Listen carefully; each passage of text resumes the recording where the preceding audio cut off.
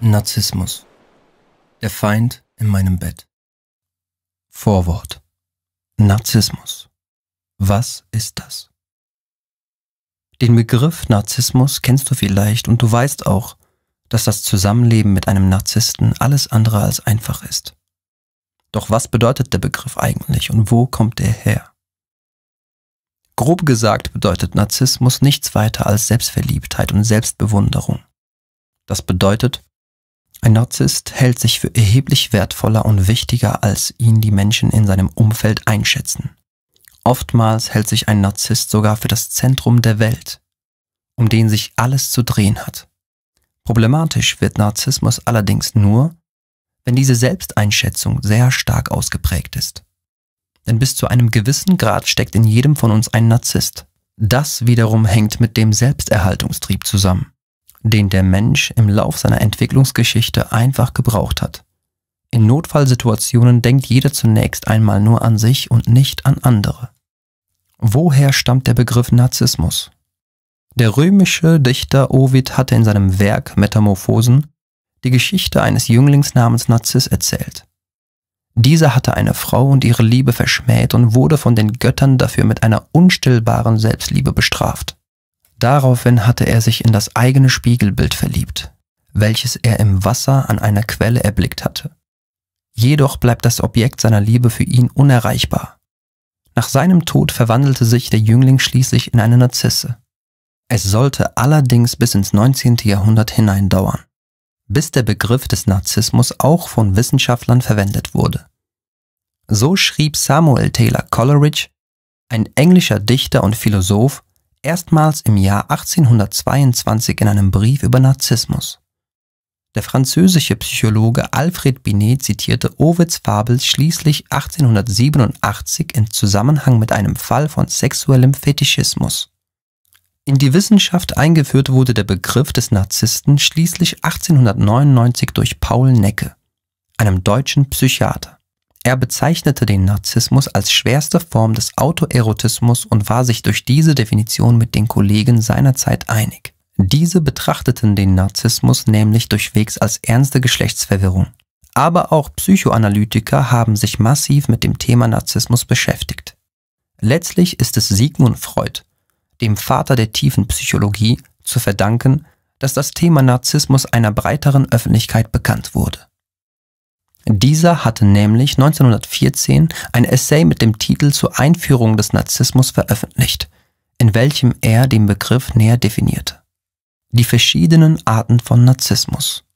Freud unterschied zwischen dem primären und dem sekundären Narzissmus. Seiner Meinung nach durchläuft jeder Mensch während der oralen Phase der frühkindlichen Entwicklung den primären Narzissmus. Dies ist jene Phase, in welcher Kinder alles in den Mund stecken, weil sie die Dinge mit allen Sinnen erfassen wollen. Während dieser Zeit würden Kinder sich und die Mütter als eines sehen und könnten sich noch nicht von ihnen unterscheiden. Deshalb würde sich die sexuelle Energie des Kindes ausschließlich auf sich selbst richten. Als sekundären Narzissmus bezeichnete Freud dagegen jene Formen des Narzissmus, welche sich erst in späteren Lebensphasen zeigen. Narzissten würden dann ihre sexuelle Energie wieder von äußeren Objekten abziehen und auf sich selbst richten. Als Ursachen für das Auftreten des sekundären Narzissmus nennt Freud Kränkungen des Selbstwertes und enttäuschte Liebesbeziehungen. Allerdings stand Freuds Definition des Narzissmus auch oft in der Kritik. Der Grund? In Freuds Erklärung blieben noch Widersprüche und Unschärfen obwohl er seine Erklärung des Begriffes mehrfach abgewandelt hatte. Theorien rund um den Narzissmus. In den folgenden Jahren beschäftigten sich auch weitere Psychoanalytiker mit dem Thema Narzissmus und entwickelten eigene Theorien dazu. So verwarf die österreichisch-britische Psychoanalytikerin Melanie Klein das Konzept des primären Narzissmus. Sie postulierte stattdessen die sogenannte Objektbeziehungstheorie. Das bedeutet, dass schon Säuglinge sowohl innere als auch äußere Objekte in ihre Fantasien und Liebe mit einbeziehen.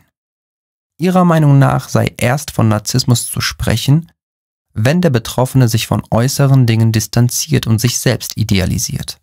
Sie verband den Narzissmus auch mit negativen Dingen wie Aggressionen oder Neid, was Narzissten im Alltag oft zeigen. Der Psychiater und Psychoanalytiker Heinz Hartmann fasste den Begriff des Narzissmus schließlich etwas präziser. Er sah das Ich, also die Persönlichkeit, als Ergebnis der Prägung durch Erinnerungen, Vorstellungen und Bilder, und diese Persönlichkeit könnte man schließlich auch selbst lieben. Einen Schritt weiter ging der Psychoanalytiker Heinz Kohut, der das Selbst als Zentrum des seelischen Universums betrachtete. Seiner Meinung nach haben Kinder drei elementar wichtige Grundbedürfnisse. Sie brauchen eine Person, der sie sich sehr nahe fühlen. Ein Gefühl der Zugehörigkeit, aber auch eine von Aufmerksamkeit geprägte Beziehung zu ihren Eltern, um sich gesund zu entwickeln. Stimmt die Balance zwischen diesen Bedürfnissen nicht, kann sich nach Kohuts Meinung Narzissmus entwickeln. Der Unterschied zwischen dem gesunden und dem pathologischen Narzissmus. Grundsätzlich ist eine Portion Narzissmus also nichts Schlechtes, weil es sich um eine Entwicklung handelt, die jeder Mensch durchläuft.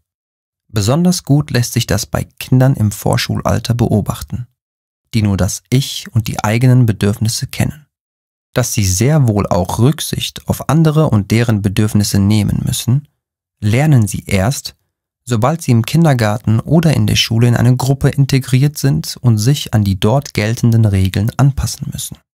Von einer krankhaften Form des Narzissmus wird hingegen ausgegangen, wenn das Selbstwertgefühl auch im Erwachsenenalter nach wie vor übersteigert ist. Dies macht sich unter anderem dadurch bemerkbar, dass ein Narzisst andere Menschen auch in der Öffentlichkeit niedermacht, um nach außen hin selbst größer zu erscheinen. Das macht ein Narzisst insbesondere bei Menschen, die ihm sehr nahe stehen, bevorzugt bei einem Partner. Für die Opfer eines Narzissten ist dies insofern gefährlich, als der Narzisst diese in eine Art Abhängigkeitsverhältnis zu sich selbst bringt, aus dem es scheinbar kein Entkommen gibt weil die Opfer Angst vor Kritik haben. Ob diese berechtigt oder unberechtigt ist, spielt dabei keine Rolle. Trauen sie sich schließlich irgendwann nicht einmal mehr, ohne die Zustimmung des Partners etwas zu machen. Obwohl sich Narzissmus durch verschiedene Therapieformen sehr gut behandeln lässt, gibt es dabei ein Problem. Der Narzisst sieht selbst nicht ein, dass er ein psychisches Problem hat, das dringend behandelt werden sollte.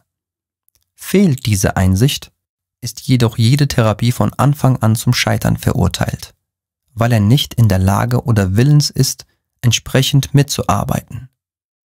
Ist das der Fall, bleibt den Opfern nur eine Möglichkeit. Sie müssen sich trennen und möglichst großen Abstand zum Narzissten halten. Andernfalls leiden sie. Und das oft sehr lange.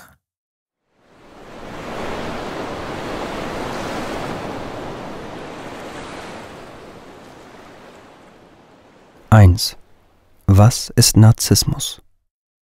Kennst du das auch? Du begegnest jemandem, der einfach umwerfend ist. Er kann sich sehr gut ausdrücken und wickelt mit dem, was er sagt, alle um den Finger. Meist sammelt sich eine große Menschenmenge um ihn und hängt ihm begeistert an den Lippen. Wie Fans saugen sie jedes Wort auf, das er sagt. Und er weiß ganz genau, wie er die Leute überzeugt. Geschickt zieht er sie in seinen Bann. Er versprüht einen unglaublichen Charme und wenn er auf eine Party geht, ist er der Mittelpunkt. Die Menschen sind fasziniert von seiner Erscheinung. Er ist selbstsicher und zeigt, was er hat und was er kann. Er wird beneidet für seinen Erfolg und wenn du diesen Typen siehst, denkst du bei dir, der hat es geschafft. So könnte dein erstes Bild von einem Narzissten sein. Charmant, erfolgreich, begehrt. Jeder möchte sein wie er und alle wollen sich mit ihm anfreunden, oder? Die Kehrseite der Medaille sieht aber ganz anders aus. Narzissten sind nämlich Meister darin, andere Menschen zu täuschen und sich von ihrer besten Seite zu zeigen, solange man sie noch nicht richtig kennt. Sie spielen dir vor, was du sehen möchtest, damit sie bekommen, was sie wollen. Das ist das wahre Gesicht des Narzissten, er denkt nur an sich und das, was er durch dich bekommen kann. Menschen und Beziehungen sind für ihn nur ein Mittel zum Zweck, um zu erhalten, was er sich wünscht, und das ist die ungeteilte Aufmerksamkeit aller. Für einen Narzissten muss sich alles zu jeder Zeit um ihn und um seine Bedürfnisse drehen. Er greift gerne auf alle möglichen Tricks zurück, um seine Opfer zu überzeugen, und er manipuliert die Menschen, die ihm nahestehen. Auf Dauer zerstört der Narzisst so jede Beziehung und alles Vertrauen, das ihm entgegengebracht wird. Menschen, deren Partner ein Narzisst ist, gelangen in einen Teufelskreis, geben sich immer mehr selbst auf und zerbrechen letztendlich daran. Ein Narzisst ist pures Gift für die Personen in seiner Umgebung. Nur leider merken diese es oft viel zu spät, denn er betäubt sie mit seiner grandiosen Show während er sie langsam zugrunde richtet. Fünf Mythen und die ganze Wahrheit über Narzissten. Es gibt Menschen, die sich nicht leiden können, die nicht mögen, wer sie sind und was sie ausmacht, die es kaum ertragen, in den Spiegel zu sehen. Dann gibt es Menschen, denen geht es gut mit sich selbst. Sie sind mit sich im Reinen und strahlen eine angenehme Ruhe und Gelassenheit aus. Und es gibt Narzissten, sie gelten als komplett ich-bezogen und selbstverliebt.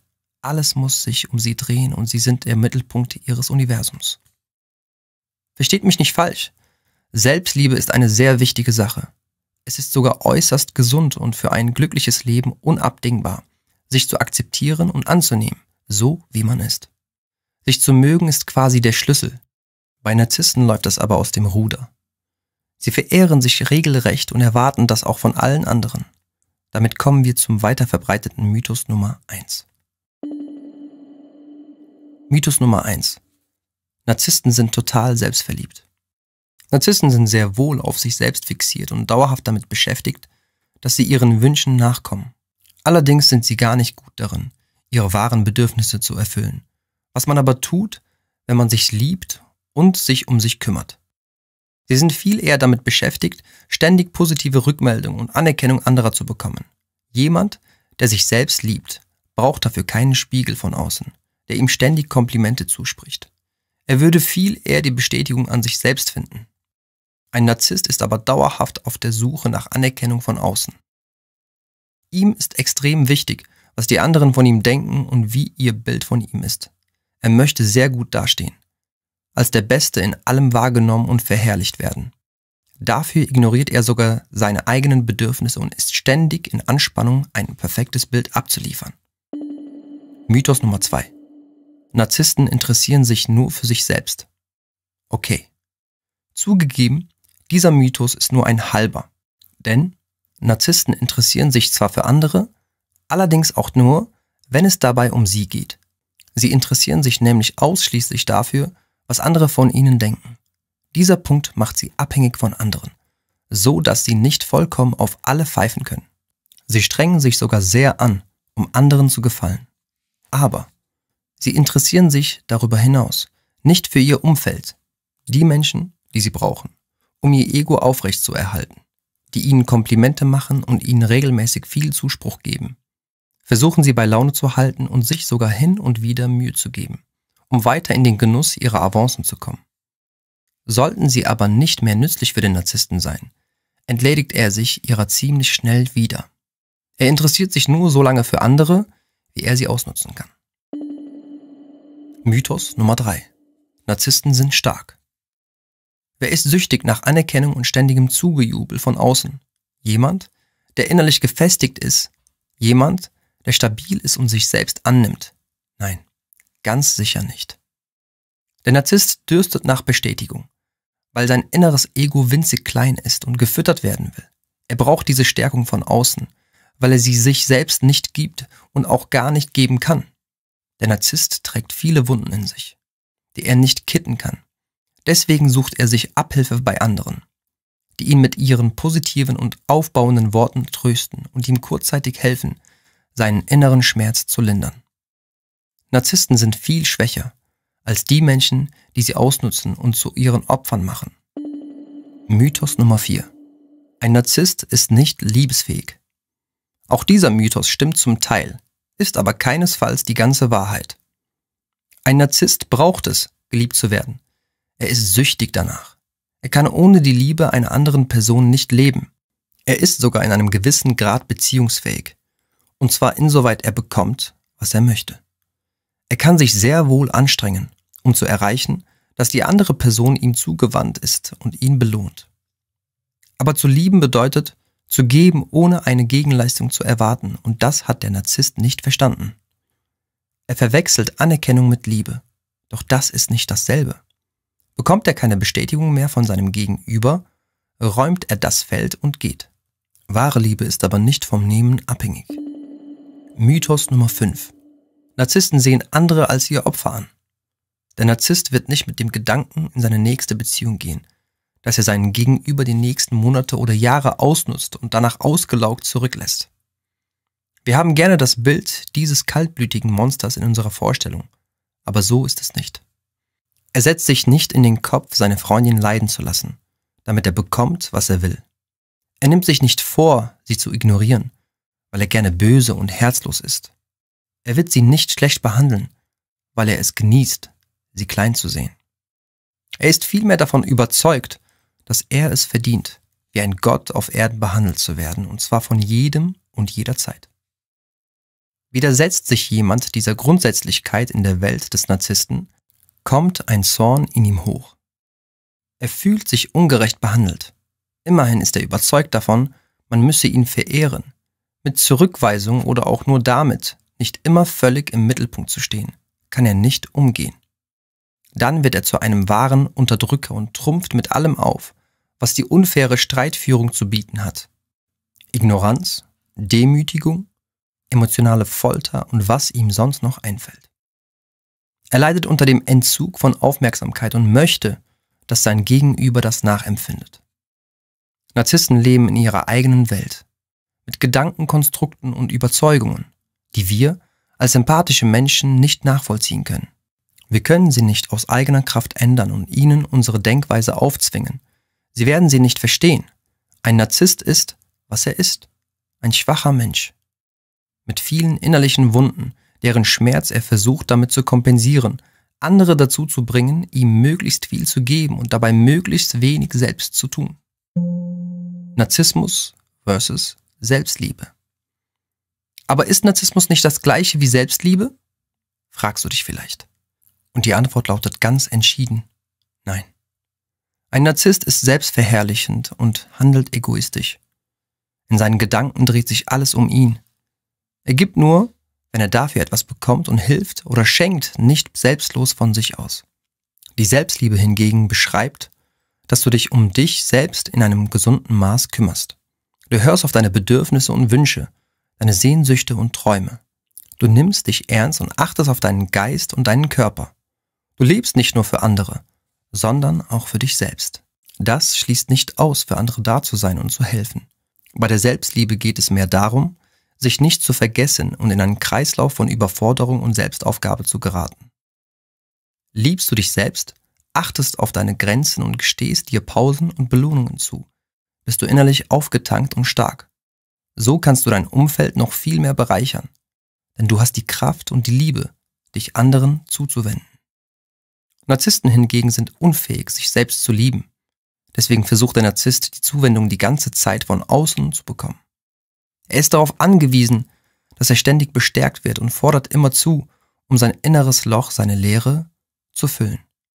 Das aber nie gefüllt werden kann, weil sein Problem tiefer liegt, nämlich in ihm. Das klingt erst einmal paradox, denn ein Narzisst gilt ja als selbstverliebt und prahlt ständig mit sich und seinen Eigenschaften. Aber eigentlich steckt dahinter eine arme, schwache Seele, die nicht fähig ist, sich selbst zu lieben und deshalb so sehr nach Liebe von außen schreit. In einem Satz können wir es so ausdrücken. In der heutigen Welt voller Narzissten brauchen wir die Selbstliebe, um uns nicht zu verlieren. Sonst werden wir entweder von narzisstischen Personen ausgenutzt oder selbst zu einem krankhaft egoistischen Menschen. Das ist der Unterschied, wenn wir von Selbstliebe oder Narzissmus sprechen.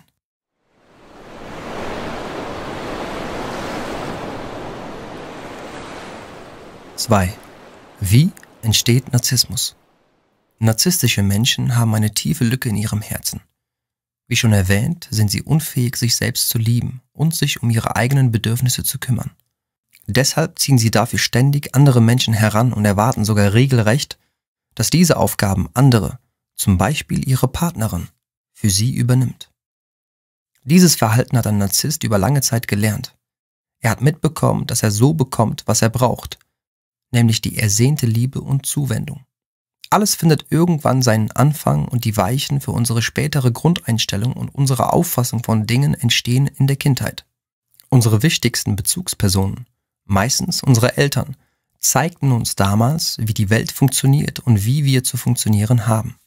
Normalerweise braucht ein Kind ein gesundes Verhältnis an Unterstützung, Geborgenheit und Grenzen. Schwanken die Eltern in ihrem Verhalten dem Kind gegenüber aber zu extrem in eine der beiden Richtungen, also sind sie entweder zu fürsorglich oder zu streng, dann kann sich eine narzisstische Persönlichkeitsentwicklung beim Kind zeigen. Waren die Eltern mit ihrem Kind also sehr hart, haben es kaum beachtet, außer es hatte großen Erfolg, haben es regelmäßig runtergemacht und hatten hohe Ansprüche an es, dann kann dieser Mangel an positiver Zuwendung und Liebe dazu geführt haben, dass das Kind nun als Erwachsener quasi nach Liebe schreit und sie von jedem fordert. Haben die Eltern ihr Kind hingegen übermäßig viel umsorgt, es regelrecht verwöhnt, ihm alles durchgehen lassen und ihm immerzu mit Komplimenten überschüttet, egal was es tat, kann auch das aus dem verzogenen Kind einen narzisstischen Erwachsenen werden lassen, der meint, sich alles erlauben zu können und immer fordern zu dürfen.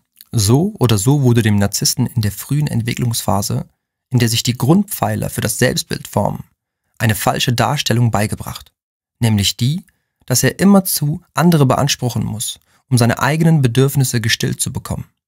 Aber leider ist das nur ein Tropfen auf dem heißen Stein, denn diese Zuwendung von außen befriedigt ihn nur sehr kurzzeitig, weil er schließlich nicht in der Lage ist, sie selbst herbeizuführen. So fühlt er einen dauerhaften Mangel in sich und der Teufelskreis des Forderns geht von vorne los. Die Kindheit eines Narzissten. Die narzisstische Persönlichkeitsstörung tritt bei Männern häufiger auf als bei Frauen und hat vor allem mit den Wurzeln der Kindheit zu tun. Diese schwere psychische Erkrankung ist extrem resistent gegen Behandlungen und führt dazu, dass Betroffene Chaos verursachen, da sie anderen Menschen Schaden zufügen. Die Entwicklung des Narzissmus in der Kindheit. Kleine Kinder sind von Natur aus selbstsüchtig, da sie normalerweise kontinuierlich daran arbeiten, ihre eigenen Bedürfnisse zu befriedigen. Sie können die Bedürfnisse und Wünsche anderer Menschen nicht gut verstehen. Selbst als Teenager sind die Kinder in der Regel immer noch egozentrisch, da sie für die eigene Unabhängigkeit kämpfen. Durch diese Ich-Bezogenheit die mit dem Alter allmählich nachlassen sollte, können Kinder ein gesundes und dauerhaftes Selbstwertgefühl entwickeln, um sich selbst zu schützen. Außerdem wird es ihnen helfen, sich um andere zu kümmern, gefährlichen Einflüssen zu widerstehen und in Verbindung mit der Familie und der Gesellschaft zu bleiben. Ein gesundes Selbstwertgefühl zeigt, dass ein Kind der Meinung ist, dass er als Person in der Familie und in der Gesellschaft akzeptiert wird. Zudem fühlt es sich wertvoll und weiß, dass es Misshandlungen nicht verdient hat. Selbstwertgefühl ist also keine Selbstbezogenheit, da es nicht dazu führt, dass man sich selbst zum Nachteil der Bedürfnisse und Rechte anderer Menschen in den Vordergrund stellt. Die typische kindliche Ich-Bezogenheit muss sich aber ändern, um den Weg zur psychischen Gesundheit im Erwachsenenalter zu ebnen. Damit man in der Familie und in der Gesellschaft gut funktioniert, muss man als Kind nach und nach empathische Fähigkeiten erlangen. Dies hilft einem, die Ansichten anderer Menschen zu erkennen und Mitgefühl für das Leiden anderer Menschen zu empfinden. Daher sollten gesunde Kinder nach und nach Anzeichen dafür aufweisen, dass sie sich um das Wohlergehen anderer kümmern. Wenn sie keine Empathie entwickeln, ist dies ein Warnsignal für die Entwicklung einer schweren Persönlichkeitsstörung. Mobbing oder andere Verhaltensweisen, sich zum Beispiel über Menschen lustig zu machen, sie zu bedrohen, zu erniedrigen oder sie zum Sündenbock zu machen, kann also darauf hinweisen, dass bei einem Kind oder Teenager keine Empathie vorhanden ist. Oft zeigen diesen Menschen auch ein hartnäckiges Bedürfnis danach, ohne Rücksicht auf Verluste zu gewinnen. Sie lügen, um sich selbst in einem besseren Licht dastehen zu lassen. Wie kommt es, dass manche Menschen nun Narzissten sind? Es ist wichtig anzumerken, dass Narzissmus zur Hälfte durch die biologischen Eigenschaften eines Menschen und zur Hälfte durch die Umwelteinflüsse eines Menschen entsteht. Darum gibt es einen großen Unterschied zwischen jemandem mit narzisstischen Merkmalen und einer vollständigen Persönlichkeitsstörung. Der Erziehungsstil der Eltern kann somit eine Rolle für die Entstehung von Narzissmus führen. Säuglinge spüren für einige Zeit keine Trennung zwischen sich und ihren Eltern. Normalerweise verläuft das Ganze folgendermaßen. Ein Baby schreit und seine Bedürfnisse werden erfüllt. Mit der Zeit lernen die Babys, dass möglicherweise keine sofortige Reaktion erfolgt, sondern dass ihre Eltern sich erst in Kürze um sie kümmern werden. Dieser Zyklus schafft ein Vertrauensverhältnis und eine Anerkennung der Trennung zwischen sich und anderen. Dies ist notwendig für die Entwicklung eines gesunden Ichs und die Fähigkeit, sich auf befriedigende Beziehungen zwischen Erwachsenen einzulassen. Wir lernen, dass Allmacht unmöglich ist und dass wir in unserer Reichweite und in unseren Beziehungen an persönliche Grenzen stoßen. Es geht um das Gleichgewicht von Trennung und Zusammengehörigkeit und gegenseitiger Unterstützung. Wenn ein Säugling nicht in der Lage ist, Vertrauen zu entwickeln und zu akzeptieren, dass seine Mutter oder sein Vater seine Bedürfnisse nicht sofort erfüllt, kann dies unangenehme Folgen haben. Oft spielt hierbei natürlich das Verhalten der Eltern eine Rolle. Denn sie sind dafür verantwortlich, Grenzen zu setzen, ohne über die Grenzen von Macht und Kontrolle in einer gesunden, frühen Beziehung Bescheid zu wissen. Folgt das Kind also dem inneren Wunsch, andere zu kontrollieren und löst somit persönliche Grenzen auf. Es umgeht somit die Bemühungen, später im Erwachsenenalter erfolgreiche Beziehungen aufzubauen. Dies ist sozusagen der Moment, in dem ein Narzisst geboren wird. Der Ursprung der zerstörerischen Beziehung mit einem Narzissten. Eine weitere Erklärung, um die ganze Sache etwas besser zu verstehen, liefert eine Sage, welche der Ursprung der Beziehung mit einem Narzissten beschreibt. Die Sage von Narziss und Echo. In einer alten griechischen Sage ist beschrieben, wie der Narzissmus laut diesem Mythos entstand und welche Rolle sein Partner dabei trägt. Erfahre die tragische Geschichte des Schönlings Narziss und seiner Bewunderin Echo. Narziss, der Eingebildete. Im alten Griechenland bekam eine junge Frau ein Kind. Sie nannte es Narziss. Nach seiner Geburt sagte ihr ein Wahrsager voraus, dass das Kind glücklich und lange leben würde. Allerdings nur so lange, bis es sich selbst erkennen würde. Das machte der Mutter Angst und von diesem Moment an behütete sie ihr Kind und ließ es nicht aus den Augen. Sie las ihm jeden Wunsch von den Augen ab und verwöhnte Narziss nach Strich und Faden. Narziss wurde zu einem wunderschönen jungen Mann und da er so sehr verwöhnt worden war, war er unglaublich eingebildet und eitel. Viele Menschen wurden auf ihn aufmerksam und lagen ihm zu Füßen. Er hatte unzählige Verehrerinnen, doch keine war gut genug für ihn. Er ließ alle eiskalt abblitzen. Echo, die Gestrafte. Eines Tages traf er auf Echo, eine schöne Nymphe, die früher damit bestraft worden war, nur noch nachreden zu können, was ihr gegenüber sagte. Auch sie verliebte sich augenblicklich und unsterblich in Narziss. Doch sie war schüchtern. Und so verfolgte sie Narziss eines Tages bei seinem Spaziergang durch den Wald, wobei sie sich in Büschen versteckte. Als Narziss sie hörte, fragte er, Ist jemand hier? Die arme Nymphe, die nur nachsagen konnte, antwortete, hier, hier. So stellte er ihr ein paar Fragen, die sie nur wiederholen konnte. Schlussendlich traute sie sich dann, den Busch zu verlassen. Aber als Narziss Echo sah, verlor er das Interesse und ließ auch sie links liegen. Echo war daraufhin zutiefst gekränkt und zog sich in eine Höhle zurück, die sie nie mehr verlassen würde. Ihre unerfüllte Liebe zu Narziss ließ sie langsam verhungern, bis nichts mehr von ihr übrig war, als ihre Stimme. Noch heute kennen wir sie als das Echo. Narziss Strafe. Für das, was er Echo angetan hatte, wurde Narziss von den Göttern bestraft. Er sollte sich von nun an auch so sehr nach einer Liebe verzehren, die er nicht bekommen konnte, wie es Echo und all die anderen wegen ihm getan hatten, so dass auch er einen langsamen Tod aus Liebeskummer sterben würde. Als Narziss daraufhin an einem Ufer vorbeiging und dabei sein Spiegelbild entdeckte, verliebte er sich in es. Er versuchte es zu umarmen, aber es gelang ihm nicht denn es war nur ein Bild im Wasser. Voller Liebe verbrachte er von da an Tag und Nacht am Ufer und schaute verliebt in sein Spiegelbild. Aber da er es nie erreichen konnte, um es zu lieben, wurde er voll Kummer und aß nichts mehr. So starb auch er an seiner unerfüllten Liebe und die Prophezeiung des Wahrsagers hatte sich erfüllt.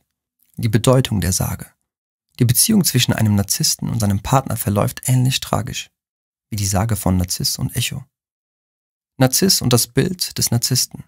Narziss, der eingebildete Jüngling, wurde verzogen. Er hat eine überhöhte Vorstellung von sich selbst und von dem, was ihm zusteht. Kein Mensch ist ihm gut genug, denn er denkt, dass er zu perfekt wäre, für all die anderen fehlbaren Menschen. Ihn interessieren die Gefühle anderer nicht, wenn er sie verletzt. Denn er sieht nur sich selbst Schlussendlich schaufelt er sich sein eigenes Grab durch seine übertriebene Liebe zu sich selbst. Auch ein Narzisst verhält sich so.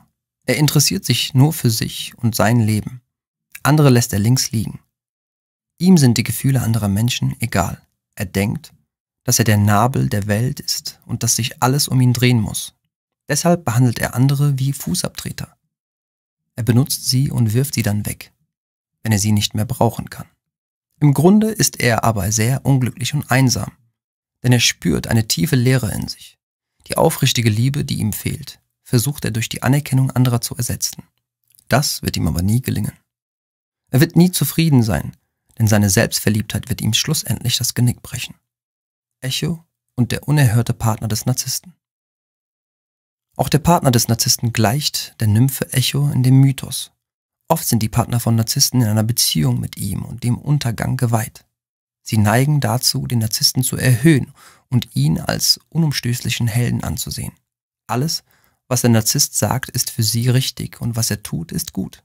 Deshalb reden sie ihm nach dem Mund, so wie Echo in der griechischen Sage. Nach und nach verlieren sie ihren eigenen Standpunkt und lassen sich ganz von dem Narzissten um den Finger wickeln.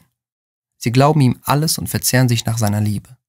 Es kann so lange gehen, bis sie sich ganz aufgelöst haben und ihr Leben nur noch nach ihrem narzisstischen Partner ausrichten. Die fatale Beziehung des Narzissten und seines Partners. So wie auch Narziss und Echo nie glücklich werden können, werden es auch der Narzisst und sein Partner nicht. Sie sind dazu verdammt, für immer zu leiden, solange sie zusammen sind. Der Narzisst wird niemals sein Glück finden, egal ob mit oder ohne Partner. Denn das, was er wirklich braucht, ist Selbstannahme. Auch wenn er noch so selbstverliebt ist, kann er sich nicht aufrichtig lieben, wie er ist. Würde er sich akzeptieren, müsste er seine Anerkennung nicht aus der ständigen Aufmerksamkeit anderer ziehen. Er wird immer unglücklich bleiben und nie genug bekommen, denn nichts auf der Welt wird seine innere Leere füllen. Auch der Partner des Narzissten ist auf ewig unglücklich, wenn er bei dem Narzissten bleibt. Er wird sich vom Narzissten immer kleiner machen lassen und sein böses Spiel mitspielen müssen, solange er in der Beziehung überleben möchte. Aber egal, was er auch tut. Es wird den Narzissten nie lange zufriedenstellen. Immer wird der Partner das Gefühl haben, nicht genug zu sein. Erst, wenn er sich von ihm lossagt, wird sein Leben und sein Herz heilen können. Die dramatische Geschichte von Narziss und Echo zeigt uns, dass es für eine Beziehung mit einem Narzissten keine Zukunft gibt. Keiner der beiden wird je glücklich werden, wenn sie zusammen sind. Narzisstische Menschen ziehen jeden nach und nach mit hinunter. Vielleicht ist das tragische Ende der Sage auch die einzige Antwort auf eine Beziehung mit einem Narzissten. Sie muss sterben, bevor beide untergehen.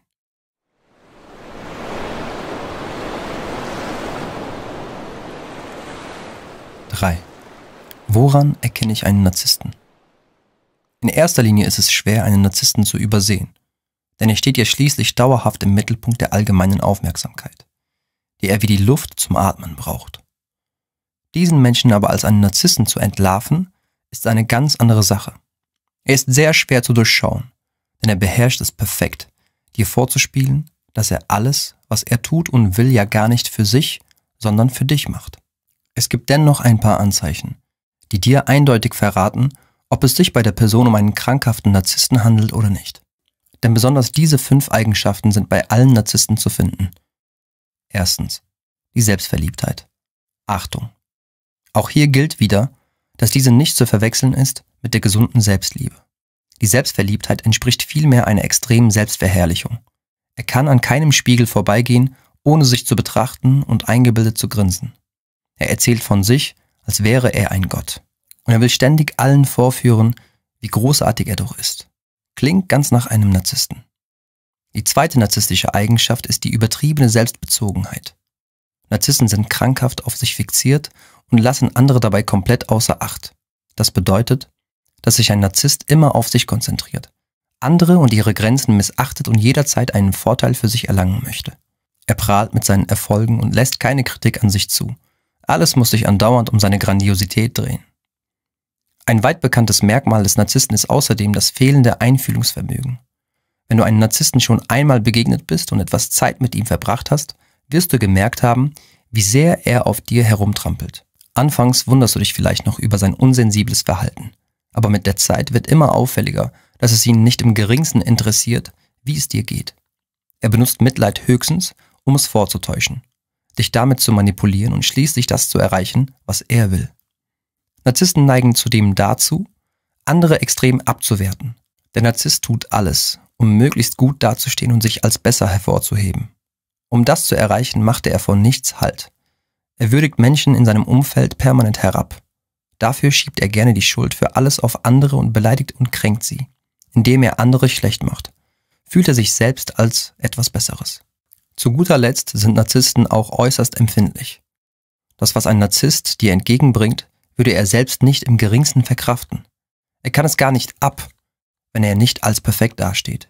Deswegen nimmt er jede noch so kleine Kritik und selbst gut gemeinte Anmerkungen, die ihn nicht in den Himmel loben, sehr persönlich und reagiert dann gekränkt. Er wird sich daraufhin voll Hass und Wut verteidigen. All das sind die fünf markantesten Merkmale, die jeder Narzisst in sich trägt. Wenn du sowohl die übertriebene Selbstverliebtheit, die extreme Selbstbezogenheit, das fehlende Einfühlungsvermögen, als auch das permanente Abwerten und die übermäßige Empfindlichkeit bei deinem Partner oder einer anderen Person in deinem Umfeld wahrnimmst, dann spricht alles dafür, dass er ein waschechter Narzisst ist. Narzisstentest. Ist dein Partner ein Narzisst?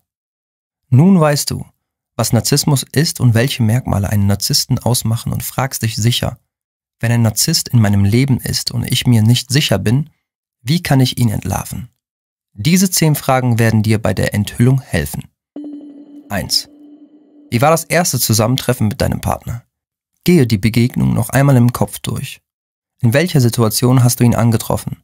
Umgeben von vielen Leuten, von sich erzählend oder vielleicht sogar prahlend? Oder war er eher zurückhaltend und einer von vielen in der Gruppe? Als Narzisst müsstest du deinen Partner so kennengelernt haben, dass er es nicht scheut, im Rampenlicht zu stehen und vorzutragen, wie toll er doch ist. War er jedoch eher zurückhaltend oder sogar bescheiden und schüchtern, spricht das eher dagegen, dass er ein Narzisst ist. 2. Wie lief euer erstes Gespräch ab? Wer hat hauptsächlich geredet und wovon? War er es, der das Wort ergriffen und dabei ständig von sich erzählt hat? Hat er sich auch für dich interessiert und dir Fragen gestellt? Ein weichechter Narzisst würde dir sein Interesse nur vorspielen, um deine Aufmerksamkeit auf sich gelenkt zu behalten, um dich rumzubekommen. Er hat keine Empathie und kann sich dir nicht wirklich dauerhaft zuwenden, ohne dabei von sich selbst zu erzählen. Nimmt dein Partner einen Großteil der Zeit und Aufmerksamkeit in eurer Beziehung in Anspruch? Hast du das Gefühl, dass es eigentlich die gesamte Zeit um ihn geht? Fordert dein Partner viel von deiner Zeit und Fürsorge ein und schmollt er, wenn er sie nicht bekommt? Hat er ein Anspruchsdenken? Das hört sich ganz nach einem Narzissten an. In der Beziehung mit einem Narzissten gehst du unter, denn deine Bedürfnisse werden nicht erfüllt, weil er alles bestimmt. 4. Wie reagiert dein Partner, wenn er einmal nicht im Mittelpunkt steht? Wie verhält er sich, wenn er nicht bekommt, was er möchte? Wie ist er drauf, wenn er nicht beachtet wird? Tickt er vielleicht sogar vollkommen aus? Ein narzisstischer Mensch hält es nicht aus, wenn er nicht der Nabel der Welt ist. Bekommt er nicht genug Zuwendung, die ihm seiner Überzeugung nach zusteht, dann verhält er sich wie ein verzogenes Kind. Er wird jammern. Danach wird er dir ein schlechtes Gewissen einreden und schließlich auf Beschimpfungen und unfaires Verhalten zurückgreifen. 5. Ist dir an ihm schon einmal aufgefallen, dass er vor allem ständig hervorragend dastehen möchte und seine Erfolge und Stärken übermäßig betont? Gibt er oft viel an? Ist dein Partner ein echter Blender, der alle zu jeder Zeit davon überzeugen muss, dass er der Beste in allem ist? Klingt ganz nach einem Narzissten.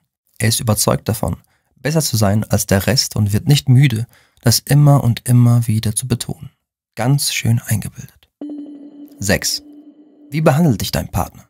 Ist er liebevoll und zärtlich, auch wenn er nichts erwartet? Oder setzt er dich unter Druck, bereitet dir ein schlechtes Gewissen, wenn du ihm nicht gibst, was er möchte und kann er auch ganz schön unfair zu dir sein? Ein Narzisst ist nicht fähig, selbstlos zu geben. Er wird dich nur verwöhnen und sich dir zuwenden, wenn er sich davon selbst etwas verspricht. Ist dein Partner jemand, der mit miesen Tricks arbeitet und dem nichts zu schade ist, um sich durchzusetzen? Das klingt schon eher nach einer narzisstischen Person. 7. Ist dir schon aufgefallen, dass dein Partner dich oder andere öfter heruntermacht? Verurteilt er schnell und stellt die Misserfolge und Schwächen anderer in den Vordergrund? Kann er keinem ein gutes Haar lassen? Muss er ständig lästern und erzählen, wie armselig seine Kollegen, deine Freunde oder einfach nur Fremde auf der Straße sind? Sieht er alle als minderwertig an? im Vergleich zu ihm selbst? Ein Narzisst kann niemanden loben oder einsehen, dass jemand in irgendeiner Sache gut oder sogar besser ist als er. Er macht alles schlecht, damit er selbst groß und mächtig dasteht. 8. Gönnt dein Partner anderen, wenn ihnen Gutes widerfährt und kann er sich mit ihnen freuen? Oder ist er neidisch und straft sie dann mit Schweigen und giftigen Kommentaren? Sich mit anderen zu freuen ist eine wirkliche Gabe. Nicht jeder kann das. Aber ein Narzisst ist ja auch unfähig, überhaupt zu akzeptieren, dass es anderen Menschen gut geht. Er macht jeden Erfolg schlecht, der nicht ihm selbst widerfahren ist. 9. Kann er mit Kritik umgehen? Oder geht er dann sofort an die Denke? Zählt dir Punkte an dir auf, die er nicht leiden kann und gibt dir die Schuld für alles? Narzissten zeichnen sich dadurch aus, dass sie keinen Makel an sich sehen können und sich äußerst ungerecht behandelt fühlen, wenn ihnen jemand sagt, dass sie etwas falsch gemacht haben. In ihrer Vorstellung sind sie perfekt und alle anderen unfähig. Deswegen reagieren sie aggressiv und vorwurfsvoll, wenn sie kritisiert werden. 10. Kann er Fehler zugeben oder waren es immer die anderen, wenn etwas schief läuft? Da er selbst von sich glaubt, unfehlbar zu sein, übersieht der Narzisst ganz einfach seine eigenen Fehler und schiebt die Verantwortung stets anderen zu. Das kann für sein Umfeld wirklich anstrengend sein. Wenn deine Antworten auf die Fragen darauf schließen lassen, dass es hauptsächlich um deinen Partner geht und er oft im Mittelpunkt steht, dass er kritikunfähig und unfair anderen gegenüber ist und dass er niemanden außer sich selbst etwas gönnen kann, dann kannst du dir sicher sein, dass du dein Leben mit einem echten Narzissten teilst. 70 Fragen, um festzustellen, ob du mit einem Narzissten zusammen bist. Das Leben mit einem Narzissten zu teilen ist die Hölle. Vielleicht bist du mit einem solchen Menschen zusammen, aber weißt es noch gar nicht. Du wunderst dich immer öfter über sein Verhalten und fühlst dich zunehmend unwohler in eurer Beziehung. Dieses Quiz hilft dir abzuchecken, ob dein Partner ein Narzisst ist. 1. Ist er überzeugt davon, immer Recht zu haben? 2. Und er irrt sich angeblich nie. 3. Ist es deinem Partner sehr wichtig, dass Menschen sich beweisen und Leistungen bringen? 4. Sieht er weniger das Individuum und die Person? 5. Übergeht er seine eigenen Gefühle und Bedürfnisse? 6. Hat er Schwierigkeiten, sie wahrzunehmen? 7. Neigt dein Partner dazu, misstrauisch gegenüber dir und anderen zu sein? 8. Wird dein Partner schnell verärgert und nimmt Dinge persönlich? 9. Fallen andere bei ihm schnell in Missgunst? 10. Geht es immer um ihn und seine Angelegenheiten? 11. Interessiert sich dein Partner kaum für anderes als für das, was ihn selbst betrifft? 12. Fehlt es dir, dass dein Partner auch mal ein offenes Ohr für dich hat? 13. Ist er sehr fordernd? 14. Kommandiert er dich oft herum? 15. Macht dein Partner dich schlecht und gibt dir das Gefühl, nicht zu genügen? 16. Streitet er unfair, um seine Ziele durchzusetzen? 17. Redet dein Partner viel über sich, aber fragt nicht nach dir? 18. Schwärmt dir dein Partner stundenlang von sich vor und hebt sich gerne in den Himmel? 19. Ist er unehrlich zu dir und tischt dir Lügen auf? 20. Spielt dein Partner Machtspielchen, um dich dazu zu kriegen, was er möchte? 21. Übertreibt er gerne zu seinem Vorteil und stellt sich als besser dar, als er ist? 22. Fühlst du dich zu deinem Partner zwar hingezogen, aber gleichzeitig auch schlecht, wenn du in seiner Nähe bist? 23. Hast du manchmal Skrupel, deinem Partner zu erzählen, wie es dir wirklich geht, weil du Angst hast, dann ausgeliefert zu sein? 24. Hast du das Gefühl, deinem Partner nicht vertrauen zu können und ihn gar nicht richtig zu kennen? 25. Bist, laut deinem Partner, immer du schuld? 26. Ist dein Partner überzeugt davon, dass immer andere schuld sind, wenn etwas schief läuft? 27. Sagt dein Partner, dass er nie die Schuld trägt? 28. Wenn er sich falsch verhält, behauptet er dann, dass trotzdem du schuld bist, weil du ihn dazu gebracht hast? 29. Denkst du manchmal, dass du gar nicht weißt, was in deinem Partner vor sich geht und dass du ihn gar nicht wirklich kennst? 30. Hast du das Gefühl, dich vor ihm beweisen zu müssen, um seine Liebe zu verdienen? 31. Fühlst du dich neben deinem Partner klein und wertlos? 32.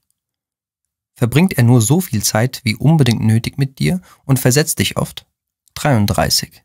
Hat er selten Interesse an Meilensteinen deines Lebens und nimmt nicht an Terminen teil, bei denen du dir seine Anwesenheit wünschen würdest, wie zum Beispiel Weihnachtsfeiern deiner Arbeit? 34. Interessiert sich dein Partner nicht für deine Hobbys und Vorlieben, aber versucht dich immer dazu zu überreden, seinen zu folgen? 35. Haben Freunde dich schon mal vor deinem Partner gewarnt oder dir gesagt, dass er nicht der Richtige für dich ist? 36. Wirkt er auf außenstehende Personen manchmal eigenartig? 37. Ist dir schon einmal aufgefallen, dass dein Partner andere ausgenutzt hat? 38. Ist es deinem Partner sehr wichtig, eigenständig, stark und sogar mächtig zu erscheinen? 39. Muss dein Partner immer im Mittelpunkt stehen? 40. Gönnt dein Partner anderen Erfolg nicht und kann nicht mit ansehen, wie es ihnen gut geht? 41. Legt er großen Wert darauf, was andere von ihm halten und, dass sie ihn gut finden? 42. Spielt dein Partner nach außen hin vor, dass bei ihm alles perfekt läuft? 43. Wunderst du dich manchmal über die Wertvorstellung deines Partners? 44. Falls du dich einmal von deinem Partner getrennt haben solltest, wie hat er reagiert? Ist er total durchgedreht und hat sich verhalten, als wärst du sein Besitz? War er extrem wütend auf dich und gestand dir keinerlei Rechte ein? 45. Schafft es dein Partner stets geschickt, das Gespräch auf ihn zu lenken? 46. Ist dein Partner herrschsüchtig? Und extrem eifersüchtig? 47. Hilft dir dein Partner nur, wenn das Ergebnis auch ihm zugute kommt? 48. Hast du das Gefühl, dich nicht auf deinen Partner verlassen zu können? 49. Fühlst du dich oft weit weg von deinem Partner? 50. Hast du den Eindruck, er wäre kalt? 51. Fühlst du dich oft ungeliebt von deinem Partner und wünscht es dir, er würde dir mehr Zuneigung zeigen? 52. Wenn du die Verbundenheit anderer Paare siehst, wünschst du dir das auch, aber weißt, dass das mit deinem Partner nicht möglich zu sein scheint? 53. Verhält sich dein Partner dir gegenüber anders, wenn andere dabei sind, um gut dazustehen? 54. Lässt dein Partner dich im Stich, auch wenn du ihn sehr brauchen würdest? 55. Nutzt er dich aus? 56. Fühlst du dich schuldig, wenn es deinem Partner schlecht geht? 57. Versuchst du alles, damit es deinem Partner gut geht, aber könntest das von ihm nie erwarten? 58. Hat dein Partner viele Vorurteile und lehnt Leute schnell ab, auch wegen Kleinigkeiten? 59. Interessiert sich dein Partner nicht für dich? 60. Kann sich dein Partner schlecht in dich oder andere hineinversetzen? 61. Ist es für deinen Partner unmöglich, sich vorzustellen, wie du bei ihm etwas fühlst? 62. Sieht und akzeptiert dich dein Partner nicht als eigenständige Persönlichkeit? 63. Ist dein Partner mehr darauf bedacht, was dein Verhalten bei ihm auslöst, als zu überlegen, was du ihm damit sagen möchtest? 64. Linkt dich dein Partner und spielt dir falsche Tatsachen vor? 65. Ist er sehr launisch und du weißt nie, wie er im nächsten Moment drauf sein wird? 66. Hast du das Gefühl, dein Partner mit Samthandschuhen anfassen zu müssen, damit er nicht ausflippt? 67. Macht er aus allem einen Wettkampf und muss immer der Beste in allem sein? 68. Möchte dein Partner stets seinen Kopf durchsetzen und hält es nicht aus, wenn er nicht bekommt, was er möchte? 69. Wirft dir dein Partner oft unfaire Ausdrücke an den Kopf? 70. Macht er dich verantwortlich, wenn er einen schlechten Tag hat? Sieben Warnsignale, um einen Narzissten zu entlarven und Gründe, warum wir sie oft übersehen. Wenn du dich in einem Narzissten verliebst, wirst du nicht merken, dass er einer ist. Ganz im Gegenteil. Du wirst ihn für einen eleganten, zuvorkommenden und rücksichtsvollen Gentleman halten. Sein wahrer Kern wird dir zuerst verborgen bleiben, bis er sich irgendwann wirklich zeigt. Aber für viele ist es dann bereits zu spät, weil sie erst, wenn sie schon bis über beide Ohren in den Narzissten verliebt sind und aufwachen und bemerken, mit wem sie da eigentlich ihr Leben geteilt haben. Rückblickend berichten viele Opfer von Narzissten, dass es sehr wohl Anzeichen gab, an denen sie ihn hätten erkennen können, an denen sie gemerkt haben müssten, mit was für einem Monster sie ihr Leben teilten und wie geschickt er sie versuchte zu manipulieren, um sie weiterhin in den Glauben zu lassen, er sei ein lieber und perfekter Partner. Aus den Erkenntnissen der Leute, die bereits viel Leid erfahren mussten, weil ein Narzisst ihr Leben zerstört hat, können wir viel mitnehmen. Wir können aus ihren Fehlern und blinden Flecken lernen, um uns selbst vor der verwüstenden Macht der Narzissten zu schützen. Die sechs Gründe, wegen denen es fast unmöglich ist, einen Narzissten zu entlarven. In der Anfangszeit wird es dir schier unmöglich sein, zu erkennen, dass du es mit einem echten Narzissten zu tun hast. Das liegt an diesen sechs Punkten, die die Partner von Narzissten nur zu gut kennen. 1. Manipulation. Narzissten haben es perfektioniert, dir eine Wirklichkeit vorzuspielen, die gar nicht existiert. Sie sind Meister im Lügen, Betrügen und Schauspielern.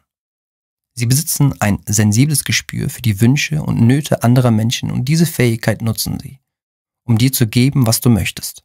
Zumindest denkst du das. In Wirklichkeit benutzen sie dich für ihre Zwecke, aber bevor du das merkst, haben sie dich schon komplett ausgenommen. 2. Attraktivität. Ein Narzisst befindet sich meist im Mittelpunkt der allgemeinen Aufmerksamkeit. Denn er hat etwas an sich, das die Menschen fasziniert. Er weiß es sich geschickt auszudrücken und andere hören ihm sehr gerne zu. Er weiß, wie gut er ankommt und was andere hören wollen. Auch du. Das nutzt er, um dich in ihm verliebt zu machen. Und hat er dich erst einmal in seinen Bann gezogen, ist es sehr schwer, auch schlechte Seiten an ihm wahrzunehmen. 3. Verführung. Am Anfang jeder Liebe steht eine Menge Leidenschaft. Tag und Nacht fällt man übereinander her und verschlingt sich gegenseitig. Diese Hingabe vernebelt dir buchstäblich das Gehirn und du bist kaum in der Lage, Schwachstellen aufzuspüren. Dein Überschuss an Glücksgefühlen wird es dir sehr schwer machen, einen Narzissten in der Anfangszeit eurer Beziehung zu erkennen. 4. Vergötterung. Einerseits führt es der Narzisst selbst herbei, andererseits tragen auch die Partner von Narzissten dazu bei, dass der Narzisst der absolute Mittelpunkt in der Beziehung ist. Oft wird ein narzisstischer Partner überhöht. Der Partner idealisiert den Narzissten und sieht ihn wie einen Helden an, der perfekt ist. So werden keine Zweifel an ihm und seinem Verhalten zugelassen und es ist nahezu ausgeschlossen, dass der Narzisst enttarnt wird. 5. Erfahrung. Es kann sein, dass du das narzisstische Verhalten bereits kennst, weil du früher schon einmal einen Menschen in deinem Leben hattest, der dich so behandelt hat, wie es der Narzisst tut. Eventuell hatten dein Vater oder deine Mutter ähnliche Züge, selbst wenn du damals darunter gelitten hast könntest du unbewusst genauso einen Menschen wieder gesucht haben, weil dir das Verhalten vertraut vorkommt und dir ein Gefühl vermittelt, das du bereits kennst. 6. Abhängigkeit. Ein weiterer Faktor, der bei nahezu allen langfristigen Beziehungen zwischen einem Narzissten und einem Nicht-Narzissten auftritt, ist die Co-Abhängigkeit des Partners. Der Narzisst ist abhängig von seiner Selbstsucht und unbewusst ist auch sein Partner von ihr abhängig, wenn er sich selbst als machtlos und klein erlebt. Er braucht mit seinem niedrigen Selbstwertgefühl einen Menschen, zu dem er aufsehen kann und der ihm Halt gibt. So fördert er unbeabsichtigt, dass allein der Narzisst im Mittelpunkt aller Aufmerksamkeit steht. Für einen co-abhängigen Partner ist es unmöglich zu sehen, dass auch der Narzisst etwas Unrechtes tut, denn er würde sich selbst die Verantwortung geben, wenn etwas nicht richtig läuft und seinen narzisstischen Partner im Schutz zu nehmen. Die sieben Warnsignale, auf die du genau achten solltest, um den Narzissten zu enthüllen. Nun, da wir wissen, was uns davon abhält, den Narzissten als einen miesen Beziehungskiller zu entlarven, sollten wir uns den Anzeichen zuwenden, an denen wir erkennen, wenn wir ihm begegnen. Gerade in einer Liebesbeziehung kann sein Verhalten vernichtende Auswirkungen auf den Partner haben. Damit du nicht auch auf einen Narzissten reinfällst, achte unbedingt auf diese sieben Warnsignale. 1. Fehlendes Mitgefühl. Oft sagt man Männern nach, dass sie nicht so sensibel und emotional wären wie ihre weiblichen Mitmenschen. Trotzdem ist ein gewisses Maß an Empathie nur menschlich. Ein Narzisst hingegen besitzt nicht das kleinste Anzeichen von Mitgefühl. Er schert sich nicht darum, wie es anderen geht, denn er selbst ist der alleinige Mittelpunkt seines Universums. Er kreist nur um sich, seine Wünsche und seine Bedürfnisse. Deswegen musst du besonders auf Anzeichen von Ignoranz deinen Gefühlen gegenüber achten.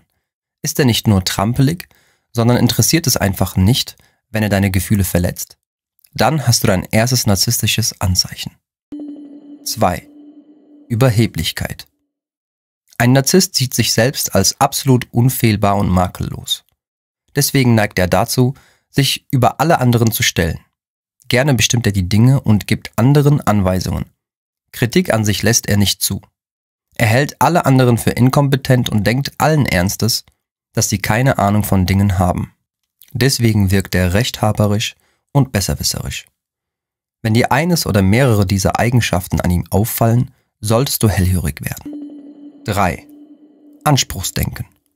Da sich der Narzisst für den absolut tollsten Menschen des Universums hält, setzt er voraus, dass sich alles und jeder um ihn kreist.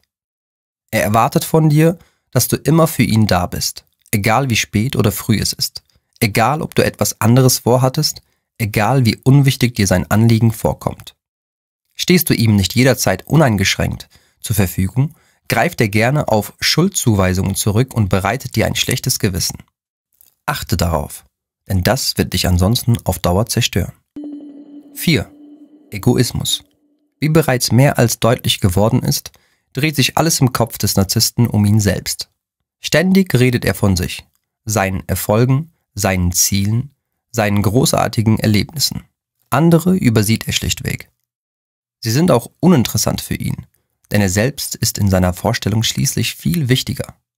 Ist dein Partner ein echter Egozentriker, kannst du dir sicher sein, dass du es mit einem waschechten Narzissten zu tun hast. 5.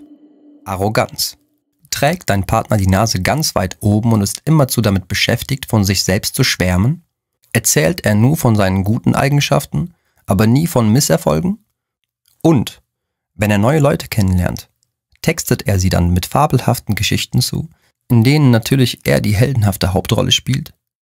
Wenn dir dein Partner furchtbar eingebildet und arrogant erscheint, dann solltest du dir unbedingt Gedanken darüber machen, welche narzisstischen Züge er noch an sich hat und ob du diese Beziehung wirklich weiterführen willst. 6. Anerkennungssucht. Narzissten brauchen die Zuwendung anderer, wie die Luft zum Atmen. Sie tun alles, um im Mittelpunkt zu stehen und von allen bewundert zu werden. Dafür schmücken sie die Wahrheit aus, lügen, dass sich die Balken biegen und gehen über Leichen. Sie benutzen ihre Freunde und Partner. Sie nehmen sie aus, bis diese am Ende ihrer Kräfte sind und verzweifeln weil sie merken, wie sehr sie ausgenutzt wurden. Warte nicht, bis es dazu gekommen ist, sondern halte die Augen offen, bevor es passiert. 7. Kontrolle. Da Narzissten davon überzeugt sind, dass sie alles am besten wissen und die Weisheit mit dem Löffel gefressen haben, neigen sie dazu, den Ton anzugeben. Sie wollen immer alles in der Hand haben und jede Situation kontrollieren. Das spiegelt sich vor allem auch in ihrer Beziehung wider. Fällt dir auf, dass dein Partner den Großteil eurer Entscheidungen trifft und das vielleicht sogar allein und ohne dich mit einzubeziehen, solltest du unbedingt die Notbremse ziehen. Nun weißt du, worauf du achten musst, damit du keinem narzisstischen Menschen in die Falle gehst. Sei vorsichtig, damit du dich nicht manipulieren und um den Finger wickeln lässt und es zu spät ist, bis du bemerkst, dass deine ganze Liebesbeziehung eine Lüge war. Achte darauf, auf wen du dich einlässt, Lasse dich nicht ausschließlich von deinen Gefühlen leiten, sondern gehe mit wachen Augen und diesen Ratschlägen in die Beziehung. Dann wird ein Narzisst kein leichtes Spiel mit dir haben und du behältst die Kontrolle über dein Leben und dein Herz.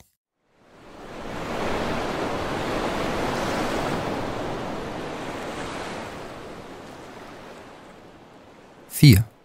Wie ist es, mit einem Narzissten zusammen zu sein? Ein Narzisst kann keine gesunde Beziehung führen. Er ist schließlich immer darauf aus, das Bestmögliche für ihn herauszuholen und geht dabei über Leichen. So ist eine Partnerschaft für einen Narzissten nur dazu da, einem Zweck zu dienen, und zwar der seiner Anerkennung. Wenn ein Narzisst eine Partnerschaft eingeht, dann nur um übermäßige Bewunderung zu erhalten und jemanden zu haben, der ihn verehrt und damit sein forderndes Ego ernährt. Er braucht Menschen um sich herum, die ihm immer wieder sagen und zeigen, wie großartig er ist und deine Partnerin hat nach seiner Auffassung ganz für ihn da zu sein und ihn anzuhimmeln. In der Kennenlernphase kann der Narzisst seinen Egoismus meist noch ganz gut verstecken und sich als wahrer Gentleman präsentieren. Er wird dich umgarnen und dir vormachen, du wärst die eine für ihn. Welche Frau hört das nicht gerne? Narzissten sind Meister der Täuschung und verstehen es, ihr Opfer in ihrer Falle zu locken. Bist du erst einmal auf ihn hereingefallen und gibst dich ihm hin, ändert er Schritt für Schritt sein Verhalten. Aber bis du dahinter kommst, wie er wirklich ist, hat er dich schon so sehr in seinen Fängen, dass du kaum noch entkommst. Aus dem rücksichtsvollen, zugewandten und verständnisvollen lieben Freund wird schon bald der Mensch, der er wirklich ist. Es wird damit anfangen, dass er aufhört, dir viele Komplimente zu machen. Schnell gewöhnt er sich an dich und daran, dass du für ihn da bist und fordert es ein. Er möchte immer mehr Zuwendung, Gefallen und Anerkennung. Er wird dir ein schlechtes Gewissen einreden und dir sagen, dass du ihn vernachlässigst. So erreicht er, dass du immer mehr für ihn da bist und dich selbst vergisst. Ein eigenständiger und unabhängiger Partner passt nicht zu einem Narzissten und seinem Anspruchsdenken. Deswegen wird er dich nach und nach dazu bringen, dass du dein eigenes Leben zurückstellst, deine Hobbys und Freunde vernachlässigst und dich ganz um ihn kümmerst. Wenn du nicht aufpasst, wirst du dich dadurch immer mehr verlieren und es wird schwer für dich, wieder zu dir und deinen Wünschen und Bedürfnissen zurückzufinden. Bist du erstmal in einer Beziehung mit einem Narzissten, wird eure Partnerschaft von Aufs und Abs geprägt sein. Wenn du deinem Partner gibst, was er sich gerade wünscht, wird er lieb zu dir sein und du wirst das Gefühl haben, dass alles gut ist. Das Problem ist nur, dass ein Narzisst nie genug bekommt und sich seine Ansprüche steigern. Verhältst du dich nicht jede einzelne Sekunde so, wie er es vorsieht, bist du bei ihm unten durch und er wird dich dafür bestrafen. Er wird dich heruntermachen und unfair zu dir sein. Er wird dir Schuld einreden und dir sagen, dass du ihn unglücklich machst. Leider glauben viele Menschen ihrem narzisstischen Partner. Er hat inzwischen so viel Macht über sie und die gesamte Beziehung, dass alles von ihm und seinen Stimmungsschwankungen abhängt. Der Partner zerbricht langsam daran, aber das merkt der Narzisst gar nicht. Er ist nur auf sich fixiert und immer damit beschäftigt zu nehmen. Deine Partnerschaft mit einem Narzissten wird dein Selbstwertgefühl auf Dauer völlig zerstören. Denn du wirst hin und her geworfen und von ihm behandelt wie ein Spielball in seiner verrückten und verschobenen Welt. Er benutzt dich und du erhältst nichts zurück, als ein gebrochenes Herz und eine kaputte Seele. Fünf Verletzungen, die dir ein Narzisst zufügen wird. Bei einer normalen Trennung wäre das Schlimmste, was einem passieren könnte, dass einem das Herz gebrochen wird. Wenn du mit einem Narzissten zusammen warst, sieht das Ganze allerdings etwas anders aus.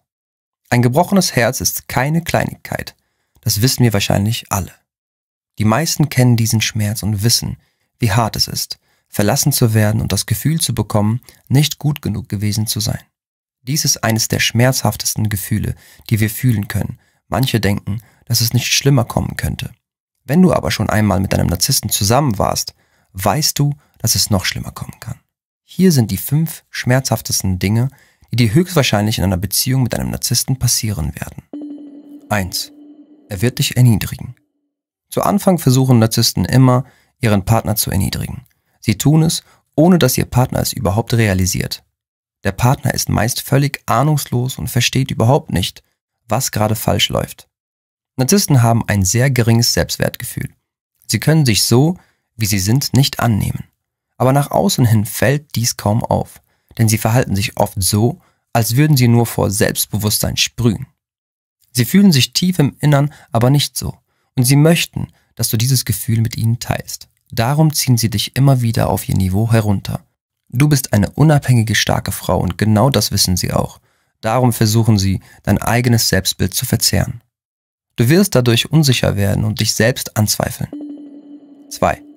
Er wird eine Methode anwenden, die sich Gaslighting nennt.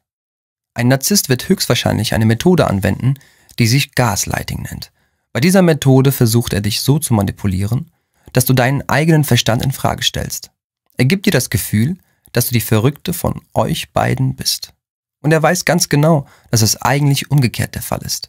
Du zweifelst plötzlich an deinen eigenen Taten und Worten.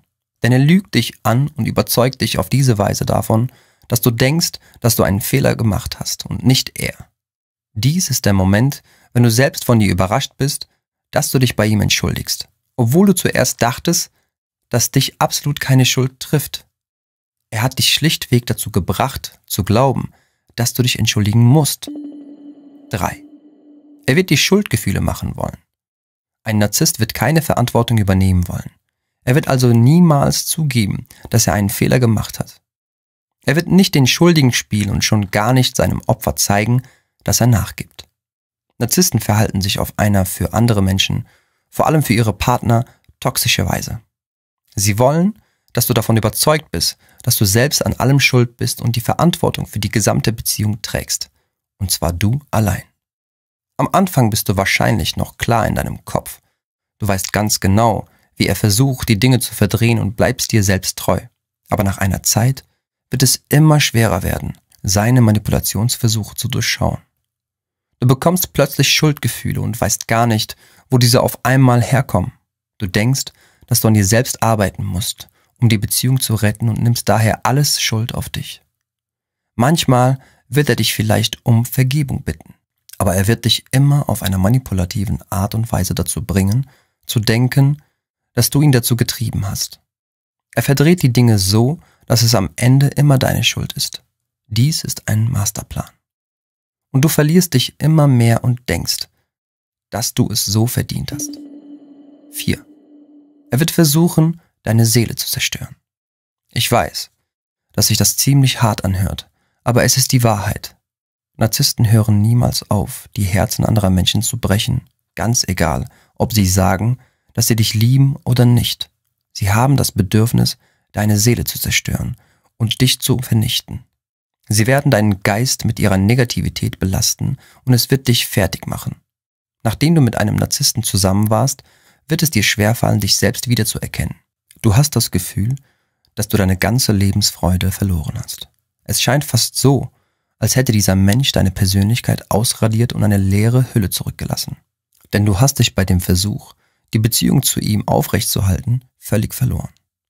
Er hat eine deutliche Spur in deiner Persönlichkeit hinterlassen, so dass Menschen in deiner Umgebung dies sogar anmerken. 5. Er wird deinen Glauben an dich zerstören. Es ist absolut nicht leicht, einen Narzissten zu verlassen. Ich weiß, dass es eines der schwierigsten Aufgaben ist, die man vor sich hat, wenn man schon seit langem am Boden ist und sich selbst nicht mehr wiedererkennt in dieser Beziehung mit diesem toxischen Menschen. Aber du weißt auch, dass du das tun musst, denn du hast alles versucht und es hat dich zu viel gekostet. Nach der Trennung wird ein Heilungsprozess in Gang gesetzt, der dir den Glauben an die Männer oder vielleicht sogar an die gesamte Menschheit zurückgeben wird. Es ist ein großer Schaden in deinem Inneren entstanden, denn du hast aufgehört an dich zu glauben und du denkst, dass jedermann dich wieder so behandeln wird. Und das Schlimmste ist, dass es unheimlich schwer für dich sein wird, wieder einem Menschen zu vertrauen. Dein nächster Partner wird es also nicht leicht mit dir haben. Dein narzisstischer Partner hat dich in dem Glauben zurückgelassen, dass du nicht geliebt werden kannst, nicht einmal du selbst kannst dich noch lieben. Mit diesen fiesen Tricks arbeiten Narzissten. Wer kennt sie nicht? Diese Art von Menschen. Sie sind, oft übertrieben, selbstbewusst, mutig und dominieren sofort jeden Raum, den sie betreten. Sie halten sich selbst für absolut grandios und lassen jeden anderen ihre eigene Dominanz natürlich auch spüren. Sehr oft konzentrieren sie sich stark auf ihr Äußeres und sind eitel. So mancher von diesen Menschen, die Rede ist von Narzissten, ist aber auch äußerst unhöflich und geht sofort auf Angriff, falls es jemand auch nur wagt, deren Überlegenheit auch nur in Frage zu stellen. Offene Narzissten lassen sich glücklicherweise meist sehr leicht durchschauen so dass du ihnen problemlos aus dem Weg gehen kannst. Etwas anders sieht die Situation bei den sogenannten verdeckten Narzissten aus. Diese wirken nach außen hin oft introvertiert, vielleicht sogar schüchtern, erscheinen gegenüber ihrer Umwelt alt, bescheiden und zeigen nicht selten sogar ein großes Herz. Genau diese Eigenschaften machen es ihnen umso leichter, dich zu verführen, weil sie sympathisch und liebevoll wirken. In die Falle gegangen. Hinter ihrer ruhigen und sensiblen Fassade verbirgt sich jedoch das Gefühl tiefer Verachtung gegenüber ihrer Mitmenschen. Für dich als Opfer sind diese Charakteristika jedoch noch schädlicher, als wenn du auf einen offenen Narzissten hereingefallen bist, weil dich diese erschreckende Erfahrung nicht selten sogar traumatisieren kann. Denn ein verdeckter Narzisst geht mit einer wohl durchdachten Taktik vor. Er will sein Opfer nämlich auf eine versteckte Art erniedrigen, weshalb der Missbrauch und die Manipulationen nicht unbedingt offensichtlich sind. Wenn du auf einen verdeckten Narzissten hereingefallen bist, wirst du psychischer Gewalt also völlig unvermutet ausgesetzt. Typische Manipulationstechniken eines verdeckten Narzissten. Ein verdeckter Narzisst erniedrigt sein Gegenüber, wenn er sich durch eine Person, die er möglicherweise begehrt, in seinem Status, in den Leistungen oder durch andere Eigenschaften bedroht sieht. Zunächst einmal will der verdeckte Narzisst sein Opfer vom Sockel stoßen. Zugleich bietet er ihm aber die Möglichkeit, wieder aufzusteigen. Zunächst einmal macht er deshalb ein vermeintlich süßes Kompliment, schiebt aber direkt und unmittelbar eine Erniedrigung hinterher. Oder aber er beleidigt sein Opfer durch Kritik und schiebt dann ein Kompliment nach. Du bist hier als Opfer natürlich erst einmal komplett irritiert. Der verdeckte Narzisst verpackt seine Kritik also so, dass sie berechtigt erscheint.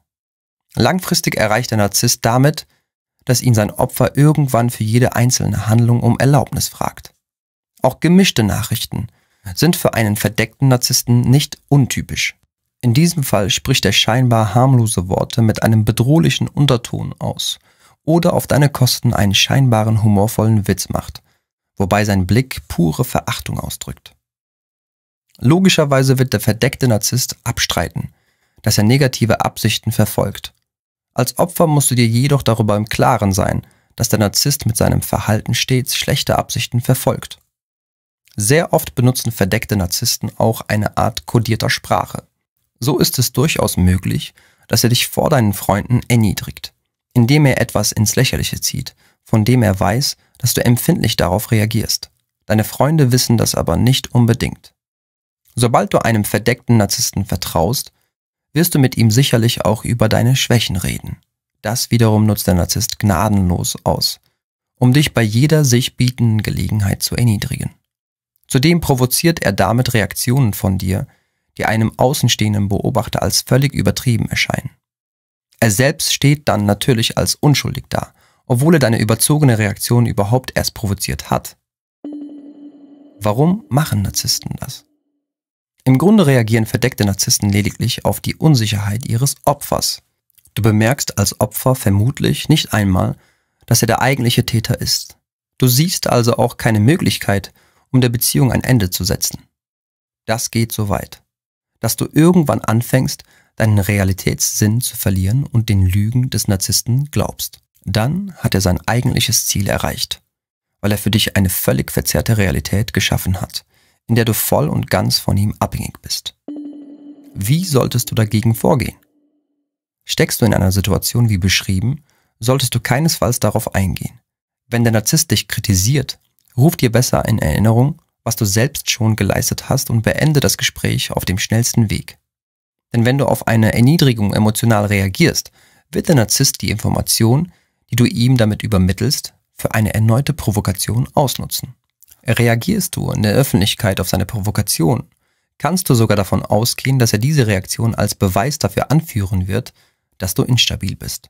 Verhalte dich in diesem Fall also lieber ruhig und besprich die offensichtlichen Probleme mit dem Narzissten besser privat. Wenn Situationen verwirren, zwar hat der verdeckte Narzisst versucht, dich niederzumachen, jedoch wird er das abstreiten und dich von dieser Tatsache ablenken. Er wird alles machen, damit dir das Geschehen erst gar nicht bewusst wird. Er will dich also verwirren, weil er davon ablenken möchte, dass er danach bestrebt ist, Macht und Kontrolle über dich zu erlangen. Der verdeckte Narzisst will also von seinem eigenen Verhalten ablenken und deine Aufmerksamkeit auf dein eigenes Verhalten lenken wollen. Beispielsweise, indem er zunächst einen harten Kommentar, gefolgt von einem Kompliment, ablässt. Dadurch, dass der Narzisst ständig zwischen Vergnügen und Schmerz pendelt, verbirgt er die Tatsache, dass er dir ständig die Schuld zuschiebt. Konfrontierst du ihn mit seinem Verhalten, wird er vermutlich sehr schnell das Gesprächsthema wechseln. Betrachte nicht die Situation im Augenblick, sondern das langfristige Verhalten des Narzissten. Dies ist sehr viel aufschlussreicher, weil im Augenblick ohnehin nur Widersprüche vorherrschen.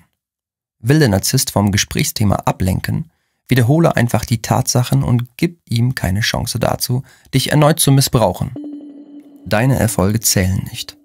Sobald du etwas erreicht hast, worauf du stolz bist, lenkt der Narzisst die Aufmerksamkeit auf etwas völlig Unwichtiges. Damit will er deinen Erfolg minimieren. Doch genau diese Taktik kann dir auch dabei helfen, zu erkennen, ob sich in deinem Umfeld ein Narzisst befindet. Denn andere Menschen gratulieren dir, wenn du einen Erfolg feiern kannst. Von einem Narzissten hingegen kannst du allenfalls ein vergiftetes Kompliment erwarten. Der verdeckte Narzisst macht das allerdings aus einem guten Grund. Er will damit die Unstimmigkeit, die zwischen seinem wahren Selbst und dem falschen Selbstverständnis besteht, aus dem Weg räumen.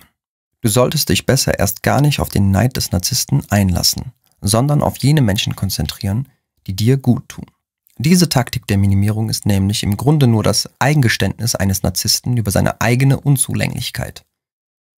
Er fühlt sich von dir bedroht und kaschiert dies mit einem falschen Überlegenheitsgefühl. Am einfachsten nimmst du einem Narzissten also durch Selbstbestätigung und Selbstliebe den Wind aus den Segeln. Empath und Narzisst. Warum diese Beziehung zum Scheitern verurteilt ist. Es gibt in Beziehungen wohl keine schlimmere Kombination als die eines Empathen mit einem Narzissten.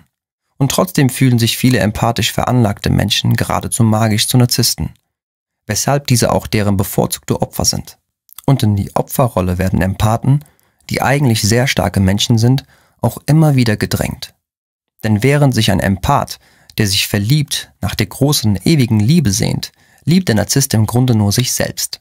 Das heißt, der Empath zeigt seine Liebe und macht alles für die Beziehung. Vom Narzissten kommt dagegen nichts zurück. Das hat einige gute Gründe und es gibt auch typische Dinge, die im Zusammenleben dieser unterschiedlichen Persönlichkeiten geschehen. Warum sind Empathen für Narzissten so anziehend? Charakteristisch für alle Empathen sind gewisse Eigenschaften, die diesen Persönlichkeitstyp für Narzissten so anziehend macht. Das sind Vertrauen. Empathen haben ein offenes Herz und vertrauen dem Menschen, den sie lieben, bedingungslos. Ein Narzisst weiß aber sehr wohl, wie er mit dem Partner umgehen muss, damit dieser sich bei ihm geborgen fühlt. Der Partner vertraut ihm jedoch bedingungslos, woraufhin der Narzisst hinter dem Rücken des Partners immer wieder Dinge macht, die diesen verletzen. Der Narzisst schafft es aber immer wieder, das Vertrauen des Partners zurückzugewinnen. Der Empath befindet sich also in einem Teufelskreis, der sich über Jahre und Jahrzehnte hinziehen kann. Ehrlichkeit. Empathen zeichnen sich durch absolute Ehrlichkeit in allen Lebenslagen aus. Narzissten hingegen sind nur insoweit ehrlich, als sie einen Nutzen davon für sich haben. Für den Narzissten ist die Ehrlichkeit des Empathen eine Schwäche, die er auch gnadenlos ausnutzt. Anstand. Empathen sind gutmütig und anständig, weshalb sie auch besonders anfällig für die Schmeicheleien eines Narzissten sind. Die Komplimente und Geschenke sieht der Narzisst dagegen nur als Bestechungsgeld an, um den Empathen an sich zu binden. Treue. Weil Empathen ein hohes Ideal vom Begriff Treue haben, ist sich der Narzisst sicher, dass der Partner stets bei ihm bleiben wird, ganz gleich, wie oft der Narzisst seinen Partner verletzt der Wunsch nach Verständnis und Hilfe. Der Empath möchte verstehen, warum der Narzisst so ist, wie er ist und macht sich dabei auch auf die Suche nach unmöglichen Ursachen. Der Empath möchte dem Narzissten also helfen und hegt die Hoffnung, dass sich die zwischenmenschliche Beziehung im Lauf der Zeit verbessern wird. Das wird sich jedoch nicht ändern, weil der Narzisst auch diese Eigenschaften bestens für seine Zwecke ausnutzt. Die typische Charaktereigenschaft eines Narzissten hingegen besteht darin, dass er andere manipulieren und gegebenenfalls auch niedermachen möchte. Empathen hingegen wissen oft nicht, worauf sie sich einlassen, wenn sie eine Beziehung mit einem Narzissten eingehen. Typische Dinge, die in einer Beziehung zwischen einem Empathen und einem Narzissten passieren. 1. Weil der Narzisst dem Empathen ein Gefühl von Geborgenheit vermittelt, spürt dieser zwangsläufig eine starke Verbindung zum Partner, selbst wenn der Narzisst diese Gefühle nicht erwidert und nicht im geringsten zeigt dass er für den Partner etwas empfindet. 2. Ein Empath liebt die Dinge und genießt es, wenn sich der Partner gut fühlt. Allerdings hat der Empath dadurch ein Problem. Je mehr Fürsorge und Liebe er dem Partner entgegenbringt, umso größer ist dessen Kontrolle und Macht über den Empathen. 3. Zunächst vermittelt der Narzisst entgegen der tatsächlichen Realität das Gefühl einer funktionierenden Beziehung. Allerdings dreht er jedes Gespräch so, dass es sich ausschließlich um ihn statt um das Paar oder gar den Partner dreht. 4. Schließlich beginnen die Manipulationen durch den Narzissten, bis im Partner starke Selbstzweifel erwachsen. Das macht er im Gespräch mit klassischen Sätzen wie das bildest du dir nur ein. 5. Nachdem die mentale Stabilität des Partners geschwächt ist, hat der Narzisst die Kontrolle über die Beziehung und das zeigt er auch. Er vermittelt dem Empathen, dass dieser in allen Lebenslagen auf ihn angewiesen ist und ihn kein anderer Mensch mögen würde. 6. Durch die Kontrolle und die Manipulation entstehen beim Empathen in vielen Fällen Angst und Depression. Dadurch wiederum wird das Gefühl verstärkt, dass jener den Partner braucht, um sich gut zu fühlen. Das ganze Leben des Empathen dreht sich also nur noch um den Narzissten. 7. Der Narzisst greift den Empathen und dessen persönliche Realität kontinuierlich mit Worten und Taten an. Nicht selten verliert der Empath daraufhin seine Lebensfreude und die gewohnte Normalität, weil angeblich alles, was er macht, falsch sein soll, fühlt er sich wertlos und unzulänglich. 8.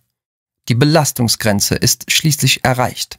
Wenn der Empath gewissermaßen eine andere Person geworden ist und ihre Persönlichkeit von Freunden und Familienmitgliedern nicht mehr erkannt wird. 9. Weil der Empath allmählich registriert, dass seine Bedürfnisse völlig vernachlässigt werden, kommt es schließlich zu Konflikten. Der Grund, der Empath fordert seine Bedürfnisse ein, was der Narzisst jedoch als egoistisch abtut. 10. Schließlich zerbricht die Beziehung, worunter vor allem der Empath leidet. Er gibt sich selbst die Schuld am Scheitern der Beziehung und glaubt, er habe versagt, denn all die Manipulationen des Narzissten sind zumindest noch im Unterbewusstsein vorhanden.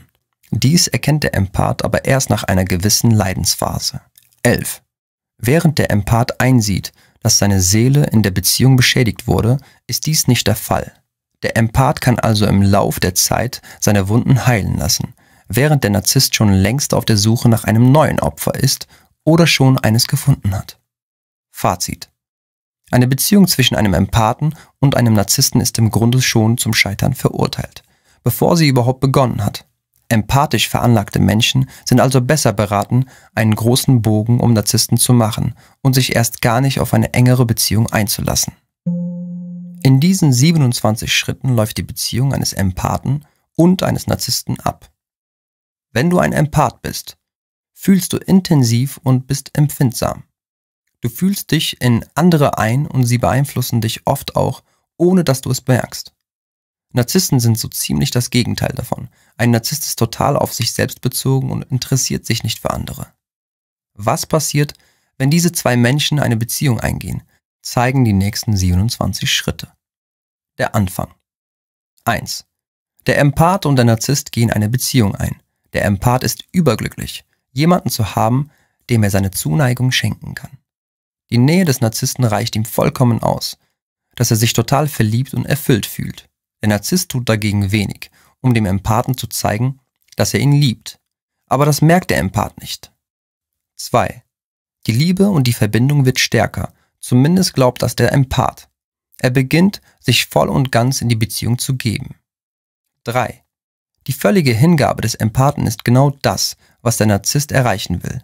Er tut alles, um die Kontrolle zu haben. Er spielt dem Empathen vor, dass sie eine unzerstörbare Beziehung haben, die er genau so sehr möchte, wie der Empath. Aber das ist nur gespielt. Die Illusion. 4. Nun fängt der Narzisst an, den Empathen klein zu machen. Er kritisiert ihn. Anfangs nur ganz leicht und harmlos, indem er ihm vermittelt, er wolle ihn ja nicht verletzen. Aber der Narzisst hat ihm mehr auszusetzen und gibt dem Empathen das Gefühl, er könne nichts richtig machen. 5. Der Empath glaubt, dass er nicht viel zustande bringt und froh sein kann, den Narzissten zu haben. So wird er immer abhängiger vom Narzissten. 6. Der Narzisst übernimmt nun jede Entscheidung und bestimmt alles. Er hat die völlige Kontrolle über die Beziehung. 7. Der Empath wird weiterhin sehr einfühlsam sein und alles für den Narzissten tun. Denn er sieht nicht, was dieser mit ihm macht. Alles dreht sich für den Empathen nur um den Narzissten und er empfindet es als seine Hauptaufgabe, diesen glücklich zu machen. für ihn da zu sein und ihm jeden Wunsch von den Lippen abzulesen. 8. Der Narzisst verstärkt das, indem er den Empathen manipuliert und sich darstellt, als bräuchte er noch mehr Zuwendung, worauf der Empath natürlich gerne eingeht. 9. Der Empath wird dem Narzissten aber nie mit seiner Liebe helfen können. Das weiß er nur leider nicht. Die tiefen Verletzungen im Innern des Narzissten werden durch das hingebungsvolle Herz des Empathen nicht geheilt werden können.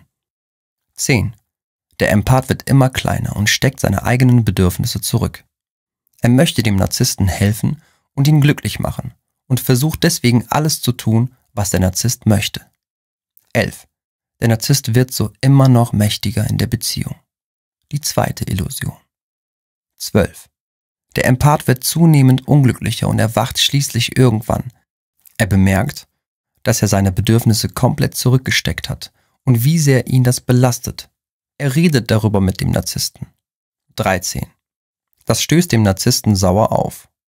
Er gibt dem Empathen das Gefühl, nicht richtig zu sein oder zu übertreiben. Er versucht den Empathen runterzumachen, um wieder die Macht zu erlangen. 14. Diese Situation ist für den Empathen fast nicht auszuhalten. Er fühlt sich nun unglaublich schuldig und als wäre er wertlos, weil er dem Narzissten so ungerecht gegenüber war. So denkt er zumindest. 15. So wird der Empath ein zweites Mal illusioniert und ausgenutzt, ohne dass er es merkt. 16. Der Empath wird nie Erfolg damit haben, mit dem Narzissten ein Gespräch über seine Gefühle zu führen. Immer endet es damit, dass der Empath sich schuldig fühlt und der Narzisst ihm vermittelt, dass er alleine recht hat. 17. Das zerstört den Empathen langsam, aber sicher. Er fühlt sich unsicher und als wäre er nicht richtig. Es breitet sich ein tiefer Schmerz in ihm aus, der nicht so schnell wieder verschwinden wird. Das Erwachen. 18. Irgendwann erkennt der Empath, dass der Narzisst seine Liebe nicht verdient hat und dass sein ganzer Aufwand dem Narzissten nicht helfen wird. Er wird lernen, nicht jedem zu vertrauen. 19. Langsam geht dem Empathen ein Licht auf, dass der Narzisst sich nie ändern wird und dass er nur immer schlimmer wird. 20. Und er sieht ein, dass er die Vorstellung, dem Narzissten helfen zu können, loslassen muss, damit beide ihre eigenen Wege gehen können. 21. Der Empath bemerkt, dass er derjenige ist, den die Beziehung zerstört hat und dass er sich jetzt selber helfen muss. Der Schlussstrich. 22. Der Empath beendet, schweren Herzens, die Beziehung und bleibt gebrochen zurück. 23. Für den Narzissten ist es, als wenn nichts gewesen wäre und schnell hat er die Beziehung hinter sich gelassen und auch alles, was der Empath ihm Wertvolles entgegengebracht hat. 24. Für den Empathen wird es nicht so einfach sein, damit abzuschließen, aber mit viel Selbstreflexion und harter Arbeit an sich kann er lernen, sich wieder anzunehmen und das Vergangene zu akzeptieren. 25. Der Narzisst geht seinen Weg weiter und wird schnell wieder jemanden finden, den er verführen und manipulieren kann. Er hat sich nicht ein bisschen verändert. 26. Der Empath hingegen wird durch diese Erfahrung wachsen, stärker werden und gelernt haben, zweimal hinzusehen, wem er sein Herz schenkt. 27. Man sagt, dass Empathen die Heiler der Nation seien. Das Helfen ist in sie hineingelegt und ihre Lebensaufgabe. Mit ihrem guten Herz und ihrer hingebungsvollen Liebe bringen sie etwas sehr Wertvolles in unsere Welt. Ein Narzisst wird das nicht vollkommen zerstören können, aber er wird es auch nie zu schätzen wissen.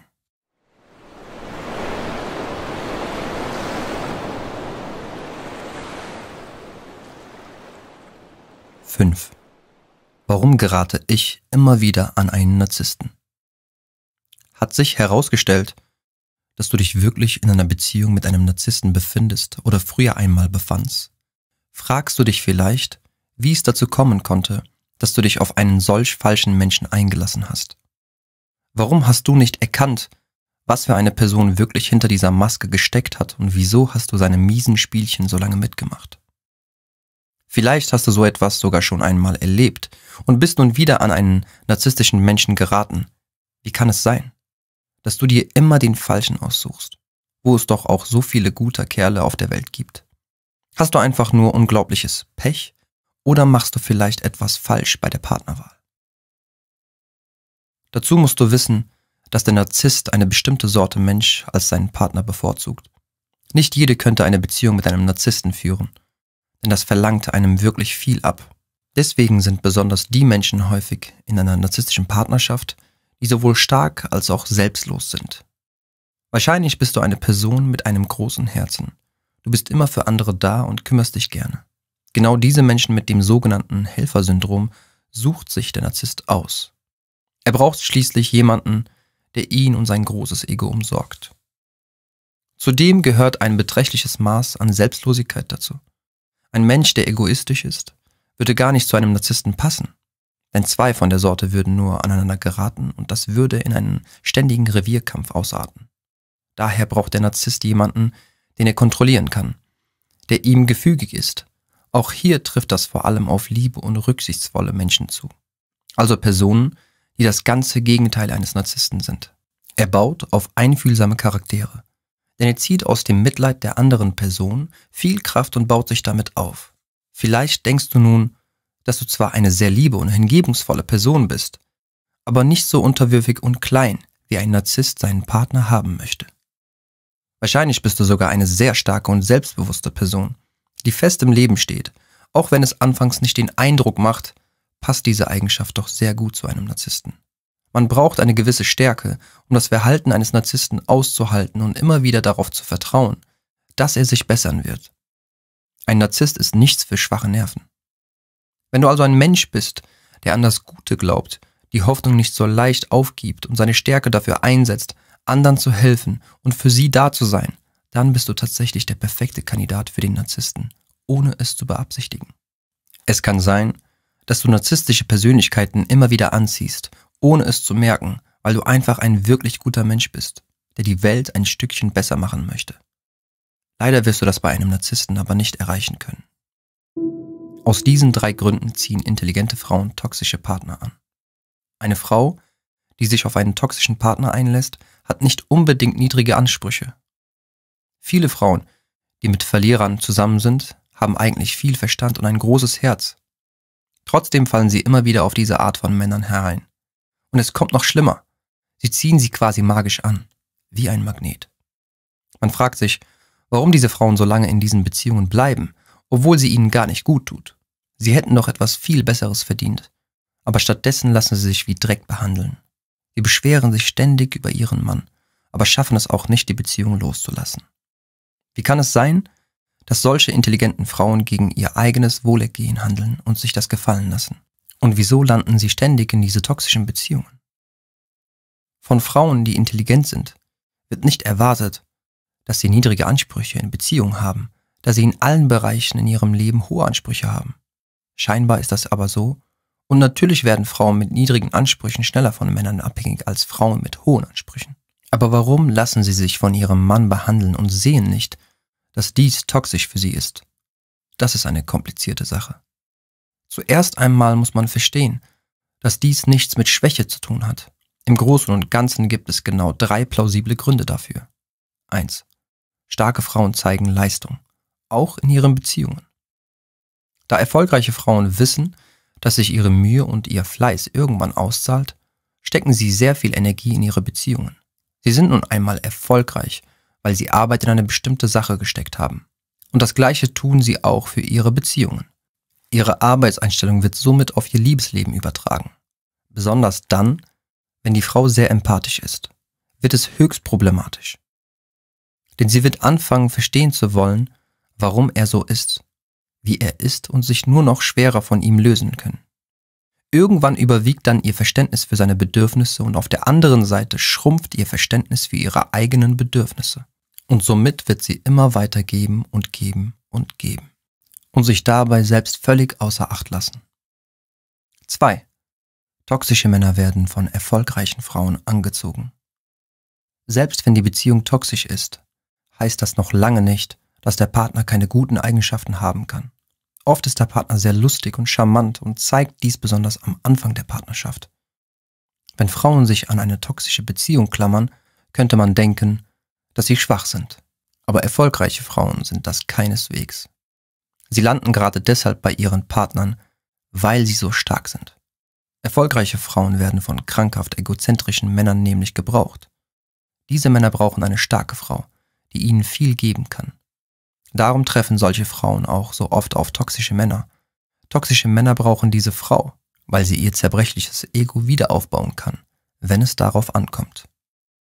Sie möchten, dass sich ihre Partnerin um sie kümmert, weil sie selbst nicht können. Eine Frau, die ihren Mann versteht und seine Bedürfnisse stillt, ist genau das Richtige für solche Art von Männern. Außerdem möchten sie eine unabhängige Frau haben, die sich um sich selbst kümmern kann. Denn toxische Männer sind dazu eher nicht in der Lage. Die Frau bekommt für ihren Aufwand rein gar nichts im Gegenzug. Außer, dass dieser Alpha-Mann vielleicht lustig, aufregend und geistreich ist. Sie bekommt daher das Gefühl, dass es mit ihm nie langweilig wird. Denn es ist ja immer witzig und spannend mit ihm. Das macht die Sache meist noch komplizierter. Oft ist es auch so, dass ein toxischer Mann seiner Partnerin kurzzeitig viel Aufmerksamkeit schenkt und sie dann wieder fallen lässt. Von diesen Momenten lebt die Beziehung. Denn immer dann, wenn die Frau die Hoffnung schon fast aufgegeben hat, kommt er wieder zurück zu ihr und putscht die Beziehung für eine Weile wieder auf. 3. Sie hat ein tolles Sexleben mit ihm. Der dritte Punkt verkompliziert das Ganze am meisten. Denn es ist bekanntlich schwer, gutem Sex und leidenschaftlichen Begegnungen zu widerstehen. Die meisten Menschen zeigen ihre toxische Seite zu Beginn gar nicht. Sobald eine Beziehung aber liebevoll und wachstumsorientiert beginnt, dann fällt es der Frau besonders schwer, das wieder aufzugeben. Auch wenn die Stimmung eigentlich kippt. Die Frau neigt dann dazu, die Dinge wieder richtigstellen zu wollen. Hinzu kommt dann noch das befriedigende Sexleben, welches ihr vermittelt, dass zwischen ihr und ihm einfach eine gute Chemie herrscht. Diese Situation ist extrem toxisch. In der Psychologie gibt es drei Persönlichkeitsmerkmale, die zusammen die dunklen Triaden genannt werden. Die Rede ist von dem Narzissmus, der Psychopathie und dem Machiavellismus. Männer, die diese drei Merkmale haben, sind geschickt darin, eine neue Beziehung anzufangen. Sie können außerdem gut mit anderen Gleichgeschlechtlichen konkurrieren und haben daher oft Sex. Frauen, die intelligent sind, haben oft widersprüchliche Sehnsüchte. Sie wollen auf der einen Seite einen Mann, der liebevoll und engagiert ist. Auf der anderen Seite stehen sie, zumindest kurzfristig, auf Männer mit dunkleren Persönlichkeitsmerkmalen. Hier kommt die Selektion der Frau ins Spiel, die ihr nun einmal angeboren ist. Das hat also nichts damit zu tun, dass sie schwach ist, sondern einfach ihrem Instinkt folgt.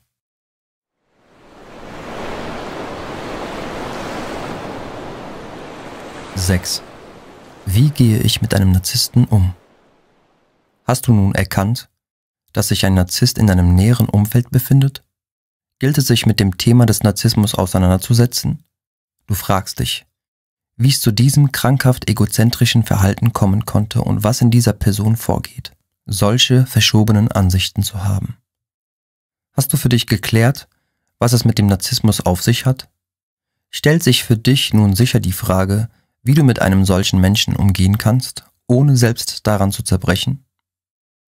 Zuallererst hast du einen großen Schritt damit gemacht, überhaupt zu erkennen, dass es sich bei diesem Menschen um einen Narzissten handelt. Nun geht es darum, dass du dich auch schützt, wenn du ihm begegnest. Denn Narzissten sind wahre Meister darin, andere Menschen zu vereinnahmen und sich gefügig zu machen. Ehe du dich versiehst, machst du alles, was der Narzisst gerne tut oder Dinge, die er von dir möchte und auch solche, die du eigentlich gar nicht möchtest. Deswegen musst du lernen, sensibel auf dich und deine Bedürfnisse zu achten. Nimm zu jeder Zeit wahr, wie es dir gerade geht und ob du dich mit der Situation gut fühlst oder nicht. Achte darauf, dass du klar sagst, was du nicht magst und dass du das dann auch nicht tust. Setze Grenzen und zeige dem Narzissten auf, was für dich nicht in Ordnung ist. Kehre immer wieder zu dir zurück und höre in dich. Das ist besonders wichtig. Denn ein Narzisst versteht es, dich so zu beanspruchen, dass du dich leicht vergisst und dann nur noch für ihn da bist. Unterscheide ganz klar, wer er ist und wer du bist und dass es da Verschiedenheiten gibt. In einer Partnerschaft muss man nicht alle Dinge gleich sehen und immer dieselbe Einstellung zu allem haben. Wenn dir etwas wichtig ist, dann steh dafür ein, auch wenn dein Partner das anders sieht. Gib bei deinen Werten und Überzeugungen nicht nach, nur weil er dich unter Druck setzt. Da der Narzisst sehr viel deiner Zeit und Energie beansprucht, musst du auch besonders darauf achten, dass du selbst nicht zu kurz kommst. Halte immer wieder Abstand zu ihm und umgib dich mit anderen Menschen, die dir gut tun. Gerade wenn du dich in einer Beziehung mit einem Narzissten befindest, fühlst du dich bestimmt oft ausgelaugt. Durch seine ständigen Forderungen und Ansprüche. Du brauchst einen Ort, an dem du einfach nur sein und deine Energie wieder auftanken kannst. Dazu ist ein Treffen mit lieben Freunden genau das Richtige. Letztendlich ist es sehr wichtig für dich, dass du dir klar machst, dass er nicht die Weisheit mit Löffeln gefressen hat. Nur weil er laut, selbstsicher und dominant ist, heißt das noch lange nicht, dass er auch recht hat. Er wird immer wieder versuchen, dir einzureden, dass du Unrecht hast und falsch bist, egal ob es um deine Gefühle oder deine Gedanken geht. Glaube ihm nicht.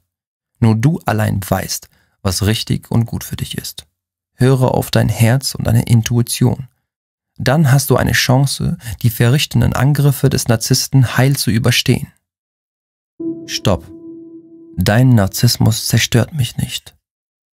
Einen Narzissten zu lieben, das bedeutet Selbstliebe bis zur Selbstzerstörung. Als Partnerin bist du gefangen in diesem Strudel und musst darauf achten, nicht selbst unterzugehen. Und irgendwann ist der Punkt erreicht, an dem es nicht mehr geht. Dann wird es Zeit, Grenzen zu setzen, um dich selbst zu schützen. Es begann wie in einem Liebesfilm. Zu schön, um wahr zu sein. Dein Partner stand wie ein absoluter Traumprinz vor dir. Dir imponierten sein Selbstbewusstsein und seine Erzählungen darüber, was er alles erlebt und geleistet hatte und welche Möglichkeiten sich ihm boten. Er war beruflich erfolgreich, ein Mann, der von allem eine Ahnung hatte und bereit war, die Welt zu erobern. Und dich trug er auf Händen. Bereits nach wenigen Dates versicherte er dir, dass du seine absolute Traumfrau, seine große Liebe seist. Er machte schnell Nägel mit Köpfen, plante eure Zukunft, sprach von Möglichkeiten und Visionen, die sich für euch beide eröffneten. Zu schön, um wahr zu sein. Und leider war es das auch nicht. Der Absturz kommt schleichend. Schnell bekommt die schöne Fassade Risse. Es läuft nicht alles so glatt bei deinem Partner, wie er dir das immer weismachen wollte. Seine beruflichen Erfolge bleiben aus. Im Gegenteil, er sammelt eher Misserfolge. Weder mit Kollegen kommt er klar, noch mit seinen Vorgesetzten. Er schäumt vor Wut und Frustration, wenn er abends nach Hause kommt. Und immer wieder kannst du dir anhören, dass diese Leute ihn und seine Arbeit nicht zu schätzen wüssten. Ungerecht sei er behandelt worden. Man erkenne seine Leistung nicht an. Und die Kollegen seien nur neidisch auf seine Fähigkeiten und missgönnten ihm seinen Erfolg. Er ist eindeutig das Opfer doch ist dir das nicht auffallend oft? Auch privat wiederholt sich dieses Muster. Niemand weiß ihn zu schätzen. Seine Familie, seine Freunde, keiner versteht ihn und schenkt ihm die Anerkennung, die er verdient. Und das liege natürlich daran, dass alle neidisch auf ihn seien. Dich überfällt Zweifel. Haben denn wirklich alle einen Grund, neidisch auf ihn zu sein? Im Grunde hast du doch auch schon längst erkannt, dass er gar nicht so großartig ist, wie er immer tut. Mehrmals schon hast du seine vielen Prahlereien durchschaut und dich ins Geheim dafür geschämt. Ist er nicht vielmehr so, dass er derjenige ist, der von Neid zerfressen wird, der sich ständig damit beschäftigt, was andere haben und bekommen? Aber äußern würdest du deine Zweifel nicht. Den Fehler hast du bereits ein paar Mal gemacht und gemerkt, dass er mit Kritik nicht sonderlich gut klarkommt. Er fühlt sich sofort angegriffen und reagiert beleidigt. Oder er steigert sich in zerstörerische Wutanfälle hinein und verletzt dich selig dabei bis aufs Mark. Scheint es ihm ohnehin nicht besser zu gehen, wenn er dich klein machen und demütigen kann. Aber natürlich bist immer du schuld, weil du ihn nicht verstehst weil du ihn nicht respektierst, weil du ihn nicht unterstützt, so wie er es verdient hätte. Das Kind hat einen Namen. Narzissmus. Bist du nun überrascht, weil du dich und deine Beziehung so vollkommen in dieser Beschreibung wiederfindest? Wie kann das sein? Dass ein Artikel so nah an der eigenen persönlichen Wahrheit dran ist?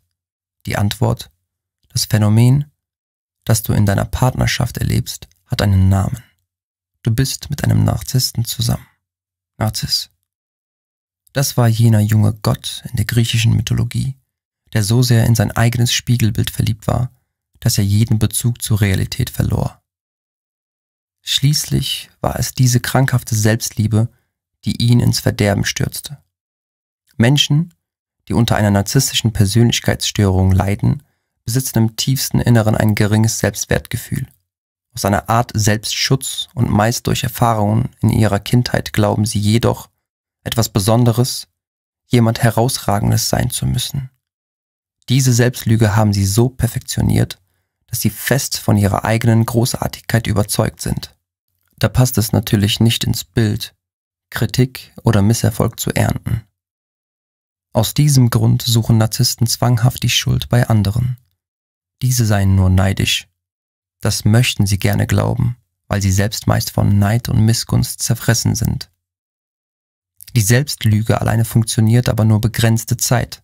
Dann ist es an den anderen, sie in ihrer Großartigkeit zu bestätigen und ihnen die ersehnte Anerkennung zu geben. Das kann nur leider niemand leisten, auch du als Partnerin nicht. Es ist zermürbend, den Narzissten regelmäßig die Bestätigung geben zu müssen, die er sucht.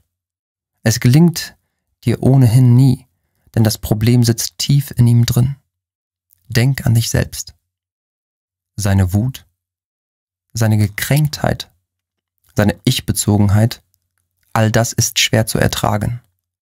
Und dabei mangelt es dem Narzissten an Empathie. Er ist blind für das, was in dir vorgeht. Deine Bedürfnisse haben in der Welt des Egomanen keinen Raum. Doch diesen Raum solltest du dir nehmen, sonst gehst du selbst zugrunde. Es ist an der Zeit, eine Grenze zu ziehen und Stopp zu sagen. Fühle dich nicht verantwortlich für das, was in seiner Seele nicht stimmt. Kümmere dich um deine Seele. Du hast ein Recht darauf, dass es auch dir gut geht und auch du etwas Anerkennung und Aufmerksamkeit bekommst. Und er hat die Messlatte verdammt hochgelegt, indem er dir von Anfang an suggerierte, seine Traumfrau zu sein und diese Erwartung zu erfüllen. Die große Liebe empfindet er nur für sich selbst. Du sollst ihn darin unterstützen, nur sich selbst zu lieben. Doch echte Liebe ist etwas Gegenseitiges. Wenn du nun erkennst, dass er viel zu sehr mit sich selbst beschäftigt ist, als dass er dir Liebe schenken kann, ist es Zeit, einen Schlussstrich zu ziehen. Narzissmus ist eine Persönlichkeitsstörung, die vielleicht aufgearbeitet werden kann, ja auch mit Hilfe eines liebenden Partners. Dazu sollte er aber bereit sein, diese Störung an sich zu erkennen und zuzugeben und sich freiwillig in Therapie zu begeben. Das wird nur schwer gelingen denn der Narzisst erkennt selten, dass das Problem bei ihm liegt. Immer dann, wenn deine eigene Persönlichkeit verletzt wird, bist du für dich selbst verantwortlich. Entscheide, wann es genug und auch für dich Zeit für größere Selbstliebe ist. Um diese zehn Dinge solltest du einen Mann niemals bitten, da du sie verdient hast. Hast du bemerkt, dass wir in einer Welt mit vertauschten Rollen leben? Männer werden immer passiver, während wir Frauen uns bemühen, den Funken am Leben zu erhalten. Frauen sind Verfolgerinnen, Initiatorinnen und Liebhaberinnen in einem geworden. Wir Frauen geben uns oft Mühe, die Bedürfnisse egoistischer Männer zu befriedigen, ohne das alles überhaupt in Frage zu stellen. Wir tun es, weil wir zu mitfühlend und zu sensibel für die Schmerzen und Leiden anderer Menschen sind. Und dann stellen wir fest, dass wir auf dem Weg, uns selbst, unsere eigenen Bedürfnisse und Wünsche vernachlässigen und zu weit gegangen sind. Dann wird uns klar, dass wir im Gegenzug dasselbe zurückerhalten sollten, ohne darum betteln zu müssen. Wir haben vergessen, dass wir diejenige sind, die verfolgt werden sollte und nicht umgekehrt. Wir haben immer ein Auge zugekniffen. Wir haben Wertschätzung und Respekt für uns selbst aufgegeben, indem wir das beschissene Verhalten anderer Menschen tolerieren. In diesem Sinne, tu dir selbst einen Gefallen und bitte niemals einen Mann um diese zehn Dinge, denn du hast sie ohnehin schon verdient. 1. Respekt. Bitte niemals einen Mann darum, dich mit Respekt zu behandeln. Warum? Weil du um Respekt nicht betteln kannst. Wenn du sein beschissenes Verhalten nicht tolerierst, lass ihn wissen, dass du damit nicht einverstanden bist, dass er dich nicht richtig behandelt und nur dann auftaucht, wenn es ihm passt. Du verdienst es, respektiert zu werden, für das, was du bist. Du verdienst es, genauso behandelt zu werden, wie du ihn behandelst. 2. Aussagekräftige und gut überlegte Worte. Wenn er nicht in der Lage ist, zwei bis drei aussagekräftige Sätze zu bilden, solltest du niemals auf seine Texte antworten. Wenn er sich nicht erinnern kann, dir einen guten Morgen und eine gute Nacht geschickt zu haben, dann weißt du, dass er keine Sekunde deiner Zeit wert ist, geschweige denn, dass du darum bitten solltest, dass er sich ändert. 3. Komplimente. Ein echter Mann achtet sehr auf Details und bemüht sich, all die kleinen und großen Veränderungen in seiner Frau zu loben. Ein echter Mann macht dir ein bedeutungsvolles und herzerwärmendes Kompliment, weil er weiß, wie viel es dir bedeutet. Denn er liebt dich und möchte, dass du das weißt. Deshalb solltest du niemals darum bitten, dass ein Mann so etwas tut. Wenn er nicht daran interessiert ist, deine größte Unterstützung und ein Teil deines Lebens zu sein, bist du ohne ihn sowieso besser dran. 4. Dich zu seiner Priorität machen. Du solltest dich niemals einer Situation hingeben, in der du deinen ganzen Körper und deine Seele an einen Mann gegeben hast, der immer noch keinen Anstand hat sich klar und deutlich für dich zu entscheiden und dich zu seiner Priorität zu machen. Und du solltest niemals darum bitten, dass sich ein solcher Mann verändert oder dich so behandelt, wie du es verdienst, wenn er nicht bereit ist, dich zu seiner Priorität zu machen und dir zu zeigen, wie viel du ihm bedeutest, bedeutet dies, dass er nicht bereit ist, mit dir zusammen zu sein. Und du hast im Leben wichtigere Dinge zu tun, als sich mit unreifen Jungen zu befassen, die noch einiges zu tun haben. 5. Seine Ex aus seinem Leben streichen. Wenn er dir zeigt, dass er immer noch nicht bereit ist, seine Vergangenheit loszulassen und seine Ex aus seinem Leben zu streichen, weißt du, dass du etwas Besseres verdienst. Du weißt, dass du keine Sekunde länger warten solltest. Du solltest nicht hoffen, dass er dich irgendwann respektieren wird. Unter diesen Umständen wirst du dich bei ihm niemals wertvoll fühlen. 6. Treu sein. Für einen Mann, der sich aufrichtig um deine Gefühle kümmert, wird es niemals ein Aufwand sein, treu zu bleiben. Treu zu sein wird für einen Mann selbstverständlich sein, denn er liebt dich mit seinem ganzen Wesen. Treue ist in der heutigen modernen Welt zu einem teuren Geschenk geworden, und du solltest ein solches Geschenk niemals von billigen Menschen erwarten. Genauer gesagt, solltest du niemals billige Leute bitten, dir etwas so Wertvolles zu geben, weil sie dazu einfach nicht in der Lage sind. 7.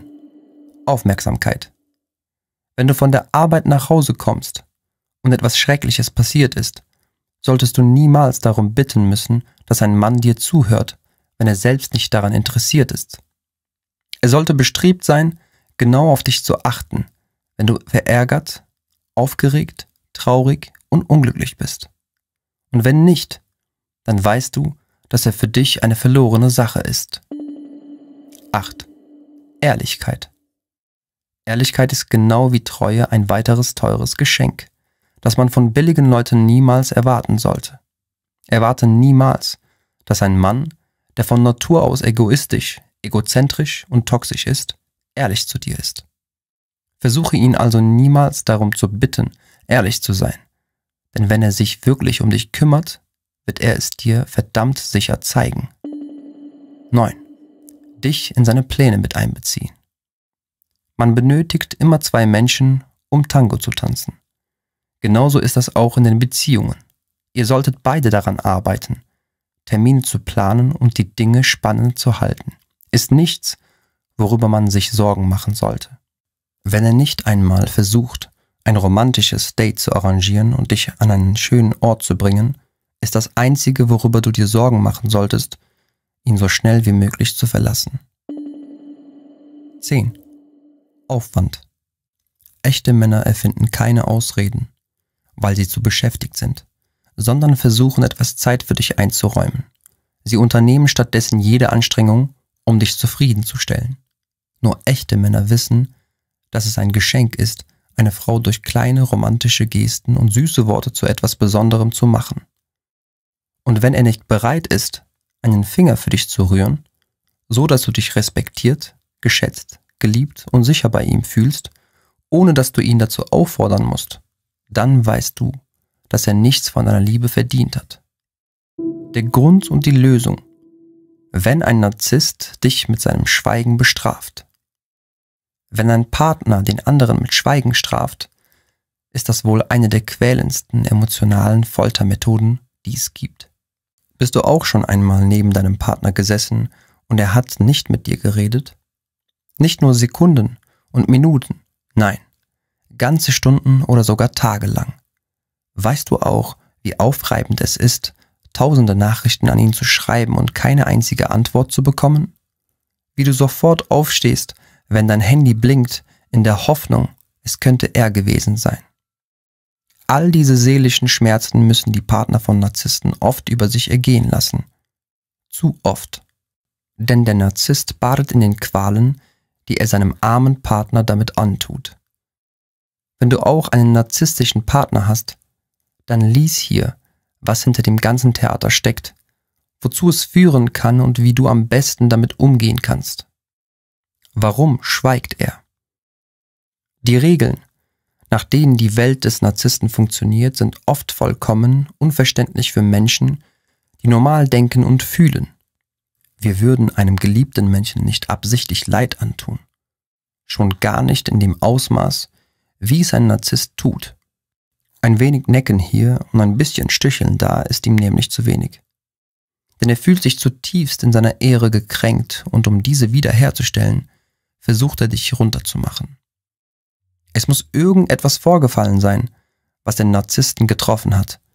Dabei kann es für dein Empfinden auch total klein gewesen sein und du hast dir wahrscheinlich gar keine Gedanken darüber gemacht.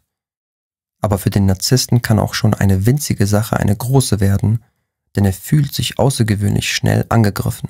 Dazu musst du wissen, dass er von sich selbst als den unumstößlichen Superhelden denkt und nimmt er an, dass dieses Bild ins Wanken gerät, durch was auch immer, dann gleicht das einem wahren Weltuntergang. Nun wird er alles tun, um dich so sehr leiden zu lassen, wie er selbst empfindet. Anstatt wie ein erwachsener und reifer Mensch anzusprechen, was ihn verletzt hat und mit dir darüber zu reden, wird er dich nach Strich und Faden fertig machen. Und das tut er, indem er sich dir entzieht. Kein Gespräch, keine Erreichbarkeit. Vielleicht wird er sogar für eine Weile ganz von der Bildfläche verschwinden. Entscheidend für ihn ist, dass er bestimmt, wie lange und wie sehr er dich leiden lässt. Deine Nachrichten und Anrufe werden kaum einen Einfluss darauf haben. Was versucht er damit zu bezwecken? Wenn er sich aus seinem Leben genommen hat, ohne dass du es wolltest, dann wird er innerlich triumphieren. Er wird sich vorstellen, wie sehr du nun leidest und wie sehr du ihn zurücksehnst. Das wird ihm Aufwind geben und sein verletztes Ego pushen. Er tut das Ganze, um sich besser zu fühlen. Und ein Narzisst baut sich selbst nur durch eine feige Art und Weise auf. Er macht andere runter, um sich selbst erhöht zu fühlen. Er weiß, dass du ohne ihn nicht leben willst und genau da setzt er an. Er will, dass du spürst, wie sehr er dir fehlt. Er möchte dir zeigen, wie unersetzbar er für dich ist. So fühlt er sich mächtig und hat dich unter Kontrolle. Denn in dem Moment, in dem er sich von dir gekränkt fühlte, hatte er die Befürchtung, die Kontrolle über dich und eure Beziehung zu verlieren. Das ist ein absolutes No-Go für einen Narzissten. Schließlich muss sich alles um ihn drehen und er will jederzeit bestimmen, wo die Reise hingeht. Um diese Kontrolle also wiederzubekommen, manipuliert er dich. Er entzieht sich dir und wenn du bettelnd angekrochen kommst, ihn unzählige Male anrufst und Nachrichten auf seiner Mailbox hinterlässt, wenn du eure Freunde nach ihm fragst, wenn du vor seiner Haustür auftauchst, dann hat er alles erreicht, was er möchte. Er hat die volle Kontrolle über dich. Er weiß, dass er so nicht nur dein Leben und deine Handlungen, sondern auch deine Gedanken kontrolliert.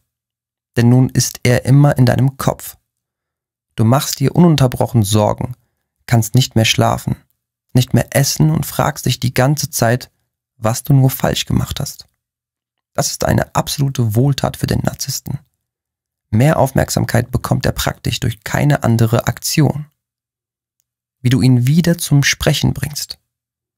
Der Weg, wie du den Narzissten am schnellsten wieder zum Sprechen bewegst, liegt auf der Hand. Schreibe ihm Nachrichten, E-Mails, Briefe, rufe ihn an, so oft du kannst. Zeig ihm damit, wie sehr dir an ihm liegt und wie sehr du ihn brauchst. Gehe zu ihm und versuche mit ihm zu sprechen. Flehe ihn an, dir zu sagen, was du nur falsch gemacht hast. Weine und versuche ihn davon zu überzeugen, dass du eine gute Freundin sein wirst, dass du ihm das nie wieder antun wirst. Knie dich vor ihn und bitte ihn unter Tränen noch einmal gnädig zu sein und dir zu verzeihen. Sage ihm, dass du alles dafür tust. Das wäre eine Möglichkeit. Und soll ich dir verraten, wie er reagieren wird? Er wird stur sein, wahnsinnig stur. Er wird dich zappeln lassen, bis er das Gefühl hat, dass du wirklich begriffen hast, dass du nichts bist und er alles. Dann wird er sich ausgesprochen gnädig und großzügig geben und dir sagen, dass er dir noch eine Chance erlauben wird, weil er ja nicht nachtragend ist.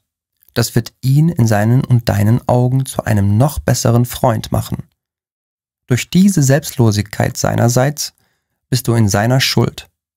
Und natürlich auch, weil du ihn so sehr gekränkt hast. Damit gibst du ihm also die absolute Macht über die Beziehung und er hat alles erreicht, was er mit seinem miesen Schweigen bezwecken wollte. Wie du wirklich reagieren solltest. Wie gesagt, das ist die eine Möglichkeit. Aber sie wird dich nur weiter in einen Strudel aus Kontrolle, Macht und Selbstaufgabe ziehen, dem du, wenn du das Ganze erst ein paar Mal mitgemacht hast, nicht mehr so leicht entkommen kannst. Denn gehst du wirklich so sehr auf sein manipulatives Verhalten ein, dann wird es nicht das letzte Mal gewesen sein, dass er die Nummer bei dir abzieht. Schließlich hatte er damit glänzenden Erfolg. Wie du wirklich auf sein Schweigen antworten solltest, erfordert Arbeit an dir selbst. Du musst dir darüber klar werden, dass das, was er mit dir macht, kein faires Verhalten in einer Beziehung ist und bei euch nichts zu suchen hat. Selbst wenn du etwas falsch gemacht haben solltest, sollte er den Anstand besitzen, menschlich mit dir umzugehen. Aber du hast nichts falsch gemacht und ein Narzisst braucht auch gar keinen Grund, um sich dir gegenüber unmöglich zu verhalten. Er tut es einfach und pfeift auf dich und auf das, was sein Schweigen bei dir anstellt. Um dich vor diesen fiesen Angriffen auf dein Selbstwertgefühl zu schützen, musst du also erkennen, dass du ein solches Verhalten in eurer Beziehung nicht duldest und dir eine Partnerschaft anders vorstellst. Lasse dich dazu von Menschen beraten, die dir nahestehen. Sie werden dir die nötige Bestätigung und Unterstützung geben. Nun, da du dir dieser Tatsache bewusst bist, weißt du, dass sein Verhalten falsch ist und nicht deins. Also hör auf, dir Vorwürfe zu machen und dich zu fragen, was du falsch gemacht hast und kehre zu deinem Selbstrespekt zurück. Du hast keinen Grund, dich verrückt zu machen. Denn du bist nicht die Person, die unfair war. Schlage ihn mit seinen eigenen Waffen und wenn er dir auf deine Nachricht oder deinen Anruf nicht antworten sollte, dann versuche es nicht weiter. Du hast ihm den Ball zugespielt und es ist nun an ihm zu reagieren. Er muss dir genauso zeigen, dass ihm etwas an dir liegt, Schließlich solltest auch du ihm das wert sein. Auf diese Reaktion von dir gibt es zwei mögliche Folgen. Entweder er schweigt eine Weile weiter und wenn er bemerkt, dass er nichts damit bewirkt, wird er sich bei dir melden. Oder er bleibt bei seinem Schweigen und ghostet dich. Das bedeutet, dass er sich nicht mehr melden wird und das von einem Tag auf den anderen. Tritt die erste Variante ein, dann lass dich auch dann nicht verunsichern. Er wird weiter versuchen, dich klein zu machen und dir die Schuld zuschieben. Es ist nun an dir stark zu sein und für dein Recht einzustehen. Lass ihn dir zeigen, dass er auch dich will. Sollte er sich daraufhin von dir abwenden oder sollte sofort Möglichkeit 2 der Fall sein, dann weißt du, dass er es absolut nicht wert ist, dein Partner zu sein. Narzissten haben große Schwierigkeiten damit einzusehen, dass sich eine Beziehung aus zwei Partnern zusammensetzt, die gleichermaßen wichtig sind. Sollte dein Freund das nicht akzeptieren, sondern dieses manipulative Spiel des Schweigens weiter mit dir spielen wollen, dann mach da nicht mit. Respektiere dich selbst und lass dich nicht auf seine verdrehte Wahrnehmung der Wirklichkeit ein. Nur du weißt, was gut für dich ist und glaube mir, du wirst merken, dass diese feige Methode dich zurückzugewinnen das absolute Gegenteil von dem ist, was du verdienst.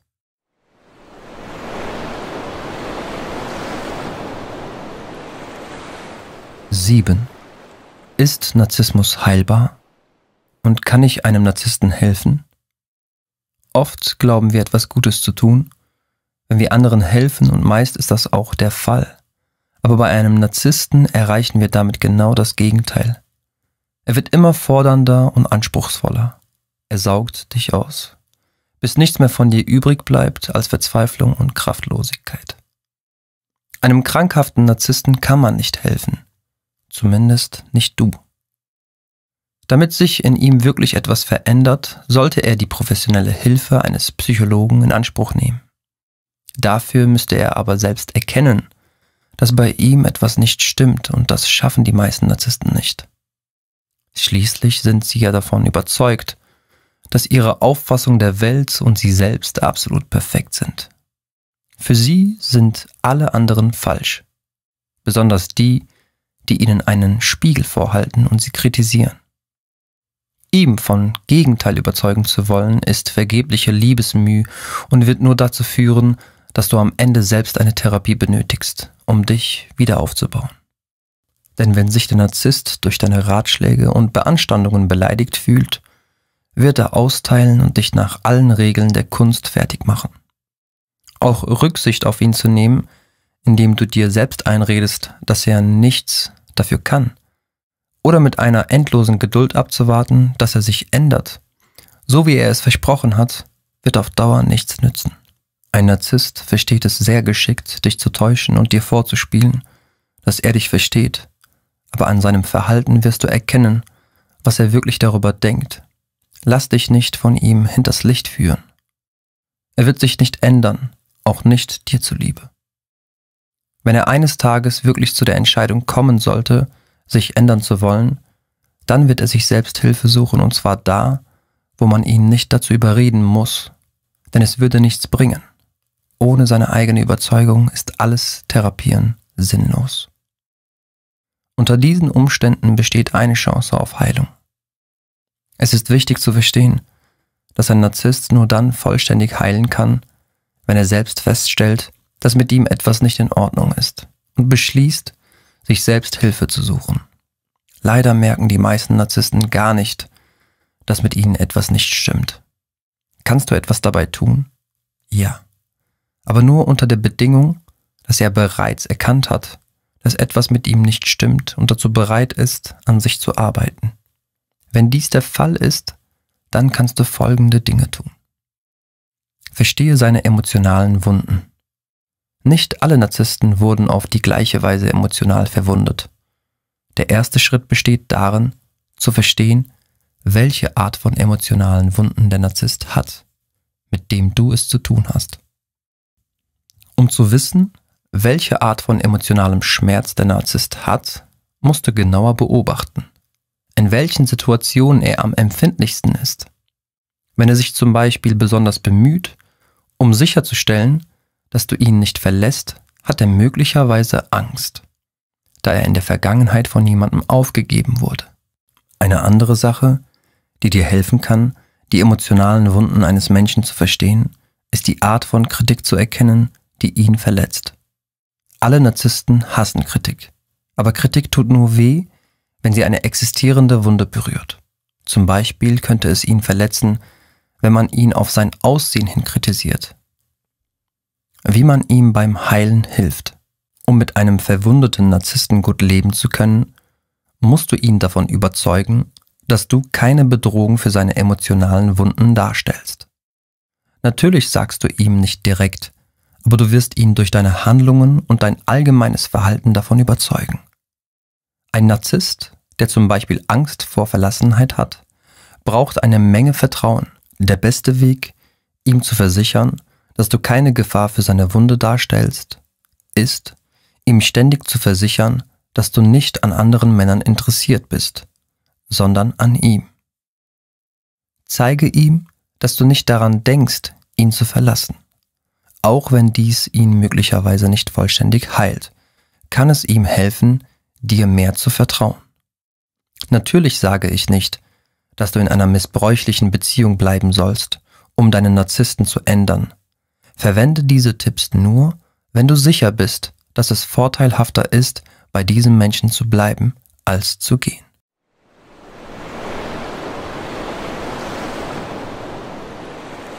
Acht. Wann sollte ich mich von einem Narzissten trennen? Gemeinhin wird eher geraten, dass du schnellstmöglich die Flucht ergreifen solltest. Wenn du an einen Narzissten geraten bist, der offensichtliches Interesse an dir hat.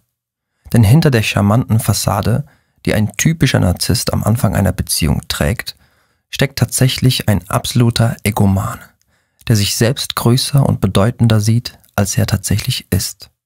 Seine eigene Größe zieht er daraus, dass er andere, insbesondere seinen Partner, benutzt, tyrannisiert und hemmungslos herabsetzt. Und das natürlich am liebsten in der Öffentlichkeit, wenn es andere mitbekommen. Ein typischer Narzisst will die vollständige Kontrolle über das Leben seines Partners, der sich bedingungslos unterzuordnen hat. Jedoch kann die Beziehung mit einem Narzissten durchaus auch angenehme Facetten haben. Denn eines ist sicher, langweilig wird es in der Beziehung definitiv nicht. Und nicht zuletzt gibt es sehr wohl auch einige Möglichkeiten, wie du dem Narzissten den Wind aus den Segeln nehmen und ihm seine Grenzen aufzeigen kannst.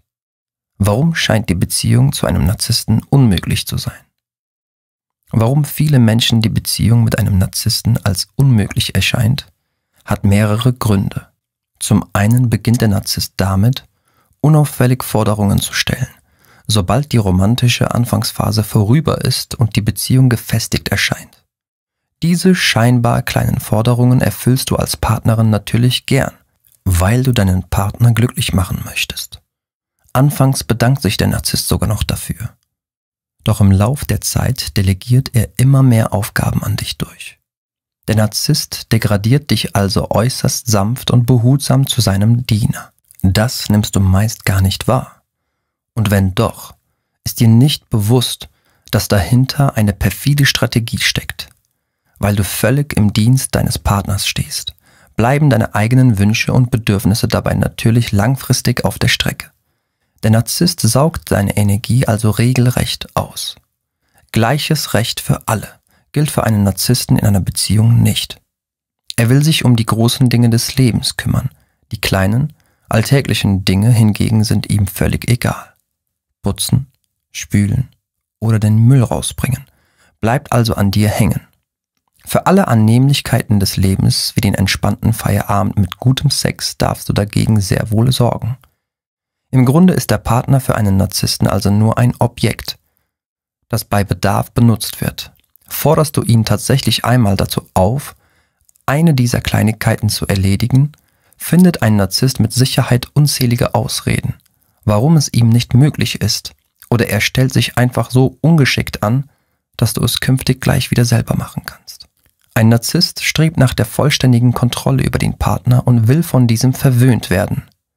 Er nimmt dir im Lauf der Zeit alle Entscheidungen ab und wird sauer wenn du gegen die von ihm aufgestellten Regeln verstößt.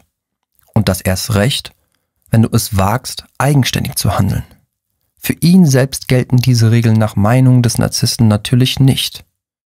Selbstverständlich macht der Narzisst selbst auch keine Fehler. weshalb er in der Beziehung auch keine Verantwortung übernimmt. Hat er Schwierigkeiten oder einen Misserfolg, liegt die Schuld dafür beim Partner. Auf die Idee, dass er sich selbst einmal in Frage stellen könnte, kommt ein Narzisst erst gar nicht, weil er sich als über jeden Zweifel erhaben sieht. Bei anderen Menschen hingegen findet der Narzisst den wunden Punkt zielsicher. Und den wird der Narzisst bei passenden Situationen auch zielgenau treffen. Das bedeutet, in einer Partnerschaft mit einem Narzissten läufst du Gefahr, permanenter Kritik ausgesetzt zu sein. Selbst durch kleine Kränkungen gelingt es dem Narzissten, dein eigenes Selbstwertgefühl zu schwächen. So kannst du dich durch die Vereinnahmung durch einen Narzissten wehren. Es gibt allerdings sehr wohl einige Tipps und Strategien, wie du dich gegen die Vereinnahmung durch einen Narzissten wehren kannst. Das sind die wichtigsten. Lass dich nicht blenden. Am Anfang der Beziehung bist du vermutlich der Überzeugung, den absoluten Traumprinzen gefunden zu haben, weil dich dein Partner auf Händen trägt. Findest du es beispielsweise seltsam, wie hoch dich dein Partner auf einen Sockel hebt, zeigt das oft schon an, dass du einem Egomanen am Haken zappelst. Beachte die Warnsignale. Ist der potenzielle Partner im Leben schon allzu oft gescheitert, kann es durchaus sein, dass es sich um einen Narzissten handelt. Hier kommt es darauf an, wie er selbst mit seinem Fehler aus der Vergangenheit umgeht. Weist er stets nur anderen die Schuld zu, kannst du fast sicher sein, dass es sich um einen Narzissten handelt. Auch wenn du im Vergleich zu früheren Partnerinnen so gut abschneidest, sollten bei dir die Alarmsirenen schrillen. Er will immer im Mittelpunkt stehen. Hinsichtlich Beziehungen verhalten sich Narzissten wie Junkies. Sie brauchen stets eine Zufuhr an Selbstbestätigung, weshalb sie oft auch mehrere Beziehungen zugleich führen. Den Partner sehen sie nicht als eigenständigen Menschen mit Bedürfnissen, Wünschen und Gefühlen.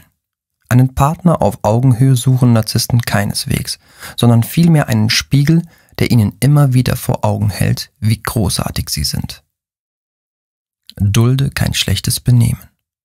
Nachdem die erste Phase der Verliebtheit vorüber ist, beginnt der Narzisst, seinen Partner abzuwerten, emotional auszubeuten und zu manipulieren. Verbalen Attacken, insbesondere in der Öffentlichkeit, solltest du schnellstmöglich einen Riegel vorschieben und Grenzen setzen. Das wird jedoch keinesfalls konfliktfrei vonstatten gehen. Das Selbstbewusstsein stärken. Ein Narzisst sucht gezielt nach deinen Schwachstellen und nutzt diese auch gehörig aus. Steh zu dir und dem, was du bist. Nur so hast du die notwendige psychische Stabilität, um diesen Attacken entgegenzuwirken. Lasse keine Verunsicherung zu. Kleine Sticheleien und der eine oder andere Machtkampf sind in Beziehungen nicht ungewöhnlich. So mancher Narzisst nutzt aber auch die Strategie des sogenannten Gaslightning, um seine Partnerin zu verunsichern. Derartige Manipulationsversuche solltest du keinesfalls zulassen und sofort dagegen steuern. Behalte deine sozialen Kontakte. Sehr oft versuchen Narzissten, einen Keil zwischen dich und deinen Freunden oder deiner Familie zu treiben um dich sozial abzuschotten. Behalte den Kontakt bei und pflege ihn, ganz gleich, was dein Partner sagt. Damit schaffst du dir einen eigenen Freiraum und stellst die Beziehung zu deinem Partner nicht ins absolute Zentrum deiner Aufmerksamkeit. Pass auf, wenn dich ein Narzisst mit Liebe überschüttet. Die Verliebtheit ist das schönste Gefühl überhaupt. Wir alle kennen die Schmetterlinge im Bauch die gar nicht aufhören wollen, uns ein wohliges Gefühl in der Magengrube zu geben. Diese erwartungsvolle Aufregung um unser Herz und wie es jedes Mal hochspringt, wenn der Angebetete zu sehen ist. Uns ist ganz schwindelig vor Glück und Endorphinen und wir könnten die ganze Welt umarmen. Nichts scheint mehr von Bedeutung. Wichtig sind nur noch wir zwei. Alles Schwere und Belastende fällt von uns ab und das Leben ist auf einmal wunderbar, leicht und strahlend. Alles macht Spaß und nichts kann uns so leicht runterziehen. Auch Narzissten erleben diese Phase der Verliebtheit. Auch sie empfinden pures Glück dabei, sich mit jemandem eng verbunden zu fühlen und alles mit einer Person zu teilen, die ihnen etwas bedeutet. Aber wie kann das sein? Ein Narzisst sieht doch jederzeit nur sich selbst. Wie kann er sich einer Person hingeben oder sogar echte Zuneigung verspüren? Das wäre ja wirklich selbstlos und ist schließlich ziemlich untypisch für einen Narzissten, oder? Auch Narzissten haben Schmetterlinge im Bauch. Doch auch wie wir einfühlsamen Menschen fühlen Narzissten das ganze Gefühlswirrwarr und den Ausstoß von Glücksgefühlen in der ersten Phase der Verliebtheit. Wie das kommt?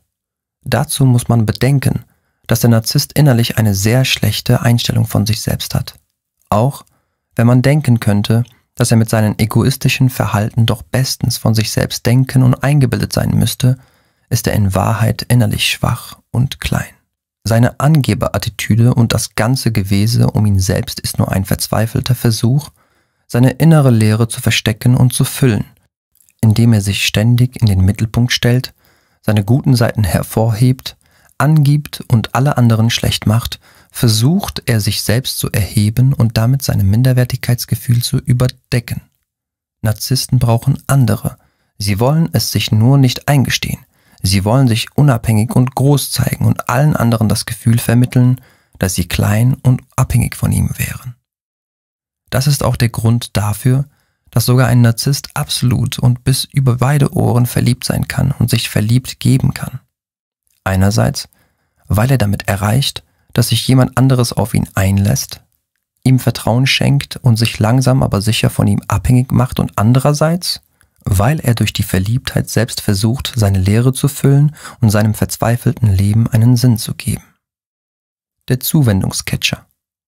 Auch wenn ein Narzisst mit seiner Nase im Himmel durch sein Leben läuft und allen zeigen möchte, dass sie ihm nichts bedeuten und er sehr gut alleine zurechtkommt, sind Narzissten die wohl abhängigsten und nähesuchendsten Menschen unter uns. Sie können nicht ohne die Personen um sie herum, die ihnen ständig zuhören, ihnen Aufmerksamkeit schenken und ihnen zusagen, wie großartig sie doch sind. Sie können nicht leben ohne Komplimente, ohne Nähe oder ohne Liebe. Denn sie sind innerlich leer und arme Seelen. Narzissten sind nicht in der Lage, Selbstliebe zu verspüren. Sie denken schlecht von sich und auch, wenn sie das nie zugeben würden, fühlen sie sich traurig und einsam. Dieses seelische Loch versuchen sie dadurch auszugleichen, dass andere es füllen. Deswegen suchen sie immer nach Anerkennung und Liebe. Eine Beziehung ist für den Narzissten also geradezu perfekt, um diesen Mangel zu kompensieren. Endlich hat er jemanden gefunden, der ihn bestätigt, der immer für ihn da ist und sich ganz um ihn sorgt. Empfängt er diese Aufmerksamkeit, ist sein Herz gefüllt von guten Gefühlen und auch ein Narzisst kann sich dann nicht zurückhalten, sondern quillt über. Er freut sich über die Zuwendung und das merkt der Partner, indem der Narzisst ihm gegenüber auch hingebungsvoll und zuvorkommend ist. Also wird sich auch der Narzisst in der glücklichen Anfangszeit einer Beziehung richtig Mühe geben, den anderen zu erfreuen. Oft überschüttet er ihn regelrecht mit Liebe, denn das hat zur Folge, dass sich der andere komplett auf ihn einlässt und sich ihm ganz öffnet. So schafft es der Narzisst, sein Vertrauen zu gewinnen und ihn Schritt für Schritt von ihm abhängig zu machen. Der Sinnsucher Außerdem versucht der Narzisst durch einen Partner seine innere Leere zu füllen, indem er ihn idealisiert. Da der Narzisst insgeheim schlecht von sich denkt, sucht er für sich eine Person, die er als besonders erfolgreich und angesehen empfindet. Sein Ziel ist es, dass die guten Eigenschaften des Partners auf ihn abfärben. Ist sein Partner also ein Karrieremensch mit hohem Status, einem riesigen Einkommen und wird immer zu angesagten Events eingeladen, so kommt das auch dem Narzissten zugute, denn er wird auch davon profitieren, indem er mit zu den Events kommen kann, einflussreiche Leute kennenlernt und in der Upper Society verkehrt. Oder der Partner ist sehr offen und lernt schnell neue Leute kennen. Das könnte auch den Narzissten bereichern und seinen Freundeskreis erweitern. Während er verliebt ist, sieht der Narzisst dann nur auf diese sehr guten Eigenschaften seines Partners und nimmt kaum Negatives wahr. Zu dieser Zeit ist sein Partner für ihn großartig, da er wunderbar von ihm profitieren kann. Wenn die Liebe versiegt. Wenn dieses Überschütten mit Liebe immer so weitergehen würde, dann wäre die Beziehung mit dem Narzissten wohl glücklich bis ans Lebensende. Ist sie aber nicht. Und das liegt daran, dass der Narzisst früher oder später auch mit all den Eigenschaften des Partners konfrontiert wird, die er nicht als wünschenswert empfindet. Jeder hat solche Eigenschaften. Immerhin sind wir alle bloß Menschen, auch der Narzisst. Aber das sieht er nicht ein. Er schwenkt dann vom hingebungsvollen und aufmerksamen Liebhaber zum harten Kritiker. Für den Menschen, der das abbekommt, ist es wie ein Schock. Eben noch war er über alles geliebt und angenommen, wurde mit Liebe überhäuft und plötzlich macht er angeblich alles falsch und kommt sich vor wie ein schrecklicher und fehlerhafter Versager. Das ist es, was der Narzisst ihm dann glauben lassen möchte. Er ist enttäuscht, dass seine Vorstellung vom perfekten Partner, der nur gute Eigenschaften hat und seine innere Sehnsucht stillt, ist verpufft und er erwacht in der Realität. Und die ist nun mal, dass er sich nur selbst die Annahme geben kann, die er benötigt und das nicht von anderen erwarten kann. Den ganzen Frust über diesen herben Rückschlag bekommt der Partner mit voller Wucht ab. Das reißt ihn in ein tiefes Loch und er erlebt nun endlich das wahre Gesicht des Narzissten. Die Beziehung mit einem Narzissten ist von einem starken Auf und Ab geprägt, das keiner lange unbeschadet überstehen kann. Niemand wird dem Narzissten das geben können, was er sich so sehr wünscht. Denn es liegt in ihm, sich selbst anzunehmen. Aber das kann er nicht. Deswegen ist er gefangen in einem dramatischen Kreislauf aus, himmelhoch jauchzend und zu Tode betrübt. Am besten ist es, sich nicht auf diese Achterbahn der Gefühle und Erwartungen einzulassen und so schnell wie möglich das Weite zu suchen, bevor es zu spät ist.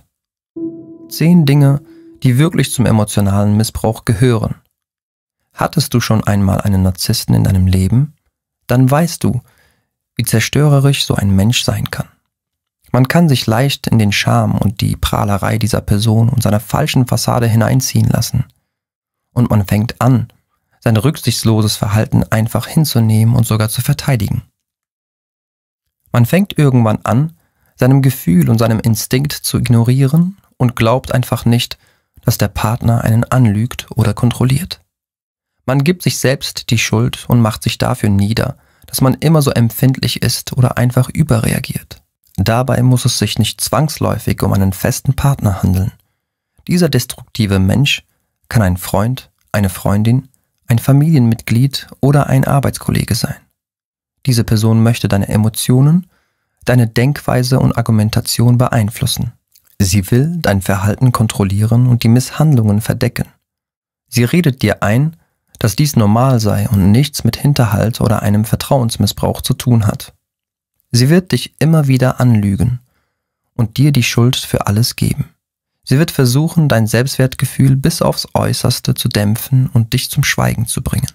Sie will dich einfach einschüchtern, damit du sie wieder verlassen kannst, noch realisierst, dass du eigentlich im Recht bist. Durch diese Person wird deine Angst immer weiter begünstigt und du wirst von Tag zu Tag instabiler. Denn diese Menschen sind unberechenbar. Sein Sarkasmus und seine Spielchen werden dich immer wieder an den Rand des Wahnsinns treiben Irgendwann wird es aus dir herausbrechen, deine ganze Wut, die sich ewig lange in dir angesammelt hat.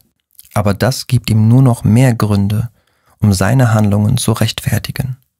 Erlebst du eines oder mehrere dieser zehn Dinge, dann befindest du dich höchstwahrscheinlich in einer missbräuchlichen Beziehung. 1. Du wirst bestraft, indem dir etwas vorenthalten wird. Dein Gegenüber hört dir nicht zu und ignoriert, was du zu sagen hast. Er schaut dich nicht einmal an und will dir auch keine Auskunft über sein Verhalten geben. Er will dir nicht sagen, wohin er geht oder wann er wiederkommt. Auch alle Informationen über seine Finanzen enthält er dir vor. Glaub mir, er will dich kontrollieren und niedermachen mit diesem Verhalten. 2. Du wirst blockiert und ignoriert. Er lenkt das Gespräch in eine Richtung, die ihm gut passt, denn er möchte bestimmten Themen ausweichen in manchen Fällen unterbricht er sogar das Gespräch und verlässt die Situation, indem er weggeht. Er fängt an, dich zu kritisieren und lenkt dich auf andere Themen, damit du die ursprüngliche Konversation vergisst. 3. Dir wird die Schuld für alles gegeben. All die Verantwortung wird auf dich verlagert. Dein Gegenüber betont, dass du für alle Probleme in eurer Beziehung verantwortlich bist. Es sei alles deine Schuld. Auch die Tatsache, dass du ihn nicht an bestimmte Dinge erinnert hast, macht dich zu Schuldigen. 4. Dir wird in der Natur widersprochen. Deine Gedanken und Wahrnehmungen zählen nicht. Menschen, die destruktiv handeln, werden dir immer widersprechen. Sie benutzen Argumente, die sich widersprechen, um dich zu frustrieren. Sie wollen dich einfach nur niedermachen. Und simple Dinge, die du sagst, wie zum Beispiel Aussagen über das Wetter, werden sie verneinen. 5. Deine Wahrnehmung wird völlig verdreht. Wenn du dich aufregst, wirst du direkt als überempfindlich abgestempelt. Dein Gegenüber lehnt die Wahrheit ab und verdreht die Tatsachen in einer Tour. Irgendwann wirst du deine eigene Wahrnehmung nicht mehr trauen können, da du so stark von dieser Person manipuliert wirst. 6. Du bekommst sarkastische und verächtliche Kommentare zu hören. Außerdem kannst du auch verbal misshandelt werden. Dein Gegenüber wird sie zwar als Witze tarnen, aber eigentlich sind sie zerstörerisch. Denn er neckt dich und demütigt dich ununterbrochen so dass dein Unterbewusstsein irgendwann anfängt, all die Dinge zu glauben, die er sagt. 7. Du wirst ständig für alles kritisiert. Dein Verhalten wird immer und immer wieder kritisiert, egal was du tust. Du hast das Gefühl, dass du es ihm einfach nicht recht machen kannst. Er verpackt das Ganze als eine Art konstruktive Kritik. Er sagt, dass er dir nur helfen will, aber eigentlich zieht es dich nur herunter. 8. Deine Gedanken und Vorschläge werden immer untergraben. All deine Ideen und Vorschläge werden von ihm untergraben. Er bricht außerdem seine Versprechen und gibt sich keine Mühe mehr. Er lehnt all deine Vorschläge ab, wenn du in ein Restaurant gehen willst. Findet er Gründe, warum dies keine gute Idee ist. 9. Du bist nie die Priorität. Er vergisst dich sehr oft. Er kommt nicht zu Verabredungen oder vergisst Dinge, von denen er weiß, dass sie dir wichtig sind. Er gibt dir schlichtweg das Gefühl, dass du dich ganz weit hinten anstellen musst. Du bist nicht seine Priorität. 10. Du wirst verrückt gemacht. Seine Kombination aus Schuldzuweisungen, Verdrehungen der Tatsachen und Verleugnungen frisst dich auf. Es frustriert dich und wirft dich immer wieder aus der Bahn. Du gehst daran kaputt. Er dreht dir das Wort im Mund um und du kannst nichts dagegen machen. Solltest du an so jemanden geraten sein, rate ich dir, dass du diese Person schnellstens verlässt. Denn sie wird dir niemals gut tun. Denke an dich selbst und kämpfe dafür, dass du glücklich bist im Leben. Du hast es verdient. Wie kann ich jemanden lieben, der mich missbraucht? Die Psychologie toxischer Beziehungen. Können Narzissten lieben? Und kann man einen Narzissten wirklich lieben? Kann man überhaupt jemanden lieben, der einen missbraucht? Frauen beten und hoffen, dass die Antwort darauf Ja ist. Sie suchen nach Hoffnung und Bestätigung, dass sich ihre Partner ändern werden, wenn sie bleiben, durchhalten und weiterhin ihre Liebe beweisen. Wie kann ich jemanden lieben, der mich missbraucht? Dies ist die eine Frage, die sich diejenigen stellen, die noch nie eine Beziehung hatten, in der sie missbraucht worden waren. Sie fragen sich, warum die Frauen ihren Partner nicht verlassen. Man muss dazu sagen, dass diese Menschen sehr abhängig von ihrem Partner sind, auch wenn dieser gewalttätig ist. Es kommt nicht selten vor, dass Frauen sich in einen Mann verlieben, der zuerst ein charmanter, charismatischer Kerl war und später aber gewalttätig wurde. Er ist nicht mit der Absicht in die Beziehung gekommen, seine Frau zu verletzen, Manchmal haben die Partner die gleichen Hoffnungen und Träume, dass diese Beziehung so wird, wie sie sie beide brauchten. Am Anfang fühlt es sich so an und man denkt sich, dass dieser Mensch der eine ist. Aber können Narzissten wirklich lieben? Beide Partner sind offensichtlich verliebt. Das Problem ist aber, dass es keine gesunde Form der Liebe ist. Denn es ist eine bedingte Liebe. Sie lieben sich auf der Basis, dass der andere jeweils die tief sitzenden Unsicherheiten und Bedürfnisse des anderen erfüllen würde. Der eine hat beispielsweise ein geringes Selbstwertgefühl und sehnt sich nach Anerkennung und braucht seinen Partner. Er hat Angst davor, verlassen zu werden. Außerdem gibt ihm der Partner das Gefühl, besonders zu sein, einfach toll zu sein. Aber nicht lange danach enthüllt der seine dunklere Seite. Er begründet sein Verhalten mit traumatischen Ereignissen in seiner Vergangenheit woraufhin der andere Partner Mitleid bekommt. Er hat es sich zur Aufgabe gemacht, ihn zu beschützen und zu retten. Er denkt sich, wenn ich ihn nur genug lieben könnte, dann würde er seine Liebe irgendwann erwidern. Aber so kommt es nicht. Ich kann die Wunden heilen, die dieser schlechte und schöne Mann hat. Das gibt einem das Gefühl, gebraucht zu werden und gut zu sein. Und damit ist für die meisten schon alles erfüllt. Denn das ist es, was Liebe für sie bedeutet. Ich liebe ihn, er braucht mich. Für eine Weile funktioniert dies auch. Obwohl er ihr seine Fehler zeigt, akzeptiert sie ihn und liebt ihn umso mehr. Sie ignoriert alle roten Fahnen, die ihr sagten, dass sie weglaufen sollte. Ihr gesamter Fokus auf ihn lässt ihn sich mächtig fühlen. Er gibt ihm die Wärme und Sicherheit, die er braucht. Er liebt sie dafür. Er fühlt sich so gut, er stellt sie auf einen Podest. Sie ist anders als jedes Mädchen, das er zuvor getroffen hatte. Er fühlt sich einfach großartig durch sie. Es dauert aber nicht lange und die Dinge nehmen ihren Lauf, denn man kann sich nicht für immer vor seinen inneren Unsicherheiten verstecken. Er fängt an zu zweifeln, ihre Liebe zu testen, sie wegzuschieben. Er stellt plötzlich Regeln auf, die sie niemals einhalten kann. Er will ihre unsterbliche Liebe zu ihm beweisen, damit er sich dessen sicher sein kann. Und darauf folgen dann irgendwann Missbräuche. Liebt sie mich auch noch? Wenn sie sieht, wer ich wirklich bin? Sie ist sich nicht mehr sicher und fängt an, sein Verhalten in Frage zu stellen. Die Zeichen zeigen ihr, dass sie weggehen sollte. Und das ist der Zeitpunkt, an dem der liebevolle, aufmerksame Mann wieder herauskommt. Derjenige, bei dem sie sich wieder so gut fühlt und sie bleibt. Ihr Partner war wieder der gesamte Fokus ihrer Welt. Sie liebt ihn, versucht ihm zu helfen, ihn zu retten, ihn zu verändern. Das gab ihm wieder ein gutes Gefühl. Für eine Weile. So funktioniert der Zyklus des Missbrauchs. Beide brauchen den anderen, um Sicherheiten zu erfüllen. Keiner von uns kann aber den Partner heilen. Der interne Brunnen, den beide haben, bestand aus bodenlosen Eimern. Und die tiefsitzenden Bedürfnisse sind unersättlich. Der Missbrauchszyklus geht also immer weiter. Sich großartig fühlen, sich niedergeschlagen fühlen, sich wieder großartig fühlen, wieder missbraucht werden. Das fordert nicht nur einiges an Nerven, sondern dämpft auch das Selbstbewusstsein. Und irgendwann ist man am absoluten Tiefpunkt angelangt.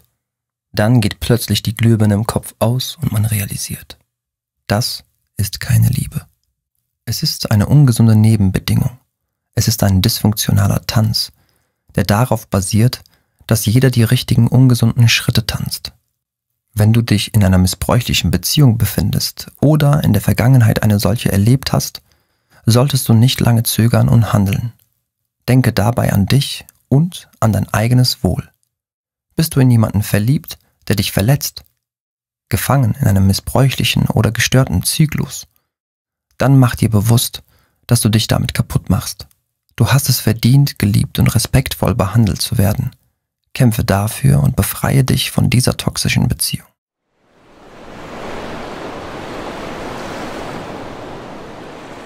9.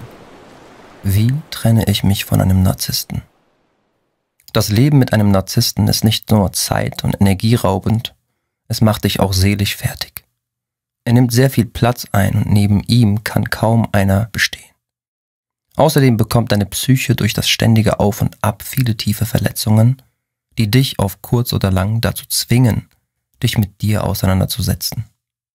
Du wirst erkennen, wenn ich nicht möchte, dass ich zugrunde gehe, dann muss ich mich von diesem zerstörerischen Menschen lösen. Aber wie trennt man sich von einer Person, die einen so sehr vereinnahmt hat, dass man schon das Gefühl hat, nicht mehr eigenständig zu existieren? Wie schafft man es wieder zu sich und zu der Stärke zu finden, sich trennen zu können? Und wie entkommt man den Fängen eines Narzissten am besten? Der erste wichtige Schritt ist, zu erkennen, dass das Verhalten deines Partners krank ist. Kein normaler Mensch würde so reagieren oder die Dinge so beurteilen, wie er es tut. Setze dich über Fragen, die dir unklar sind, ruhig mit anderen Menschen auseinander.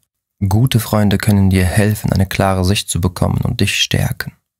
Dadurch, dass du dich mit seinem Fehlverhalten dir gegenüber auseinandersetzt und erkennst, dass er dich schlecht behandelt und dass das keineswegs normal ist, erhältst du die Kraft, dich mehr von ihm abzugrenzen. Du nimmst nicht mehr alles, was er sagt oder tut, für bare Münze und lässt nicht alles ungefiltert in dein Herz und deinen Verstand. So hast du den Prozess der Ablösung schon angetreten. Durch dein Überdenken wirst du erkennen, dass er eigentlich gar nicht die starke und selbstsichere Person ist, die er nach außen hin vorgibt zu sein. Indem du dich über das Thema Narzissmus informiert und ihn beobachtet hast, wirst du gemerkt haben, dass er innerlich eigentlich klein, schwach und bedürftig ist. Gerade weil er keine innere Stärke besitzt und sich selbst nichts Gutes entgegenbringen kann, braucht er schließlich so viel Bestätigung und Zuwendung von außen und muss sich ständig vergewissern, dass auch niemand vergisst, dass er toll ist. Ihn gedanklich von seinem hohen Thron herunterzustoßen, wird dir helfen, mit der Situation umzugehen. Du wirst dich sicherer ihm gegenüber fühlen und die Möglichkeit haben, besser auf dich zu hören, dich ernst zu nehmen und seine Fehler zu entlarven. Diese Erkenntnis wird dich dafür bereit machen, sich schließlich ganz von ihm zu lösen, indem du dich von ihm und eurer Beziehung trennst und sie wird dich stärken. Für das, was damit auf dich zukommt.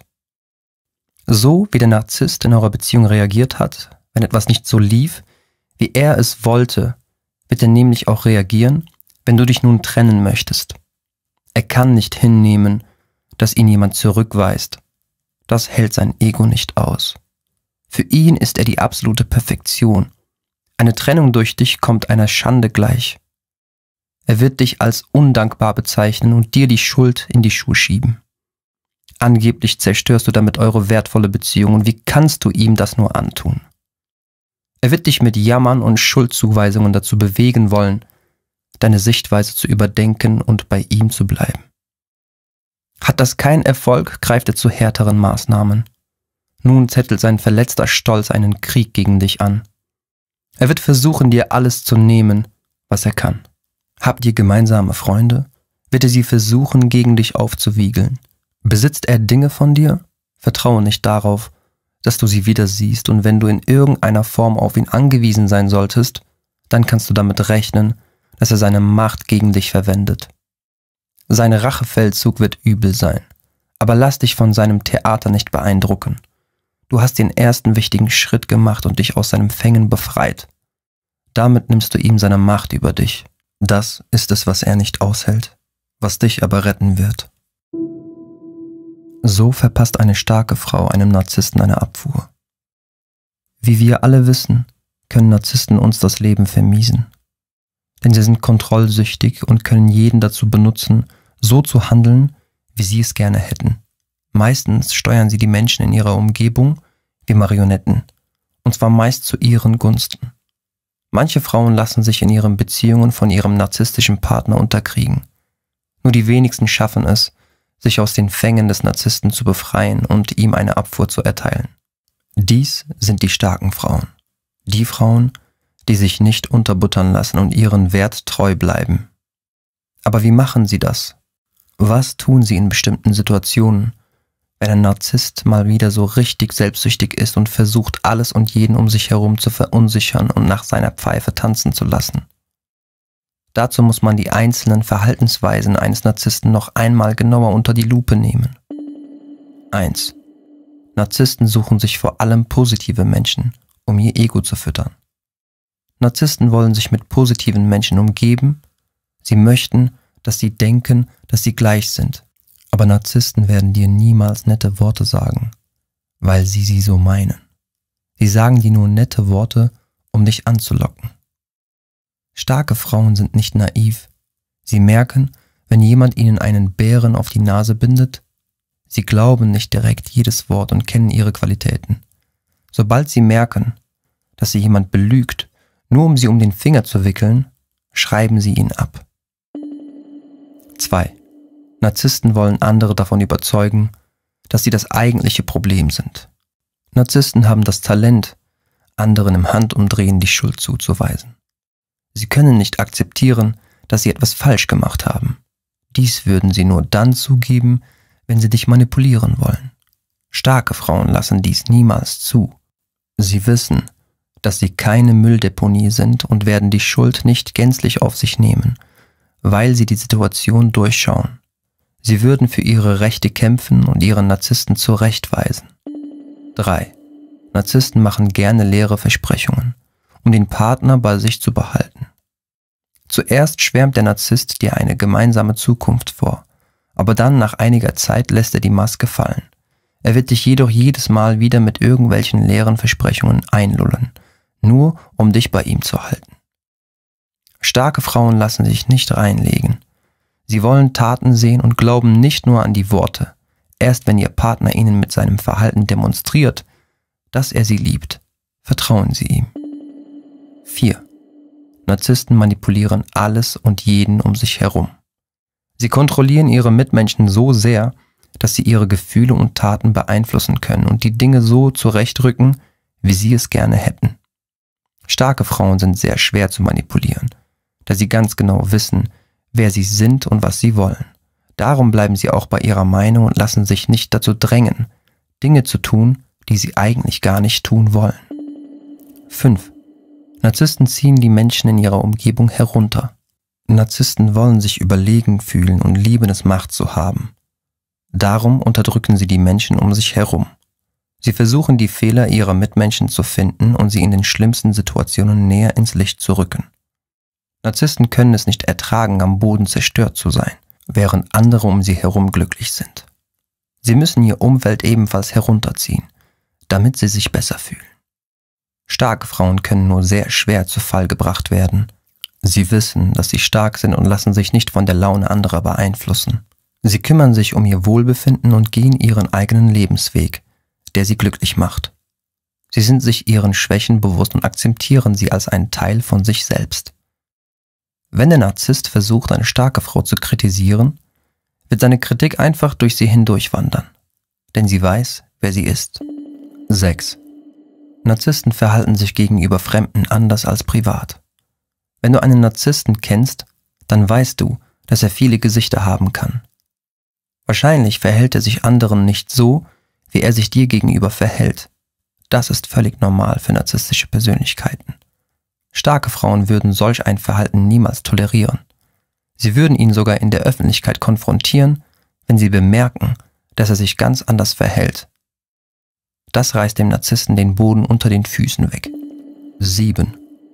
Narzissten greifen die Menschen, die sie lieben, an.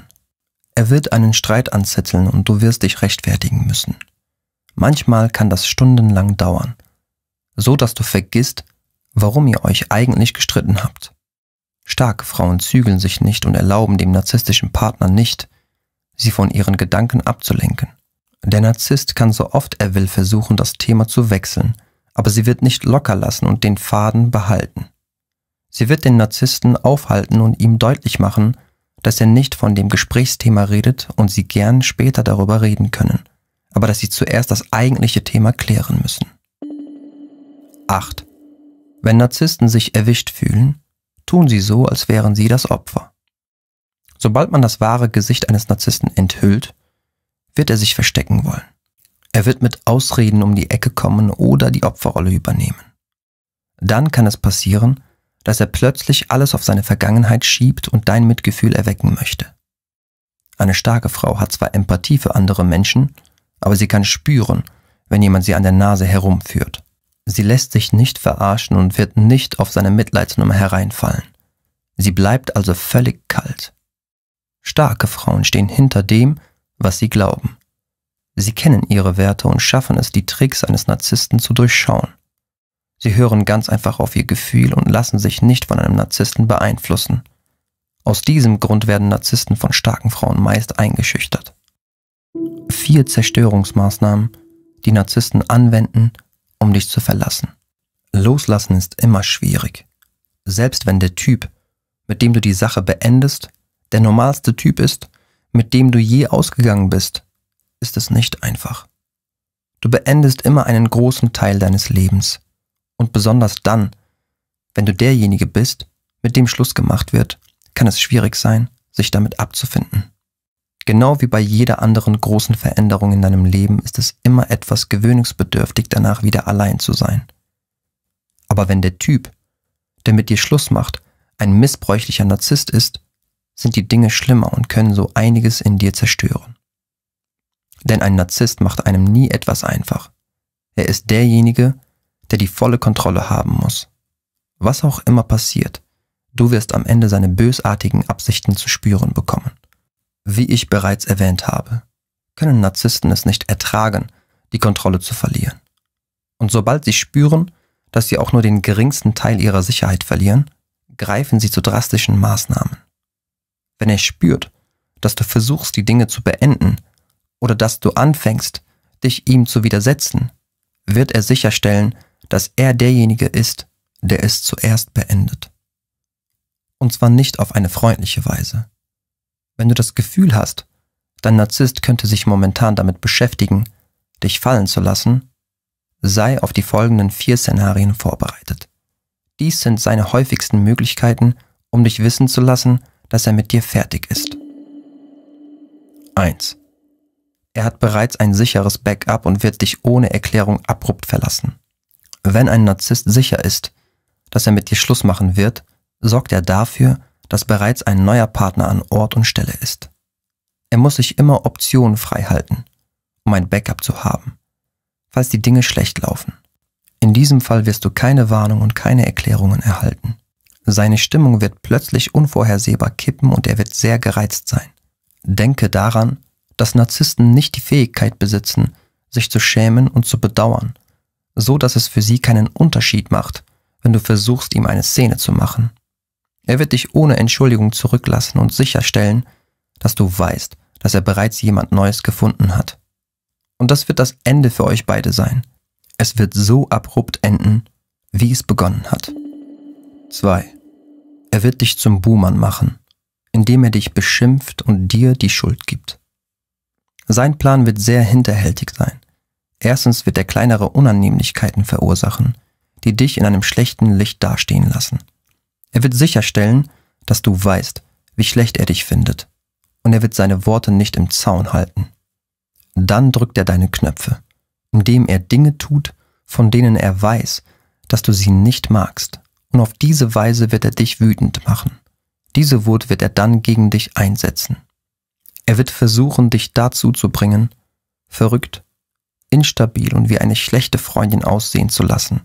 Und er wird vorgeben, ein armer Kerl zu sein, der in dein Netz aus Lügen und Betrug geraten ist. Du wirst nicht einmal verstehen, wie er es macht und er wird weg sein, sobald er sein Ziel erreicht hat. Du wirst am Ende das Gefühl haben, dass du etwas falsch gemacht hast. Aber alles, was wirklich passiert ist, war, dass er dich manipuliert hat und mit erhobenem Kopf gegangen ist. Genau wie er es immer geplant hat. 3. Er wird seine Zuneigung dir gegenüber zurückhalten, um dich zu vertreiben. Seine Gefühle, die er vorgibt zu haben, werden überall sein. Eines Tages wird er dich anbeten und dich mit Liebe überschütten und am nächsten Tag wird er sauer auf die Krümel sein, die du auf dem Küchenboden liegen gelassen hast. Du weißt nicht, was du dagegen tun sollst, dass sich sein Verhalten drastisch ändern wird und die kleinsten Dinge ihn plötzlich furchtbar wütend machen. Und genau das möchte er, dass du darüber nachdenkst. Er wird dich dazu bringen, die ganze Arbeit für ihn zu erledigen indem er wie ein rasender Wahnsinniger auftritt und dich dazu treibt, die Dinge zu beenden, als ob alles deine Idee wäre. Dies wird eine extrem giftige Atmosphäre sein, mit der du nicht lange fertig werden wirst. Solange er diesen Plan vor Augen hat, musst du einfach Schluss machen.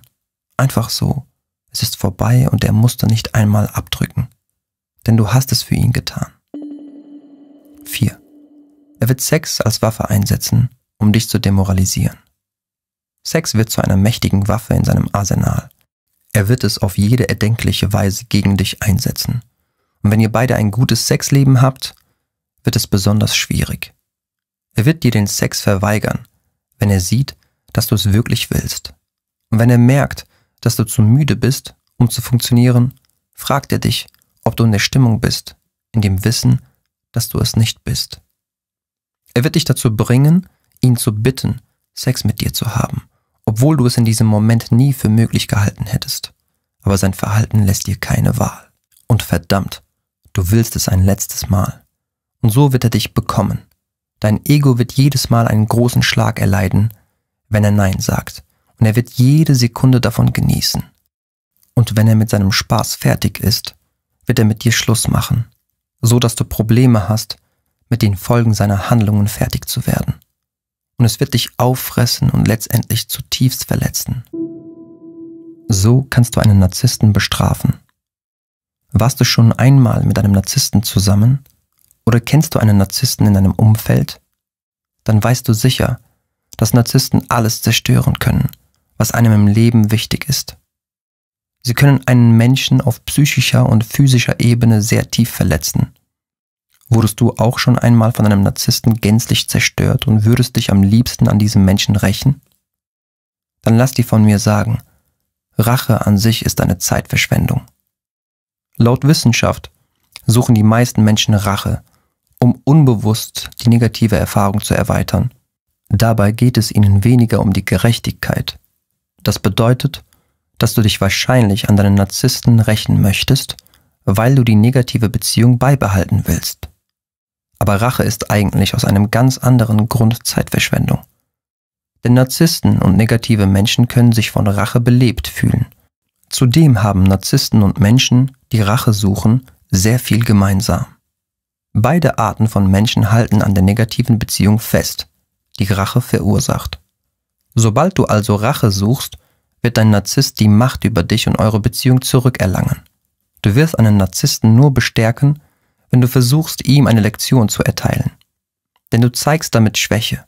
Dies wird nur noch mehr Aggressionen in ihm hervorbringen. Das Beste, was du in diesem Fall tun kannst, ist es, dich auf dich selbst zu konzentrieren. Achte dabei auf die folgenden drei Punkte. 1. Erwarte nicht mehr von ihm, dass er sich um dich kümmert. Zuerst musst du deine Erwartungen völlig herunterschrauben und die Erwartungen an dich selbst erhöhen. Du hast nur all diese Schmerzen erfahren, weil du zu viele Erwartungen hattest, beziehungsweise sie falsch gestellt hast. Es tut weh, wenn man realisiert, dass jemand, den man liebt, seine Bedürfnisse über seine eigenen stellt. Es tut weh, wenn man erkennt, dass dieser jemand einem nicht die Welt zu Füßen legen wird, weil man davon ausgegangen ist oder es irgendwie gehofft hat. All das sind unrealistische Erwartungen.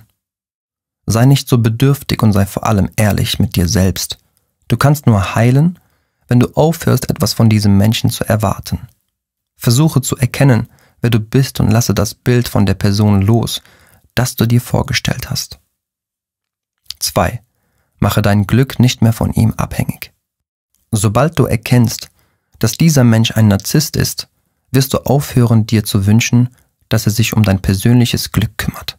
Du weißt nun, dass du dich nicht auf ihn verlassen kannst und dein Glück selbst in die Hand nehmen musst.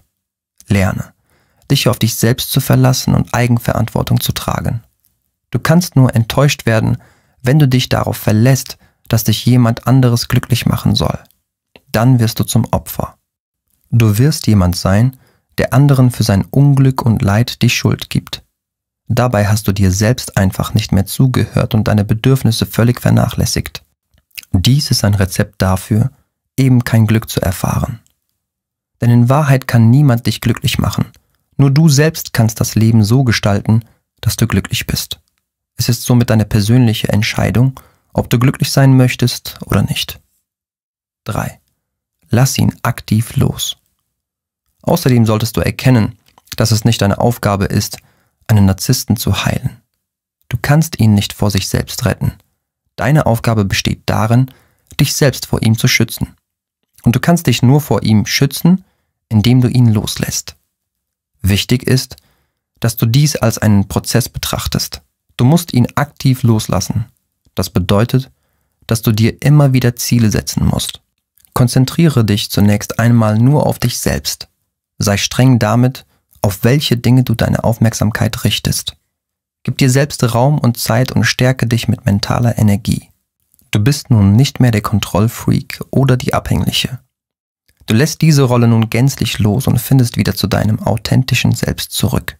Menschen werden sich niemals ändern, wenn sie es nicht wirklich wollen. Höre also damit auf, ihn ändern zu wollen.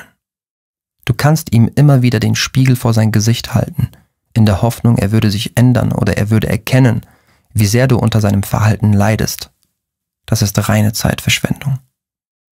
Denn kein Narzisst wird sich jemals als Narzisst sehen. Natürlich merken Narzissten ab und zu, dass sie Fehler gemacht haben oder Menschen um sich herum verletzt haben, Aber dies werden Ausnahmen sein.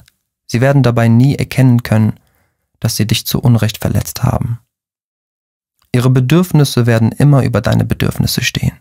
Darum können sie sich selbst nicht so sehen, wie du sie siehst. Sie wissen nicht, dass sie selbstsüchtig oder narzisstisch sind. Lass deinen Narzissten also los. Und zwar aktiv. Nimm dein eigenes Leben wieder in die Hand und suche dein persönliches Glück da draußen. Du wirst es wiederfinden. Denn dein Herz wird langsam aber sicher heilen. Das wird für einen Narzissten Strafe genug sein.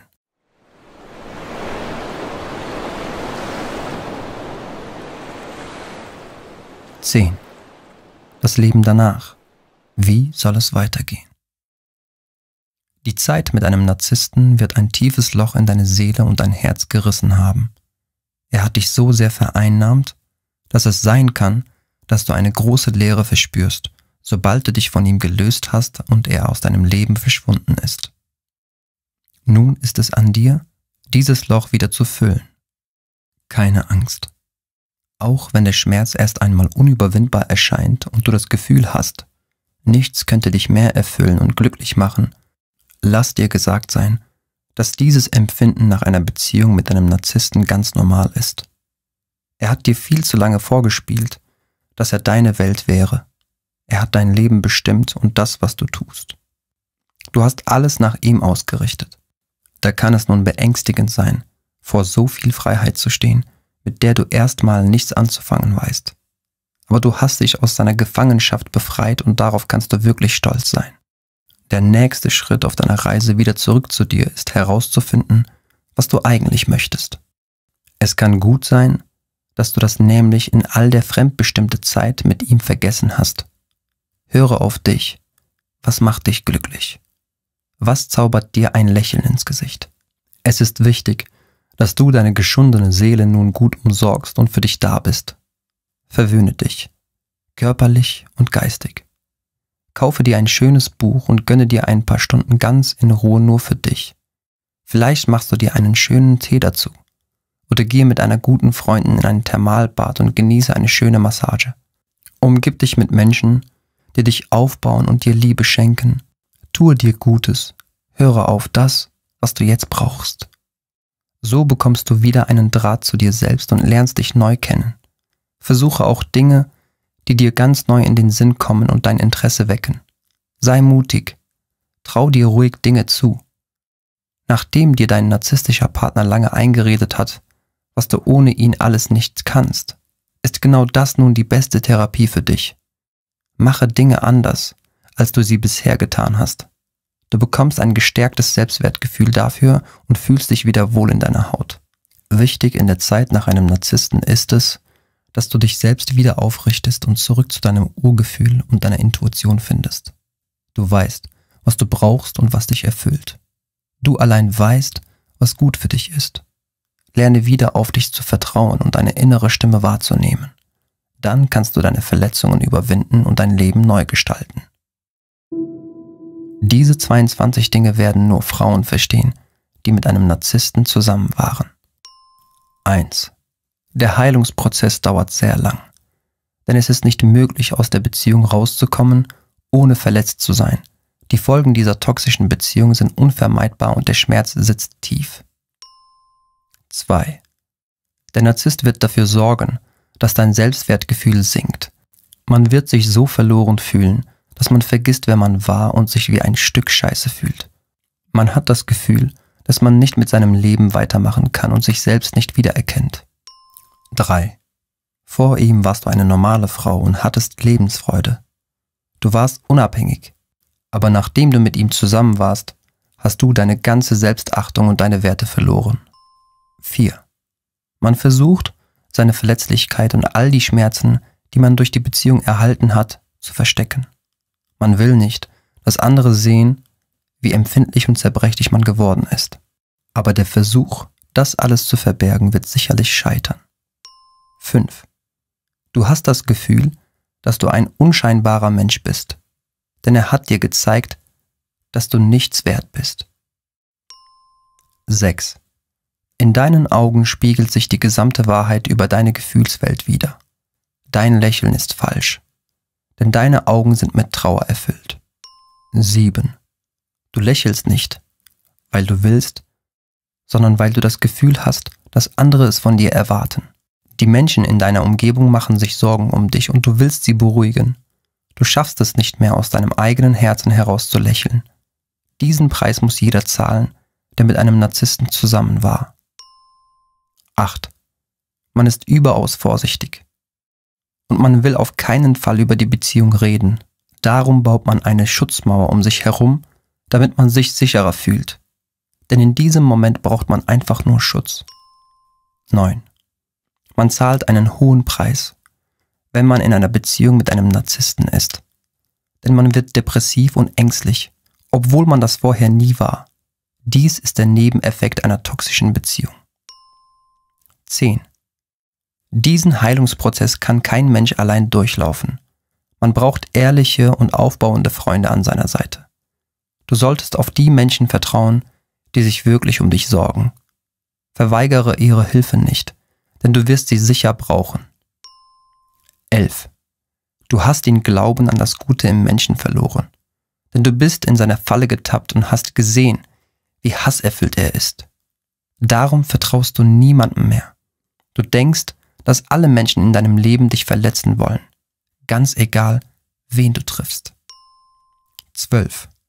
Du brauchst niemanden, der dich für das, was du getan hast, beziehungsweise für das, was du nicht getan hast, verurteilt. Denn du kennst deine Fehler bereits.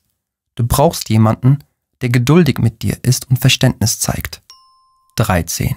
Es fällt dir schwer, das alles zu verdauen. Denn du kannst es fast nicht glauben, dass dir das alles passiert ist. Du möchtest einfach nur aufwachen aus diesem Albtraum. 14. Du sehnst dich nach Anerkennung und möchtest ermutigt werden. Aber du brauchst noch etwas Zeit, um aus der Realität herauszukommen, in der du dich so lange gefangen gefühlt hast. Du hast das Gefühl, dass wieder und wieder etwas Schlimmes passieren wird und dass das Ganze niemals ein Ende nehmen wird. 15. Dein Vertrauen in die gesamte Menschheit ist zerstört. Du vertraust nicht einmal den Personen, mit denen du einmal so vertraut warst. Denn du denkst, dass dich von nun an jeder enttäuschen wird. Du zweifelst an jeder Freundschaft und jeder Beziehung, die du hast. 16. Du hast vergessen, wie man liebt. Denn du warst noch nie so weit von Liebe entfernt wie jetzt. Du hast Angst vor der Liebe und du möchtest dich auf keinen Fall verlieben denn du hast Angst, etwas zu empfinden und wieder enttäuscht zu werden. 17. Du entschuldigst dich für Dinge, die nicht deine Schuld sind, denn du möchtest noch mehr emotionales Leid vermeiden. Du sagst es, weil du es so gewohnt bist. Denn wenn man mit einem Narzissten zusammen ist, dann entschuldigt man sich, um sich vor noch mehr Strafe zu schützen. 18. Du hast Angst, dass du für deine Gefühle bezahlen musst. Darum versteckst du sie. Denn je mehr du deine Gefühle zeigst, desto verletzlicher bist du und desto schlechter kann dich ein Narzisst behandeln. 19. Du willst auf keinen Fall mehr anhänglich oder abhängig sein. Darum bist du emotionslos. Du möchtest deinen Gefühlen nicht mehr freien Lauf lassen und staust sie deshalb auf. Alles, was du fühlst, behältst du für dich. 20. Du möchtest mit all deinen Gedanken allein sein und erstickst gleichzeitig in deiner Einsamkeit. Dadurch ändert sich deine Stimmung ständig und du bist unberechenbar. 21. Du sehnst dich nach jemandem, der dir hilft und einfach für dich da ist. Du brauchst jemanden, der dir sagt, dass alles gut wird und dich für eine starke Frau hält. Denn du hast den Glauben an dich selbst verloren. Darum brauchst du jemanden, der dich an die Hand nimmt und auf dich aufpasst. So lange, bis es dir wieder etwas besser geht und du zu deinem alten Selbst zurückkehren kannst. 22. Du solltest keine Angst haben, denn du bist noch immer du selbst, irgendwo unter all den Masken, die du nun trägst. Da ist eine Frau, die es verdient hat, geliebt zu werden. Mache dir bewusst, dass es an der Zeit ist, die schlechten Dinge gehen zu lassen und Platz zu schaffen für all die positiven Dinge, die nun kommen werden. Alles, was du dazu brauchst, ist Zeit zehn Anzeichen dafür, dass du dein altes Leben mit deinem narzisstischen Ex hinter dir gelassen hast. Wenn du es endlich aus einer giftigen Beziehung mit einem Narzissten geschafft hast, merkst du, dass deine ganze Welt Kopf steht. Die Zeit mit ihm hat alles für dich verändert und du siehst die Dinge, nun da du all das Schreckliche überwunden hast, mit anderen Augen. Zehn Dinge sind bei dir jetzt anders, als bei Menschen, die sich nicht aus einer narzisstischen Beziehung kämpfen mussten. 1. Du bist stärker als je zuvor. Die Zeit mit einem Narzissten hat alles von dir abverlangt und du warst an deinem Tiefpunkt. Nun, da du dich mit eigener Kraft hinausgekämpft hast, bist du stark und unaufhaltsam geworden. Niemand stellt sich dir mehr in den Weg, ohne es zu bereuen. 2. Du fällst nicht mehr auf ihn rein. Lange genug warst du abhängig von deinem Ex und hast einiges über dich ergehen lassen. Das passiert dir nicht mehr. Denn nun bist du schlauer geworden. Du hast aus seinem Verhalten und den Wunden, die daraus bei dir entstanden sind, gelernt und das Wichtigste, du hast ein für allemal genug von ihm. 3. Du erkennst Falschheit sofort. Durch deine Erfahrung mit einem narzisstischen Ex-Partner bist du nun eine Meisterin darin, Lügen und Intrigen zu durchschauen. Du bist nicht mehr so naiv und glaubst jedem alles, sondern du achtest auf Unstimmigkeiten und hast ein Gespür dafür bekommen, was sich wahr anfühlt und was ernst gemeint ist. 4. Du lässt dich nicht mehr ausnutzen. Das ist dir schließlich schon einmal passiert und du weißt, wo das hinführt. Jetzt passt du ganz genau auf und weißt, wo deine Grenzen sind. Du weißt, wer deine Freunde sind und wer nicht. Und du weißt, was für dich okay ist und was gar nicht geht. Nie mehr wirst du auf jemanden wie deinen Ex reinfallen. 5. Du weißt, wer du bist. Dein Ex war stark. Er hat dir alles genommen. Vor allem dich selbst. Du musstest viel Arbeit investieren, bevor du überhaupt wieder wusstest, wer du bist. Das nimmt dir niemand mehr. Du hast eine sichere Substanz im Inneren und weißt ganz genau, wer du bist, wer zu dir gehört und was du willst. 6. Du kennst deinen Wert. Du bist schon einmal an eine Person geraten, die dich nicht geschätzt hat, Du hast lange gebraucht, um dir deine Kraft zurückzuholen. Jetzt erstrahlst du neu und hast erkannt, wie schön du bist und dass so etwas niemals wieder jemand mit dir machen darf. 7.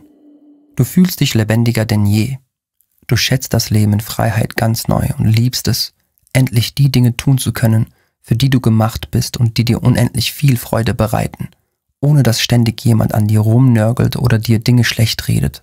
Du bist erfüllt von neuer Energie. 8. Du gibst einen Fick auf seine Angelegenheiten. Er ist dir mittlerweile vollkommen egal geworden. Genauso was er so treibt oder wen er jetzt zugrunde richtet. Du konzentrierst dich auf dein Leben und willst einfach gar nichts mehr von ihm wissen. 9. Du bist erfolgreich. Da du dich nun den Dingen zuwendest, die dir entsprechen und ein Leben führst, das dich erfüllt, erlebst du immer mehr Erfolge. Du bist auf der Überholspur und alles geht plötzlich viel leichter. 10. Du schaust nicht mehr trauernd zurück. Du hast abgeschlossen. Die schreckliche Vergangenheit liegt hinter dir und du hast deinen Frieden mit den Dingen geschlossen, die damals passiert sind. Wenn du zurückschaust, dann bist du froh über deine Entwicklung und stolz auf dich.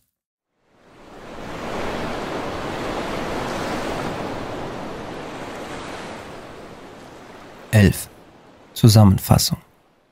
Narzissmus, wenn krankhafte Selbstliebe die Beziehung zerstört.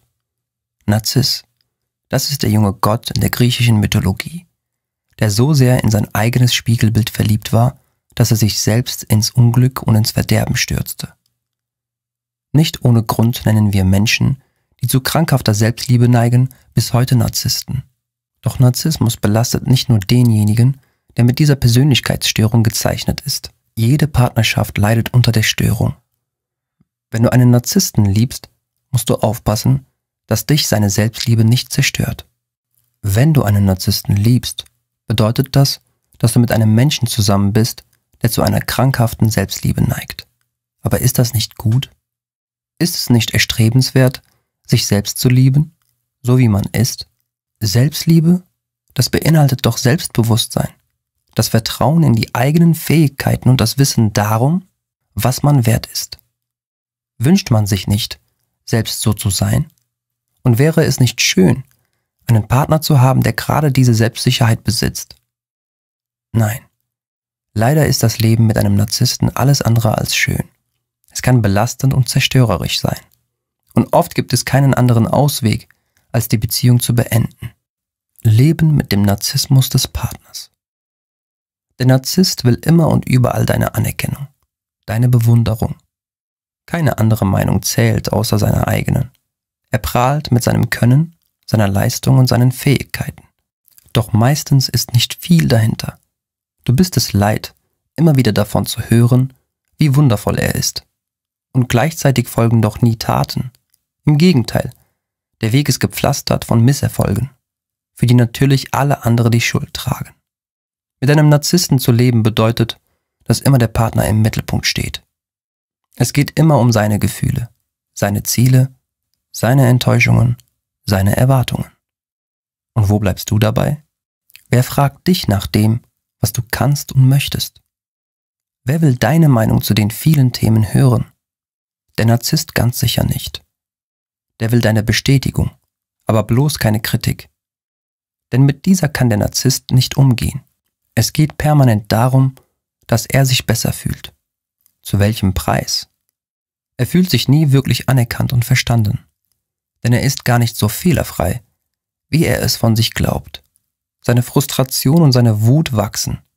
Und du als Partnerin bekommst diese zu spüren. Mit einem Narzissten zu leben ist immer ein Drahtseilakt. Du musst ihm die Bestätigung geben, die er sucht. Nachsichtigkeit zeigen, wo er übers Ziel hinausschießt eigene Bedürfnisse zurückstellen, Kritik für dich behalten und die negativen Konsequenzen, die seine Persönlichkeitsstörung nach sich ziehen, dennoch gemeinsam mit ihm tragen. Mit einem narzisstischen Partner zu leben, bedeutet also vor allen Dingen eines. Du brauchst viel Kraft. Was geht in einem Narzissten vor? Narzissmus ist eine etwas saloppe Bezeichnung für eine narzisstische Persönlichkeitsstörung. Wer darunter leidet, hat eine völlig verdrehte Wahrnehmung von sich selbst. Der Narzisst glaubt, besonders herausragend zu sein. Nur leider ist das in der Regel nicht. Es besteht ein Missverhältnis zwischen dem, was er über sich denkt und dem, was die Realität widerspiegelt. Das macht ihn unzufrieden und spornt ihn dazu an, sich immer mehr zu präsentieren. Der Narzisst prahlt und spielt sich auf. Dabei will er natürlich nicht hören, dass er falsch liegt. Irgendwo tief in ihm drin besitzt er ein fehlendes Selbstwertgefühl. Um dieses zu kompensieren, übertreibt er es nach außen hin und baut eine Fassade auf, die er selbst nicht mehr durchschaut. Womöglich kann er die Realität also schon lange nicht mehr erkennen. Diese übermäßige Selbstdarstellung braucht sehr viel Energie. Vielleicht ist das der Grund, dass der Narzisst nicht mehr viele Kapazitäten frei hat, um wirklich etwas im Leben auf die Beine zu stellen. Stattdessen manipuliert er andere, er lügt und lebt in der ständigen Vorstellung, alle anderen seien nur neidisch auf ihn und würden ihm deshalb die nötige Anerkennung nicht schenken. Sein Selbstwertgefühl zieht er aus der Demütigung und Herabsetzung anderer. Nur wenn er die anderen klein macht, kann er sich groß fühlen. Welche Partnerin erträgt dies auf Dauer? Wutanfälle, Misstrauen und fehlende Empathie prägen die Beziehung. Übermäßige Anforderungen an die Partnerschaft. Auch an seine Partnerin hat der Narzisst große Ansprüche. Sie ist seine Traumfrau, nicht weniger. Das liest sich wahrscheinlich romantisch, ist es aber nicht. Denn der Narzisst erwartet zwangsläufig nur das absolute Maximum. Du hast die perfekte Frau für ihn zu sein. Und wenn du das nicht bist, reagiert er gekränkt und wütend. Er sucht die Schuld bei dir, nicht bei sich selbst. Eifersucht, Streit, übertriebene Erwartungen und immer geht es nur um ihn. Du schenkst ihm nicht genug Anerkennung. Du weißt ihn nicht zu schätzen. Du ruinierst die Beziehung. Dir kommt das alles sehr bekannt vor. Dann hast du wahrscheinlich längst nicht mehr die Kraft, noch viel in diese Beziehung zu investieren. Ausbruch aus der Narzisstenfalle. Das Leben mit einem Narzissten erfordert vor allen Dingen eines, Grenzen zu setzen. Du musst aufhören, deinen Partner als Mittelpunkt der Beziehung zu betrachten auch wenn er sich ständig dazu macht. Es ist nicht unmöglich, mit einem Narzissten glücklich zu werden. Das kommt auch immer darauf an, wie stark seine narzisstische Persönlichkeitsstörung ausgeprägt ist. Doch immer setzt der Narzissmus des Partners voraus, dass du Grenzen steckst und an dich selbst denkst. Du brauchst einen langen Atem und viel Geduld. Vieles ist die Aufregung nicht wert. Und wer mit einem Narzissten lebt, muss ganz oft auch einfach nur weghören. Doch irgendwo sind immer Grenzen. Und die sind genau dann überschritten, wenn deine eigene Seele in Mitleidenschaft gezogen wird. Nein, du musst nicht immer funktionieren. Und ja, auch deine Meinung zählt. Du darfst durchaus auch einmal Aufmerksamkeit einfordern. Sprich mit deinem Partner. Er muss verstehen, dass dich viele seiner Verhaltensweisen verletzen. Kritik an ihn musst du vorsichtig verpacken. Achte immer darauf, seinen Stolz nicht zu verletzen. Sprich nicht davon, was bei ihm falsch läuft oder was bei ihm nicht stimmt, sondern nur, wie du dich fühlst. Manchmal kann ein ruhiges oder vorwurfsfreies Gespräch helfen, dass der Narzisst sein eigenes Verhalten überdenkt. Und wenn nicht, horche in dich hinein.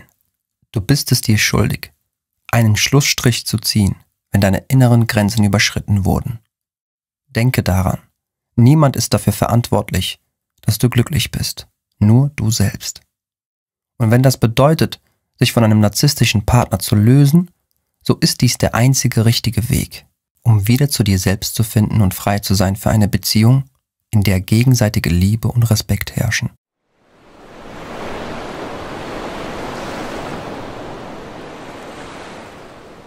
Zwölf. Hilfreiche Bonusinhalte zum Thema Narzissmus. Das bedeutet der Satz, ich liebe dich für einen Narzissten. Der Satz, ich liebe dich, sind in unserer heutigen Zeit schon fast abgenutzte Worte. Denn viel zu oft werden sie verwendet. Man kann damit verschiedene Dinge meinen. Völlig abhängig von dem Kontext natürlich. Aber im Großen und Ganzen haben sie immer eine ganz besondere Bedeutung. In manchen Fällen allerdings benutzen Menschen diese Sätze, obwohl sie sich ihrer Bedeutung gar nicht wirklich bewusst sind denn sie sind so sehr auf sich selbst fokussiert und können einfach niemanden außer sich selbst lieben. Ich glaube, jeder von uns kennt so einen toxischen Menschen, dessen Absicht die Kontrolle und Besessenheit ist und nicht die Fürsorge und das Verständnis. Im schlimmsten Fall hast du sogar schon einmal die Erfahrung gemacht und warst mit solch einem Menschen zusammen. Wenn du jemals von einem Narzissten geliebt wurdest, dann kannst du dich mit dem folgenden Brief höchstwahrscheinlich sehr gut identifizieren denn er wurde von einem Narzissten geschrieben, jemand, der nicht in der Lage ist, über sich hinauszudenken. Liebe Partnerin, lieber Partner. Die folgenden Worte werde ich dir niemals sagen können. Denn wenn ich dies tun würde, dann würde ich mich selbst verraten. Ich würde zeigen, wie ich die Welt für meinen Nutzen ausbeuten würde. Ich kümmere mich nur um mich selbst. Das ist der Grund, warum ich die gesamte Last der Beziehung tragen muss, um die Vorteile daraus zu ziehen. Wenn ich dir sage, dass ich dich liebe, dann ist das die Wahrheit. Ich liebe dich, weil du hart für mich arbeitest. Ich liebe dich, weil du Kompromisse für mich eingegangen bist, zu denen ich dich gezwungen habe, damit ich glücklich bin. Ich liebe dich dafür, dass du alles für mich tun würdest und dass du es aufgegeben hast, das Gleiche von mir zu verlangen. Ich liebe dich, weil du wegen mir weinst und dich wegen mir klein und unbedeutend fühlst. Ich weiß, du lässt mir alles durchgehen und du liegst wegen mir am Boden. Du merkst eigentlich gar nicht, dass du etwas viel Besseres verdient hättest als das, was du von mir bekommst. Ich liebe es, wenn du die Schuld für mich auf dich nimmst oder wenn du dich von mir beeinflussen lässt, wenn ich nicht über ein bestimmtes Thema mit dir reden möchte, was du gerne ansprechen möchtest. Außerdem finde ich es schön, dass ich immer größere Erwartungen an dich stellen kann, während deine Erwartungen an mich immer kleiner werden. Mein Leben ist so viel einfacher, wenn du mich immer wieder deine Grenzen überschreiten lässt. Deine Freundlichkeit betrachte ich als selbstverständlich und du hast damit kein Problem mehr. Du gibst mir die Gelegenheit, mich immer wieder auf meinen Schmerz zu konzentrieren, so dass ich ihn lindern kann. Denn für mich ist nichts jemals genug. Keiner liebt mich genug oder bewundert mich. Keiner respektiert mich. Darum lasse ich meine Frustration immer an dir aus. Ich weiß zwar, dass du auch Unterstützung, Fürsorge und Liebe brauchst, aber ich glaube einfach nicht, dass deine Gefühle so wichtig sind wie meine eigenen. Ich habe von uns beiden immer Priorität und das ist mir sehr wichtig.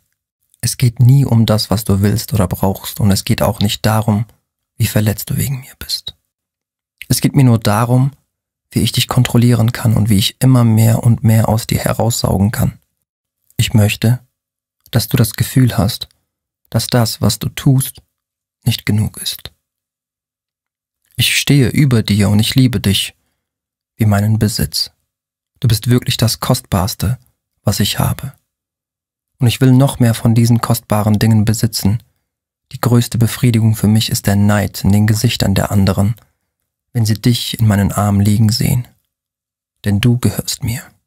Ich weiß, dass ich andere verletze und ich hasse mich dafür. Darum verbringe ich so gerne Zeit mit dir.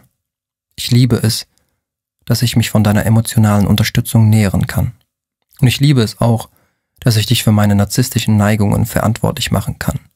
All meine Ängste vor Zurückweisungen, meine Emotionen und meine Bedürftigkeit sind fast nicht da, wenn ich mit dir bin, weil ich weiß, dass du sie stillst. Wenn du all das endlich realisierst, wirst du mich verlassen. Das weiß ich. Also wirst du es von mir niemals erfahren. Ich werde dir immer einen kleinen Funken Hoffnung geben, dass ich noch ein besserer Mensch werden kann. Aber ich werde in Wahrheit kein besserer Mensch werden. Ich denke nicht einmal daran. Ich weiß, dass ich fallen werde, sobald du mich verlässt. An dem Tag, wenn du von mir gehst, werde ich ein tiefes Loch fallen, weil du dich nicht mehr um mich sorgst. Dann werde ich meine Lektion lernen, aber ich werde alles daran setzen, dass dieser Tag niemals kommen wird. In Liebe, dein narzisstischer Partner. Natürlich ist dieser Brief nicht wirklich von einem Narzissten geschrieben worden, denn Narzissten würden niemals so ehrlich sein. Aber dieser Brief soll dir helfen, zu erkennen, wie toxisch diese Menschen sind. Er soll dir helfen, dir selbst zu verzeihen und nach vorne zu schauen. Himmel und Hölle in der Beziehung mit einem Narzissten. Wenn du mit einem Narzissten zusammen bist, ist es wie auf einer Achterbahn. Dein Leben ist geprägt von den Aufs und Abs eurer Beziehung, die allein er bestimmt. Mal schwimmst du in Endorphinen, weil er so will, und dann bist du am Boden zerstört, weil er es so will. Du magst nicht verstehen, wie es zu all dem hin und her kommt und warum dein Glück nie anhält, aber es passiert alles nach seinem Plan. Nichts geschieht, was nicht unter seiner Kontrolle liegt. Und du kannst nichts daran ändern, solange du mit ihm in einer Beziehung bist. Er zeigt dir, was wahres Glück ist. Wenn du ihn kennenlernst, wird sich der Narzisst von der besten Seite zeigen. Er wird sich Mühe geben, wo er nur kann und dir ein wunderschönes, perfektes Leben zeigen. Die Welt wird für dich in neuen Farben erstrahlen und du denkst, das Glück deines Lebens gefunden zu haben. Endlich bist du dem einen Menschen begegnet, der dich versteht, der deine Gedanken teilt und der dir so ähnlich ist. Dass das alles nur Fassade ist, merkst du nicht, denn Narzissten sind Meister der Täuschung. Er spiegelt dich, zeigt dir das, was du sehen willst und du frisst ihm aus der Hand. Narzissten haben ein besonderes Gespür dafür, was sich Menschen wünschen und wonach sie sich sehnen und sie benutzen diese Gabe, um dich um den Finger zu wickeln. Er vereinnahmt dich. Bist du ihm vollkommen verfallen, nutzt er das, um dich ganz zu vereinnahmen. Er nimmt all deine Zeit in Anspruch, weil er so liebt, dich um ihn zu haben. Er braucht dich ständig und du fühlst dich dadurch geehrt und geschätzt. Wie selbstverständlich bist du immer für ihn da und erfüllst ihm jeden seiner Wünsche. Er weiß, wie er dich gefügig macht. Und ehe du dich versiehst, dreht sich dein ganzes Leben allein um ihn. Anfangs mag das noch schön sein, aber ohne, dass du es merkst, bringt er dich dazu, dein eigenes Leben zu vernachlässigen. Du gehst deinen Hobbys nicht mehr nach, triffst deine Freunde immer seltener und entfernst dich sogar von deiner Familie. Bald gehörst du ganz ihm und das ist, was er von Anfang an beabsichtigt hatte. Das Blatt wendet sich. Das alles geht eine Zeit lang gut. Aber irgendwann fängt auch die Maske des Narzissten an zu bröckeln. Niemand kann etwas 24 Stunden jeden Tag vorspielen, dass er gar nicht ist und das war es auch nicht, was der Narzisst geplant hatte. Nun, da er dich ganz bei sich hat, muss er sich keine Mühe mehr geben. Dein Glück löst sich in kürzester Zeit auf und du fragst dich warum. Aber du schaust es noch nicht. Du bist nichts. Das Ab in der Beziehung mit einem Narzissten ist der wohl prägendste Teil und er wird dich langsam, aber sicher zerstören. Nun beginnt der Narzisst dich kontrolliert runterzumachen. Es fängt klein an. Eine Kritik hier, ein abfälliger Kommentar da. Alles noch kein Drama. Aber diese Stiche in dein Herz werden immer öfter und immer tiefer und zerfetzen es. Er gibt dir die Schuld an allem und das Gefühl, vollkommen falsch zu sein. Seine Spielchen sind unfair und manipulierend. Gerne macht er dir ein schlechtes Gewissen und lässt sich selbst als Opfer dastehen. Er macht dich systematisch fertig. Bis du dich fühlst, als wärst du ein Nichts. Warst du eben noch im Himmel der Gefühle, bist du jetzt in der tiefsten Hölle. Er genießt es, dich klein zu sehen, denn dann fühlt er sich groß und mächtig. Er hat dich ganz in der Hand und zerquetscht dich, bis er alles aus dir rausgepresst hat, was ihm etwas nutzen könnte. Die Rückkehr zum Glück. Wenn du so unglücklich wirst, dass du keinen Ausweg mehr siehst, bitte den Spieß umdrehen. Ehe du dich versiehst, sind die Gewitterwolken weg und er ein ganz anderer. Er spielt dir vor, dass alles gut wäre und er dir verziehen hätte. Er weiß, dass er dich nicht verlieren darf, weil er dich für sein Ego braucht. Deshalb macht er gute Miene zu seinem bösen Spiel, um dich wieder zu besänftigen. Du bist total durcheinander, aber froh, dass alles wieder gut ist und versuchst, das Beste daraus zu machen. Er macht seine Aufgabe wirklich überzeugend und gibt dir dieses unglaubliche Glücksgefühl, das du am Anfang eurer Beziehung hattest. Endlich ist es wieder so toll, wie du es dir die ganze Zeit wünschst. Aber der Schein trügt. Immer und immer wieder. Dieses Spielchen wird sich in eurer Beziehung wiederholen, solange sie andauert und es gibt kein Entkommen daraus. Nie geht es dir lange gut und deine Seele baut in der Zeit mit ihm erheblich ab. Wenn du nicht aufpasst, löst du dich vollkommen auf. Was das Problem noch verschlimmert ist, dass du keinen anderen Mittelpunkt in deinem Leben hast, außer ihn. Zu deinen Freunden hast du schon lange keinen Kontakt mehr, denn er hat dich ganz vereinnahmt. Auch eigene Aktivitäten, die dich aufbauen könnten, hast du nicht mehr. Denn du hast ja dein ganzes Leben nach ihm ausgerichtet. Nach und nach hat sein perfekter Plan funktioniert, der dich und dein Leben zerstört hat. Wie er es schafft, dich nicht gehen zu lassen. Irgendwann erwachst du. Irgendwann ist alles einmal zu viel. Aber hier hört seine Kontrolle über dich noch nicht auf. Er ist sehr gut in diesem Spiel, denn er hat es erfunden und er weiß ganz genau, was er machen muss, um dich davon zu überzeugen, bei ihm zu bleiben. Er wird versuchen, dich wieder um den Finger zu wickeln dir jeden Wunsch von den Augen ablesen und dich wie eine Prinzessin behandeln. Er wird dir die Schuld geben und dir sagen, dass es alles deine Fehler waren. Er wird versuchen, dir ein schlechtes Gewissen einzureden und dich egoistisch dastehen zu lassen, wenn du ihn alleine lässt. Er wird dich klein machen und dir vor Augen halten, dass du niemanden hast, zu dem du gehen kannst, dass du ihn brauchst und ganz alleine bist. Fall nicht darauf rein. Du kennst ihn und seine Tricks bereits. Deswegen fall nicht darauf rein. Du bist zu klug, um dich weiter so mies verarschen zu lassen. Langsam hast du verstanden, dass er sich nie ändern wird, auch wenn er es immer wieder schwört. Du hast verstanden, dass du die Wahl hast.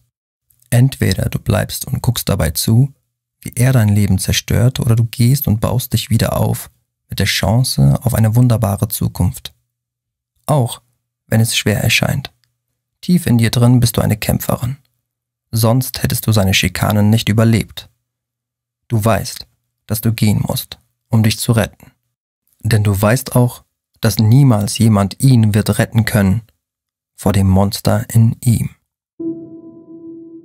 Wie ich meinen narzisstischen Ex hinter mir ließ. Eine Beziehung mit einem Narzissten ist wie ein nicht enden wollender Albtraum. Ich lebte lange in meiner persönlichen Hölle zu lange. Und all das nur wegen eines Mannes, den ich mein Leben und meine Gefühlswelt bestimmen ließ. Eine Beziehung mit einem Narzissten ist wie ein Leben mit einem Kind, nur ohne all die glücklichen und erfüllenden Seiten. Es ist anstrengend. Mein Partner forderte und ließ mich oft über meine persönlichen Grenzen gehen. Er versuchte alles zu bekommen. Egal, was ich dafür geben musste und ob es mich kaputt machte.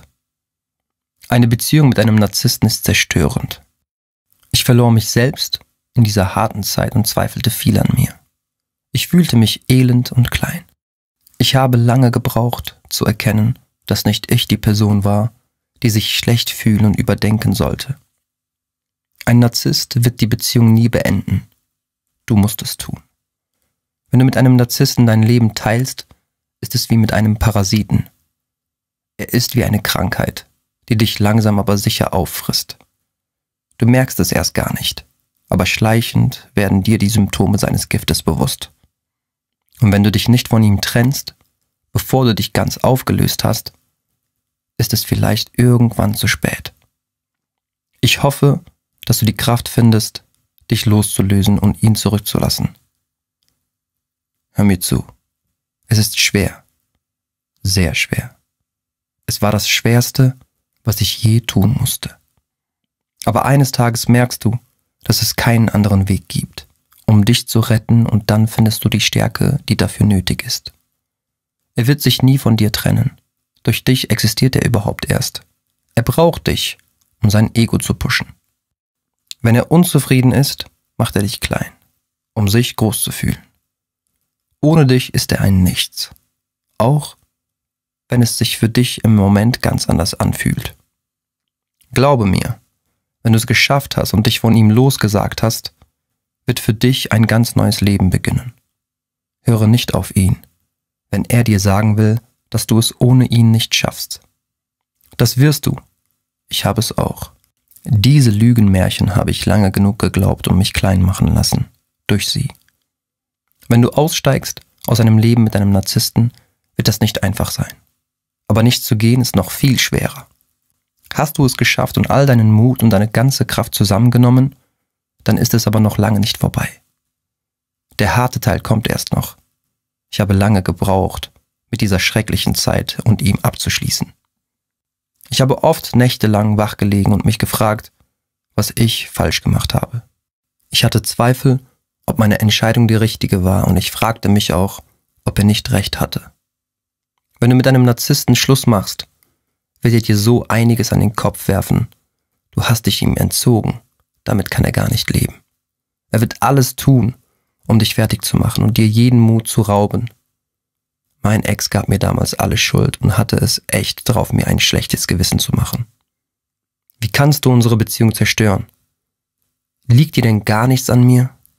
Wie kannst du mich nur so zurücklassen? Du bist so selbstsüchtig und denkst nur an dich. Ich habe etwas Besseres verdient, als dass du mich so ungerecht behandelst. Das war nur ein kleiner Auszug seiner Anschuldigungen und Vorwürfe. Er ging voll auf die Mitleidsschiene und mich als gutherzigen Menschen traf er so mit voller Wucht. Er wusste, wie er mich manipulieren konnte und wie er es schaffte, dass ich ihn noch lange nicht aus dem Kopf bekam. Dafür war es ihm egal, ob ich mich selbst anzweifelte und litt. Das Schwerste daran, einen Narzissten loszulassen, ist nicht allein das Schlussmachen, danach musst du dein Herz von ihm befreien. Er hatte sich so tief in mir verwurzelt, dass es fast unmöglich war, alle seine negativen Sprüche und seine niedermachende Art loszuwerden. Aber wenn ich es geschafft habe, schaffst du es auch. Darüber nachzudenken, was hätte besser laufen können oder was du anders machen hättest sollen, ist reine Zeitverschwendung. Denn alles, was die Beziehung zerstört hat, war allein er. Er trägt ganz allein die Schuld, dass er so ist, wie er ist. Du hast damit nichts zu tun. Fehler passieren in jeder Beziehung und gehören dazu. Aber kein Fehler der Welt kann begründen, dass jemand einen geliebten Menschen so ungerecht und schlecht behandelt, wie es ein Narzisst tut. Deswegen laufe ihm nicht nach ein paar Monaten hinterher, um ihn zu fragen, was du falsch gemacht hast. Rufe ihn nicht in einer tränendurchströmten Nacht an, um ihm zu sagen, wie sehr du ihn vermisst und wie fertig es dich macht, dass eure Beziehung kaputt gegangen ist.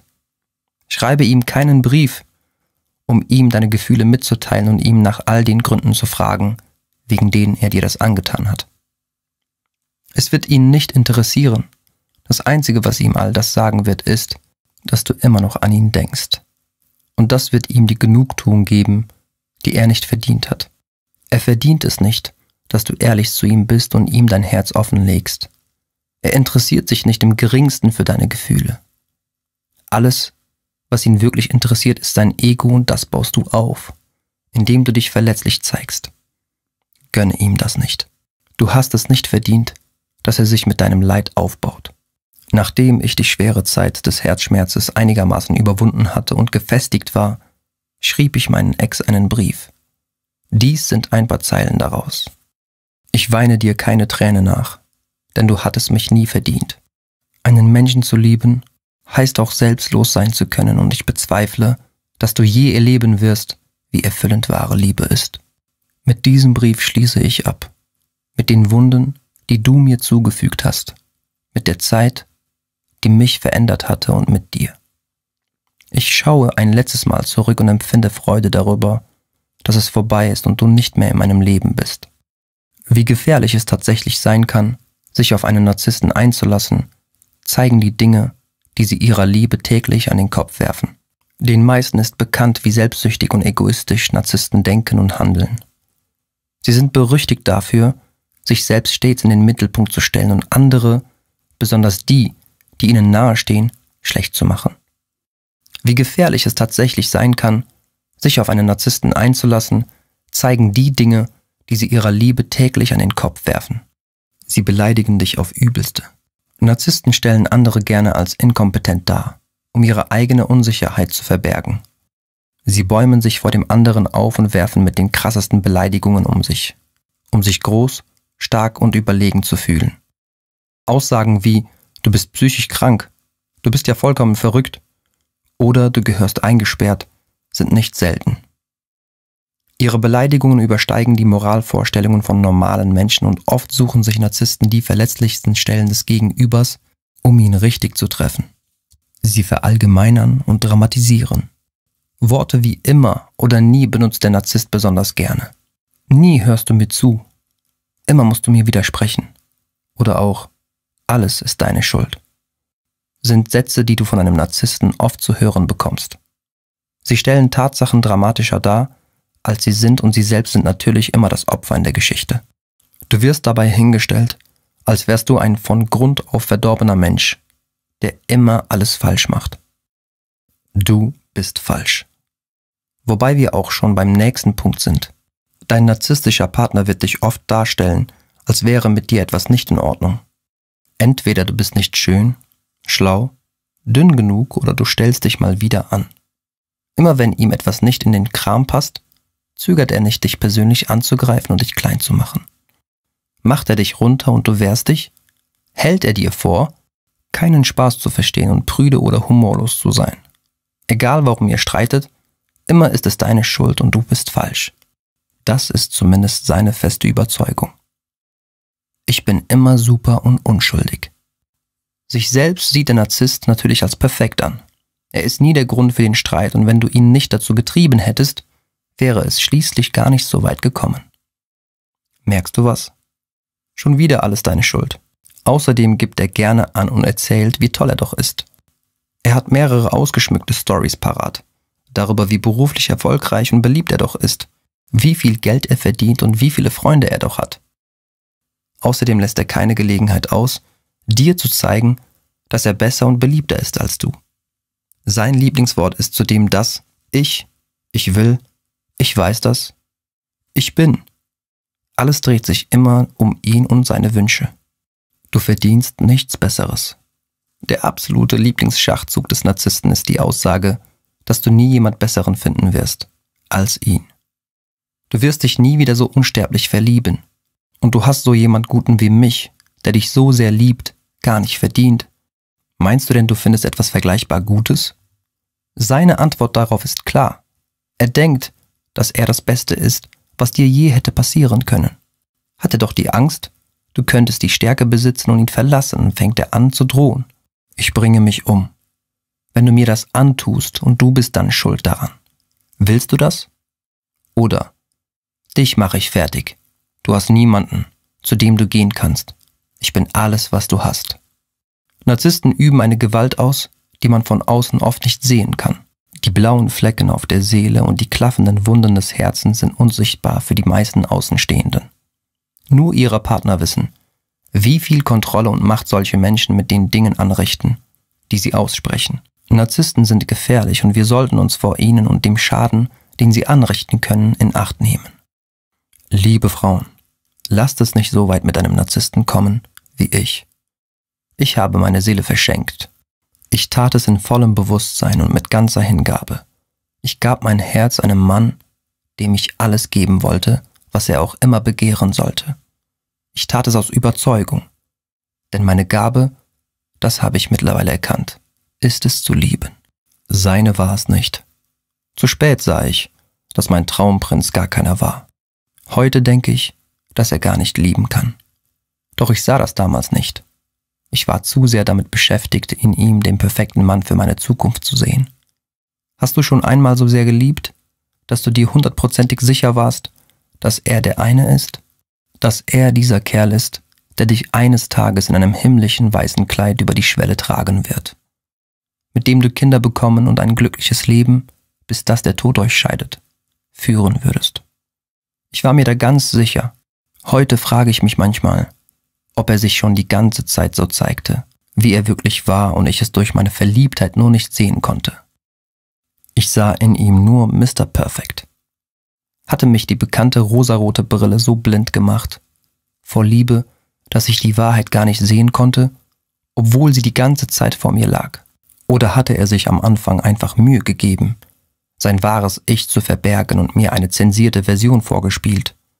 Eine Version, die ich suchte einen Gentleman, der mich auf Händen trug und so zuvorkommend war, wie man es selten bei einem Mann findet.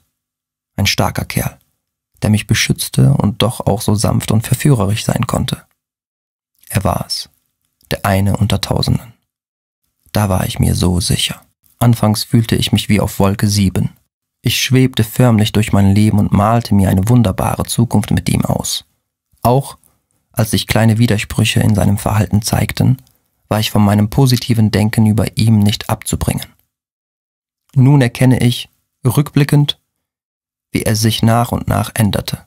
In kleinen Häppchen servierte er mir einen Fehltritt nach dem anderen. So dass es mir erst gar nicht auffiel. Merkte ich, dass da irgendetwas falsch lief, schob ich es anfangs weg und entschuldigte ihn. Schließlich wollte ich keinen Streit und ihn lieben, wie er war. Als es jedoch zu viel wurde und ich ihn auf die Ungerechtigkeiten, die er mir entgegenbrachte, ansprach, schaffte er es, die Dinge immer so hinzustellen, dass ich mich schuldig fühlte. Betreten zog ich mich zurück und glaubte schließlich immer weniger an mich und meine Wahrnehmung. Ich unterdrückte meine Gefühle und mein Leid. Ich nahm mich selbst nicht mehr wahr. Ich wurde kleiner und kleiner und hatte irgendwann das Gefühl, verschwunden zu sein. Mit einer Menge Kraft und Reflexion Hilfe von Freunden, die mich nicht fallen ließen und mir zeigten, dass ich nicht verkehrt, sondern genau richtig war, so wie ich war, fasste ich irgendwann den Mut und die Stärke, das alles klar zu erkennen und dem ein Ende zu setzen. Es hat mich so viel Kraft gekostet, mich wieder in mein Leben zurückzukämpfen, aber es hätte mich noch viel mehr gekostet, bei ihm zu bleiben. Ich danke heute von Herzen allen, die mich so sehr unterstützt haben und mir halfen, den Glauben an mich zurückzugewinnen. Ich erkannte spät, aber ich sah es dann umso klarer. Manchmal dauert es einige Zeit, aber es ist nie zu spät, etwas zu ändern. Auf keinen Fall sollte irgendjemand an einer Beziehung festhalten, nur weil er Angst hat. Denn Angst ist nicht der Klebstoff, der eine Verbindung zwischen zwei Menschen zusammenhalten sollte. Liebe und Annahme sind es. Nur so wird ein Narzisst es bereuen, dich verlassen zu haben. Nachdem du dich regelmäßig mit einem Narzissten getroffen hast und nach dem ersten Schock, den du durchmachen musstest, als er dich wieder fallen ließ, wolltest du diesen Bastard nur noch dazu bringen, all das durchzumachen, was du durchgemacht hast. Du willst ihn niederdrücken, sein Herz zerquetschen und ihn all den Schmerz fühlen lassen, den du wegen ihm empfunden hast. Und wer könnte dir dies übel nehmen? Immerhin hat dieser Mann dich geistig getötet deinen Glauben an die Liebe zerstört und dich ein Leben lang damit gezeichnet. Warum sollte er dann etwas anderes verdienen, als du ihm dasselbe antust? Warum sollte er dein Mitgefühl verdienen, wenn es ihm nie etwas ausmachte, wie du dich gefühlt hast? Warum sollte er deine Freundlichkeit verdienen, wenn er dir gegenüber rücksichtslos war? Warum sollte er von deiner gnadenlosen Rache verschont bleiben, wenn er nie daran gedacht hätte, welche Konsequenzen sein Handeln für dich haben würde? Du bist davon überzeugt, dass du dich nur besser fühlen kannst, wenn er selbst spürt, wie du dich durch ihn gefühlt hast, ihn so leiden zu sehen, wie du es getan hast, und ihn auf die Knie gehen zu sehen und um Vergebung zu bitten, das ist alles, was du möchtest. Also suchst du weiter nach Wegen, um deine süße Rache zu erlangen.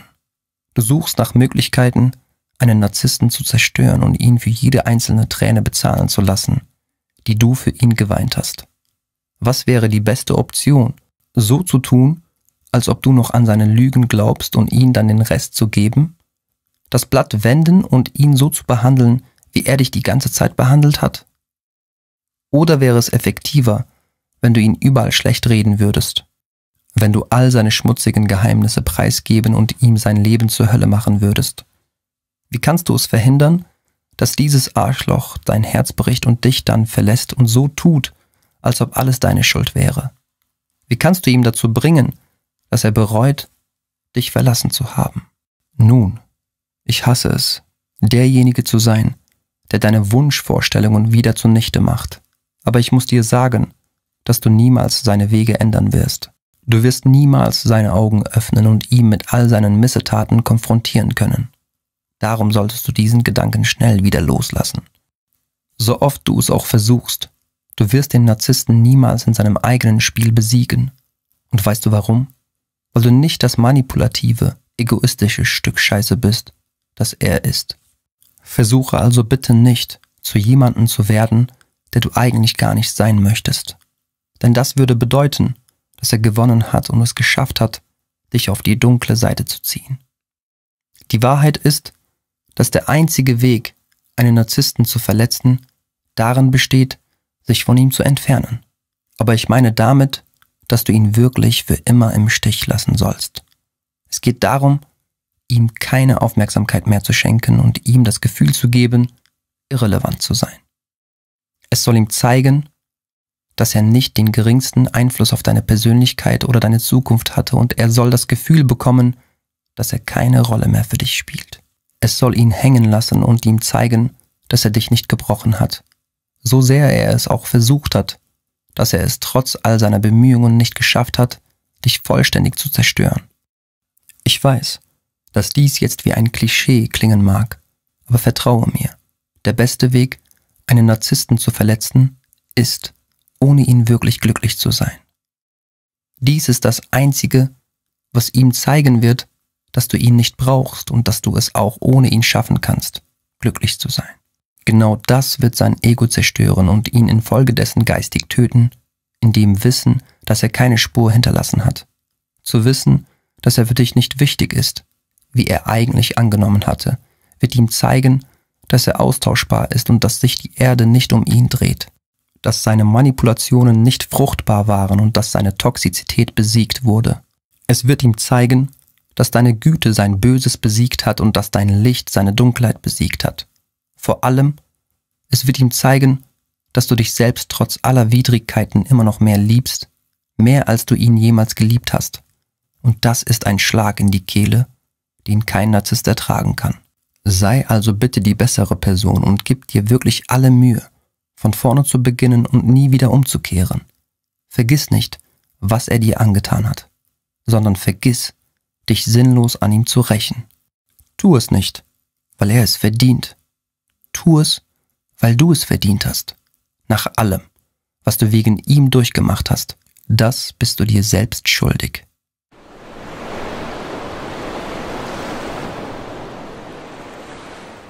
Nachwort. Ich schließe dieses Buch mit einem vielsagenden Zitat zum Thema Narzissmus ab. Was für den Selbstsüchtigen gilt, gilt auch für den narzisstischen Menschen, dessen allgegenwärtiges Interesse ist es weniger, sich Dinge anzueignen, als vielmehr sich selbst zu bewundern. Oberflächlich betrachtet scheinen diese Menschen in sich selbst verliebt zu sein. In Wirklichkeit aber können sie sich nicht leiden. Und mit ihrem Narzissmus wie mit der Selbstsucht kompensieren sie einen grundlegenden Mangel an Selbstliebe. Freud hat betont, dass der Narzisst seine Liebe vom anderen zurückzieht und auf die eigene Person richtet. Der erste Teil dieser Behauptung ist richtig. Der zweite ist ein Trugschluss. Er liebt weder die anderen noch sich selbst. Erich Fromm Die Antwort der Liebe.